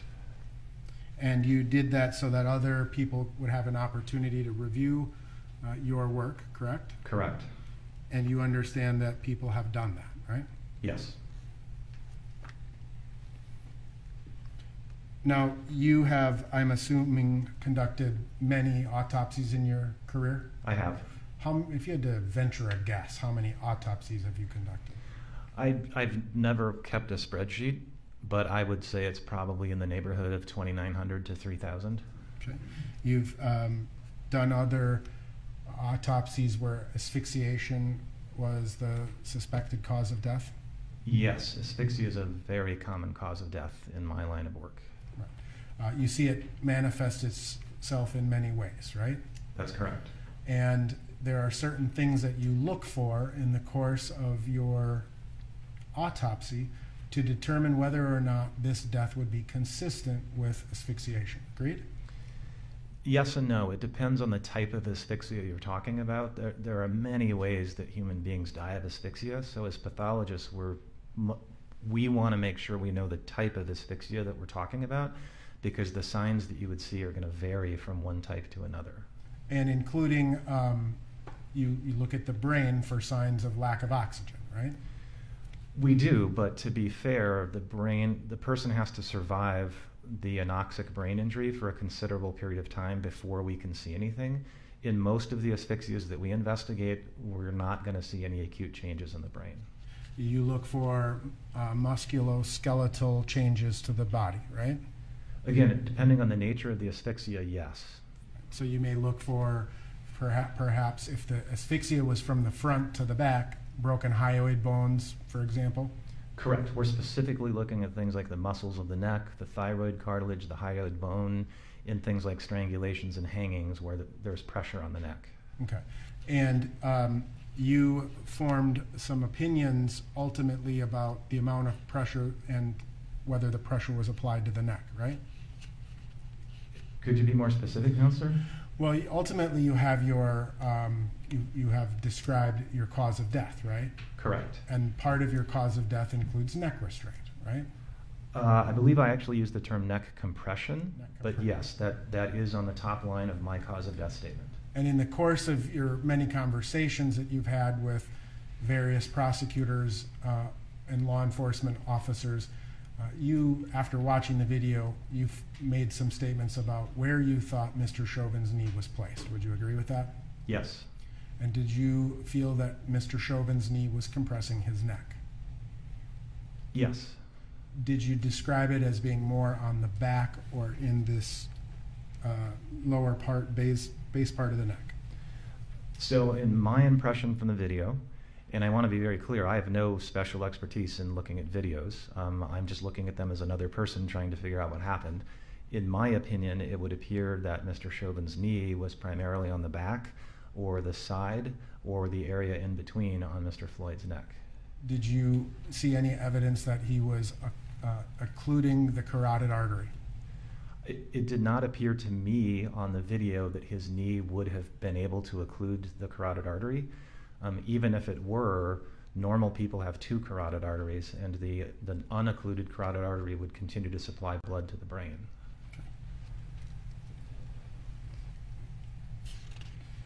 And when you look at deaths by, uh, by manual strangulation, for example, are you also looking for bruising?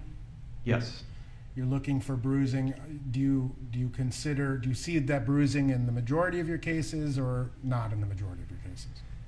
Well, keep in mind that my decedents, my patients are all deceased, and so if my patients were strangled, it was so significant that they died. And I, I say that because if you were to ask an ER doc for her experience looking at living strangulation victims, you might get a different answer. In my world, we typically see bruises on the outside of the neck, we see abrasions on the neck, we see bruises to the small muscles of the neck. Um, depending on the type of strangulation and how old the decedent was, we can even see fractures of the thyroid cartilage and the hyoid bone. Um, and we, we often see petechiae as well, which are little tiny blood spots on the lining of the eyes. Sometimes you can see them on the face, on the inside of the lips, even the inside of the mouth. And, and did you observe any of those signs in this case? No, I did not. And in terms of, you know, when you think about just kind of the classic strangulation, I'm taking my f- fingers and I'm, my hands and I'm applying pressure to your neck, even those small finger, you, you would expect to see bruises consistent with the size of my fingers, right?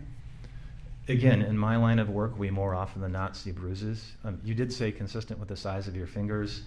That might be true on television shows, but in the real world, there's not a lot of correlation between the size of bruises we see and the size of assailant's hands.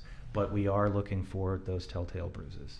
All right. And in terms of, in this particular case, uh, the, the knee, the placement of the knee being a pretty bony, hard, round object, right? Um, yeah, I mean, it's, it's pretty concentrated right under the kneecap at the force.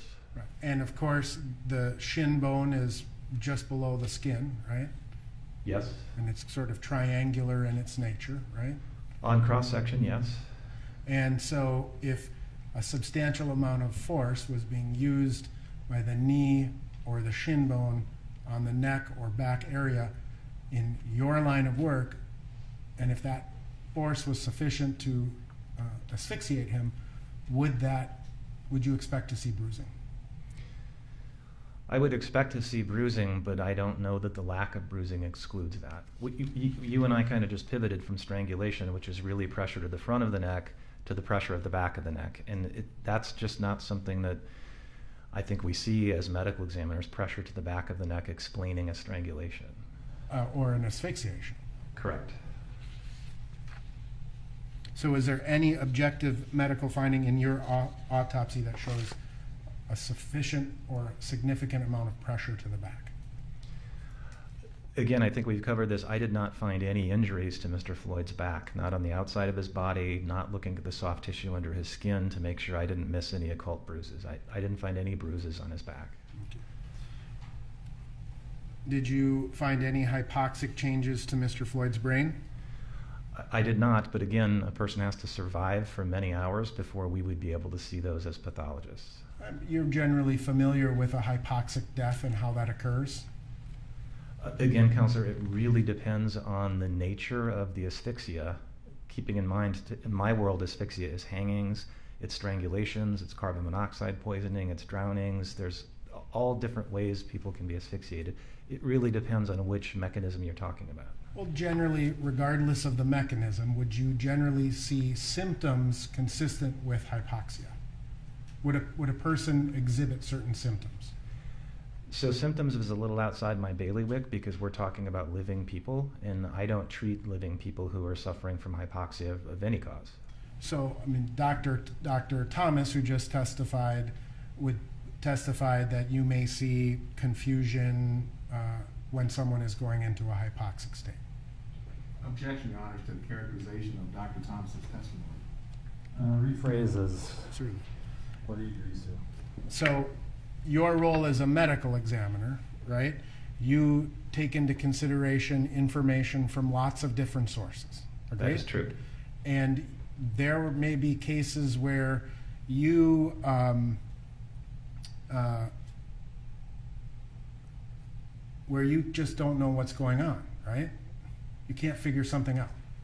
Could you be more specific? Well, you, you have a, a decedent on, in your uh, medical examining table, and there appears to be some sort of tropical disease, right? I'm assuming you're not a tropical disease or an infectious disease expert, right?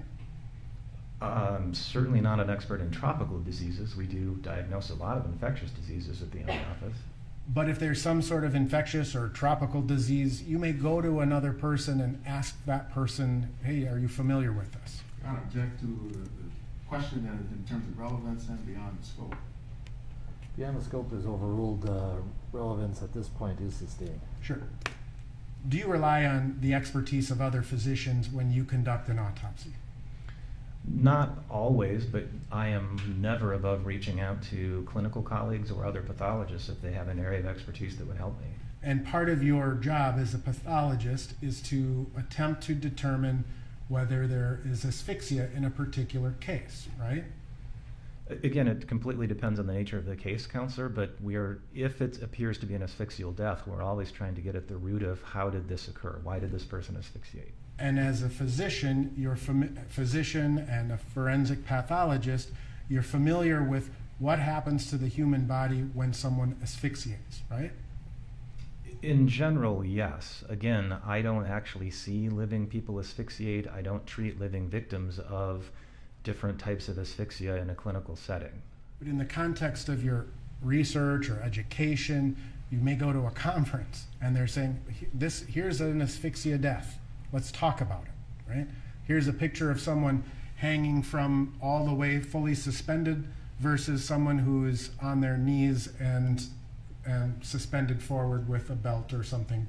Object to the question is vague and relative, Chairman. Sustained is relevance. Are you familiar with the symptoms of hypoxia? Again, they would be very general symptoms, and I don't know what the differential diagnosis for those symptoms would be. What would the general symptoms be? Of hypoxia, Right. probably some form of mental status change in the form of confusion or disorientation. S- Incoherent speech.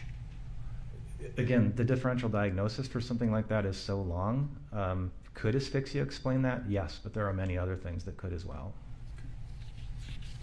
When someone is hypoxic, does that cause that person to breathe faster? I honestly don't know. Again, it probably depends on the nature of the asphyxia. I would defer any further questions to a pulmonologist because they're the experts in breathing. Okay.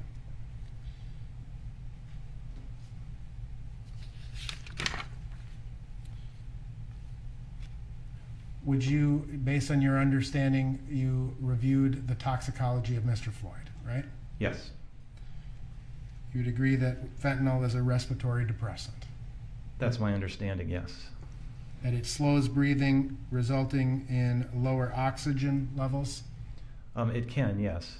and, and uh, similarly increasing the carbon dioxide, correct? Um, what it would do to carbon dioxide would be outside the scope of my expertise. I would defer that to a pulmonologist or maybe a toxicologist.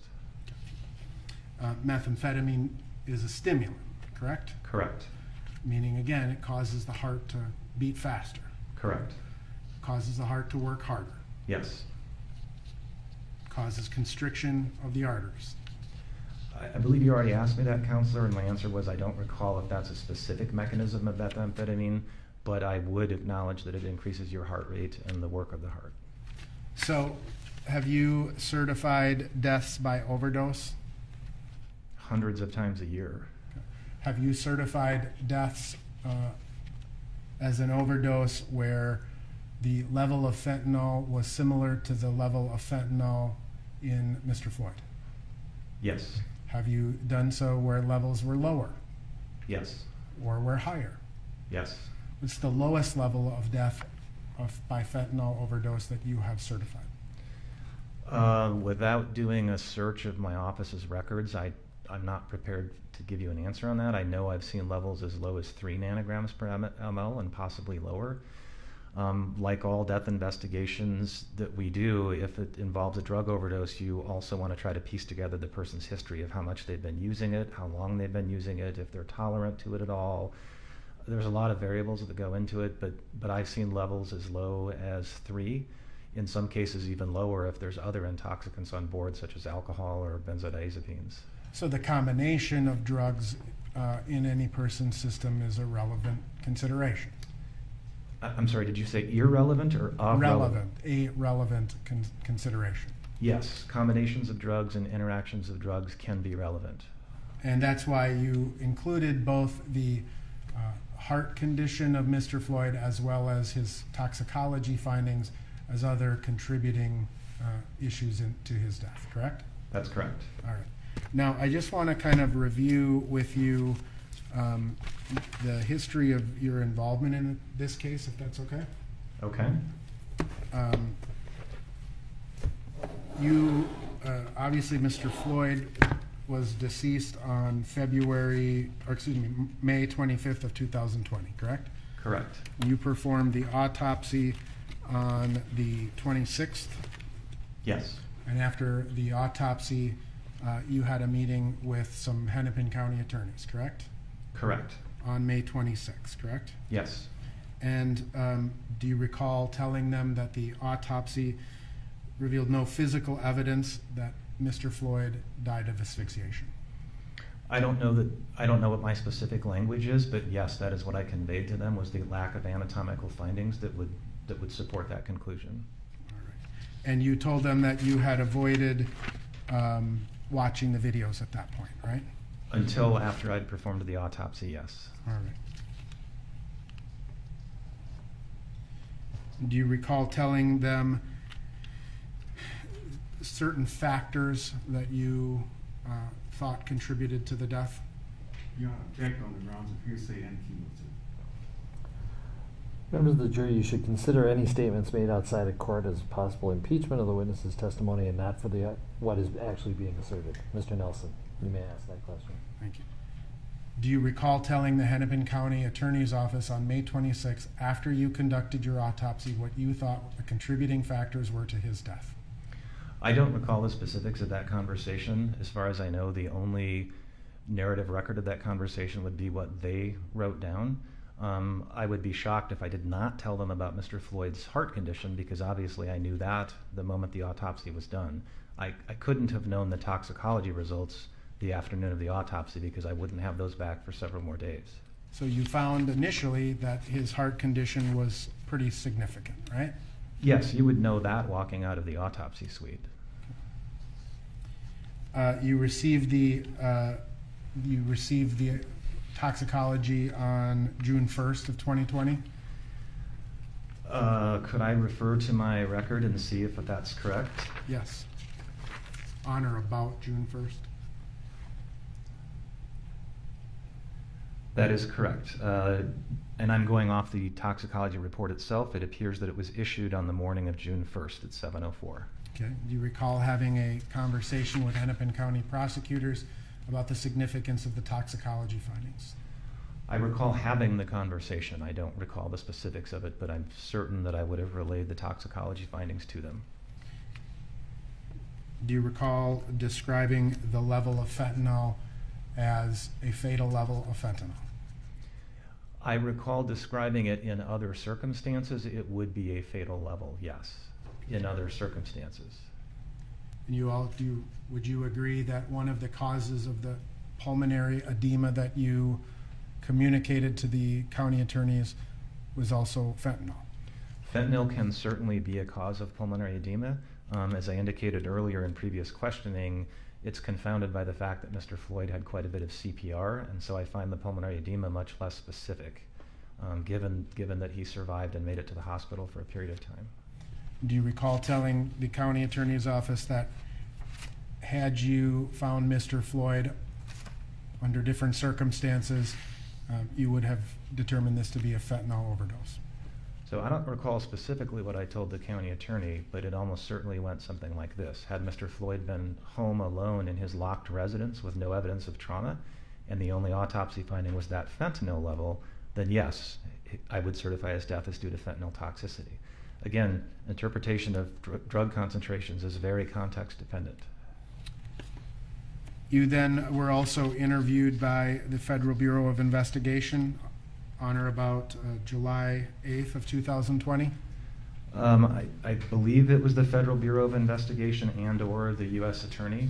Um, a lot of these took place over video calls, and I wasn't entirely sure who was who at all times, but I believe it was those two groups. Yes, Um, And that occurred on July 8th of 2020, correct? to the best of my recollection, yes. Right.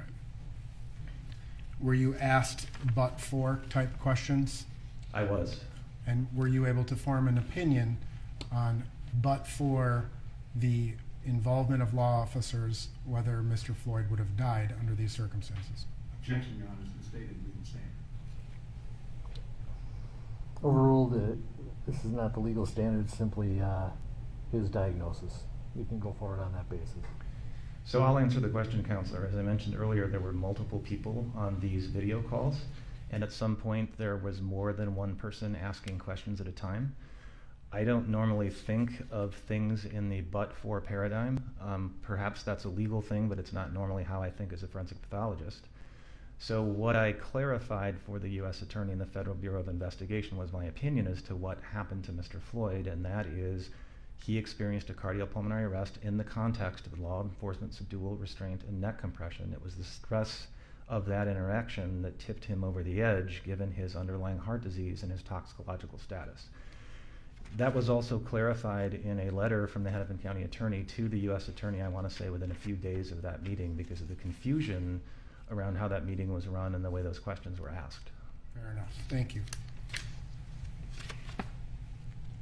Again, the labeling this death as a homicide, that is a um, medical determination that you made, correct? Correct. It is not uh, the same standard as the legal standard. Agreed?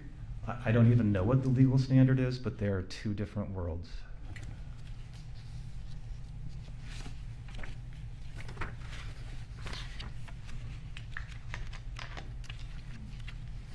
Now, in terms of your, again, um, involvement in uh, this case, you have actually testified twice at, in connection with other proceedings, right? Yes. Regarding the death of Mr. Floyd, right? Yes. And the first of those testimonies occurred 20th of August, 2020. Yes. You understand that those were transcribed and under oath, correct? Correct. And you uh, have had an opportunity to review those transcripts? I have. All right. Uh, The first time you testified in connection with the death of Mr. Floyd, um, at any point do you recall saying that I have to defer to a, some other specialty? I believe I said that multiple times. The first time you testified or the second time you testified? I recall it was much more frequent the second time. I don't, I don't recall how often it happened the first time, if at all.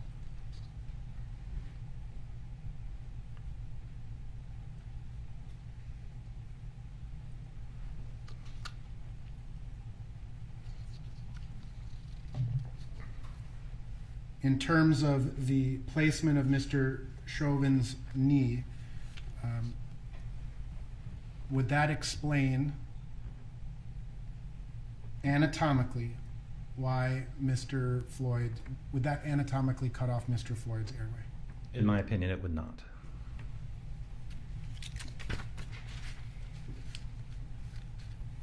Did you testify extensively about the significance of the coronary arteries and the heart disease? Uh, I'm not sure what you mean by the word extensively, counselor. I, if we need to pull out the transcript, we can. I'm not sure what the word extensively means in this context. Okay. You did, you talked about the uh, issues surrounding Mr. Floyd's death involving his coronary arteries, right? Again, I have no, I- I can't quote you the grand jury transcript, but if you'd like to pull it out, I'd be happy to refresh my memory.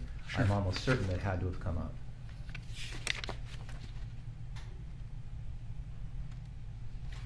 May I approach the witness, Your Honor, What purpose? to refresh his recollection as he requested? Let's lay the foundation for refreshing first.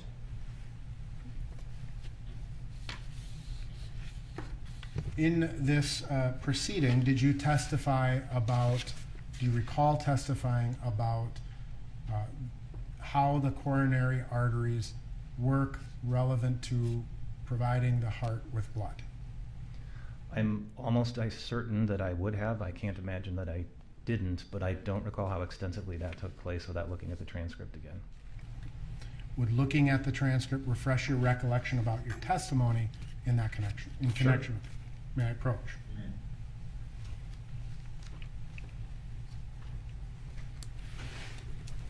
Um, Bates four, four, three, one, four. Page twenty, What date?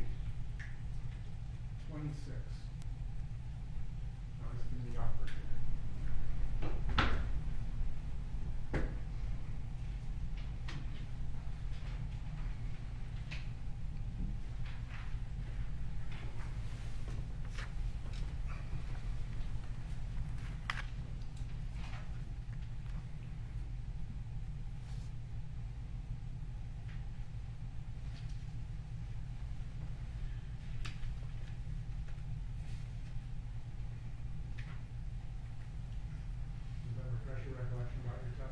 It does.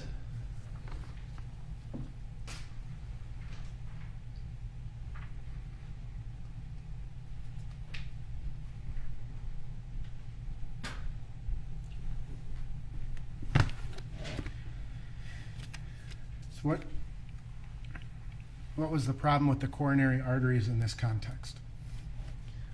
I believe it's essentially the same answer I gave the jury earlier, which is because of the degree of narrowing of Mr. Floyd's coronary arteries, they have a limited ability to supply extra blood and, mus- and oxygen to his heart muscle when he needs it. Um, on top of that, he's got a larger heart than a man his stature would normally have because he's hypertensive, and so that heart is going to need more oxygen, which those coronaries have a limited ability to deliver. And how do you think the introduction of methamphetamine to that scenario Uh, impacts? Again, I can only give that a high level answer as a forensic pathologist. I don't treat living people who have methamphetamine toxicity, but my understanding is methamphetamine is hard on the heart. It is going to increase heart rate, it's going to increase the work of the heart because it's a stimulant. And in the circumstances of this particular case, in terms of a person with an enlarged heart, narrowing of the arteries, right? And how does the introduction of methamphetamine affect that? And as I just said, it increases the heart rate, it increases the work of the heart. It's not something that I, as a forensic pathologist, would want to see in the blood of someone that has heart disease.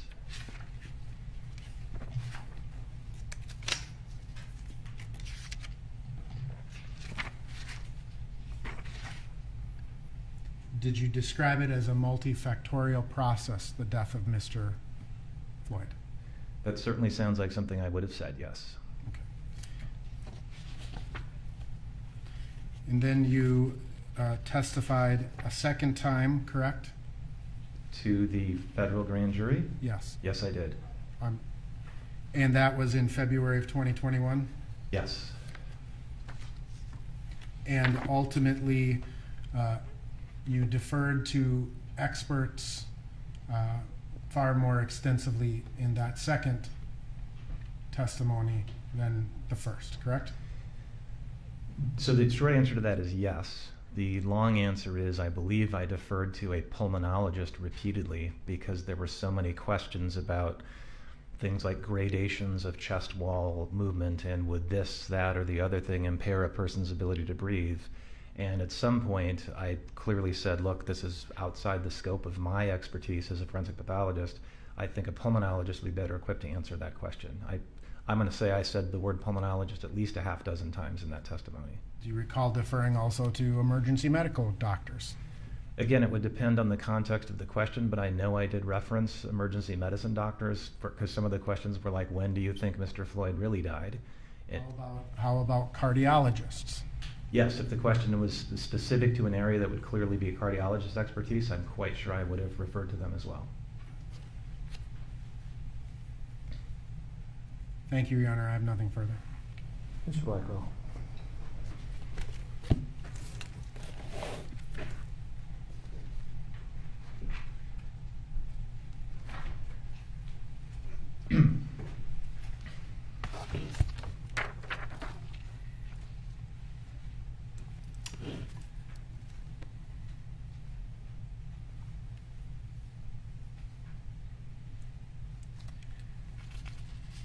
Dr. Baker, I'm going to be brief. Uh, so if we could look up, uh, you know, Brett, the uh, section on cause of death. So, Dr. Baker, take into account the entire exchange you had with Mr. Nelson on Mr. Floyd's uh, medical conditions, on whatever testimony you gave, wherever you gave it. I want to bring our attention back to what's reflected in Exhibit 193. And taking all of that into account, uh, what today remains your opinion as to the cause of death for Mr. Floyd? So my opinion remains unchanged. It's what I put on the death certificate last June. That's cardiopulmonary arrest complicating law enforcement subdual restraint and neck compression. That was my top line then. It would stay my top line now. And so if we look at the other contributing conditions, those other contributing conditions are not conditions that you consider direct causes. Is that true? They are not direct causes of Mr. Floyd's death, that's true. They're contributing causes. And in terms of manner of death, you found then, and do you stand by today, that the manner of death for Mr. Floyd was, as you would call it, homicide? Yes, I would still classify it as a homicide today. Thank you, Dr. Baker. No further questions. Anything further? Counsel, you sidebar?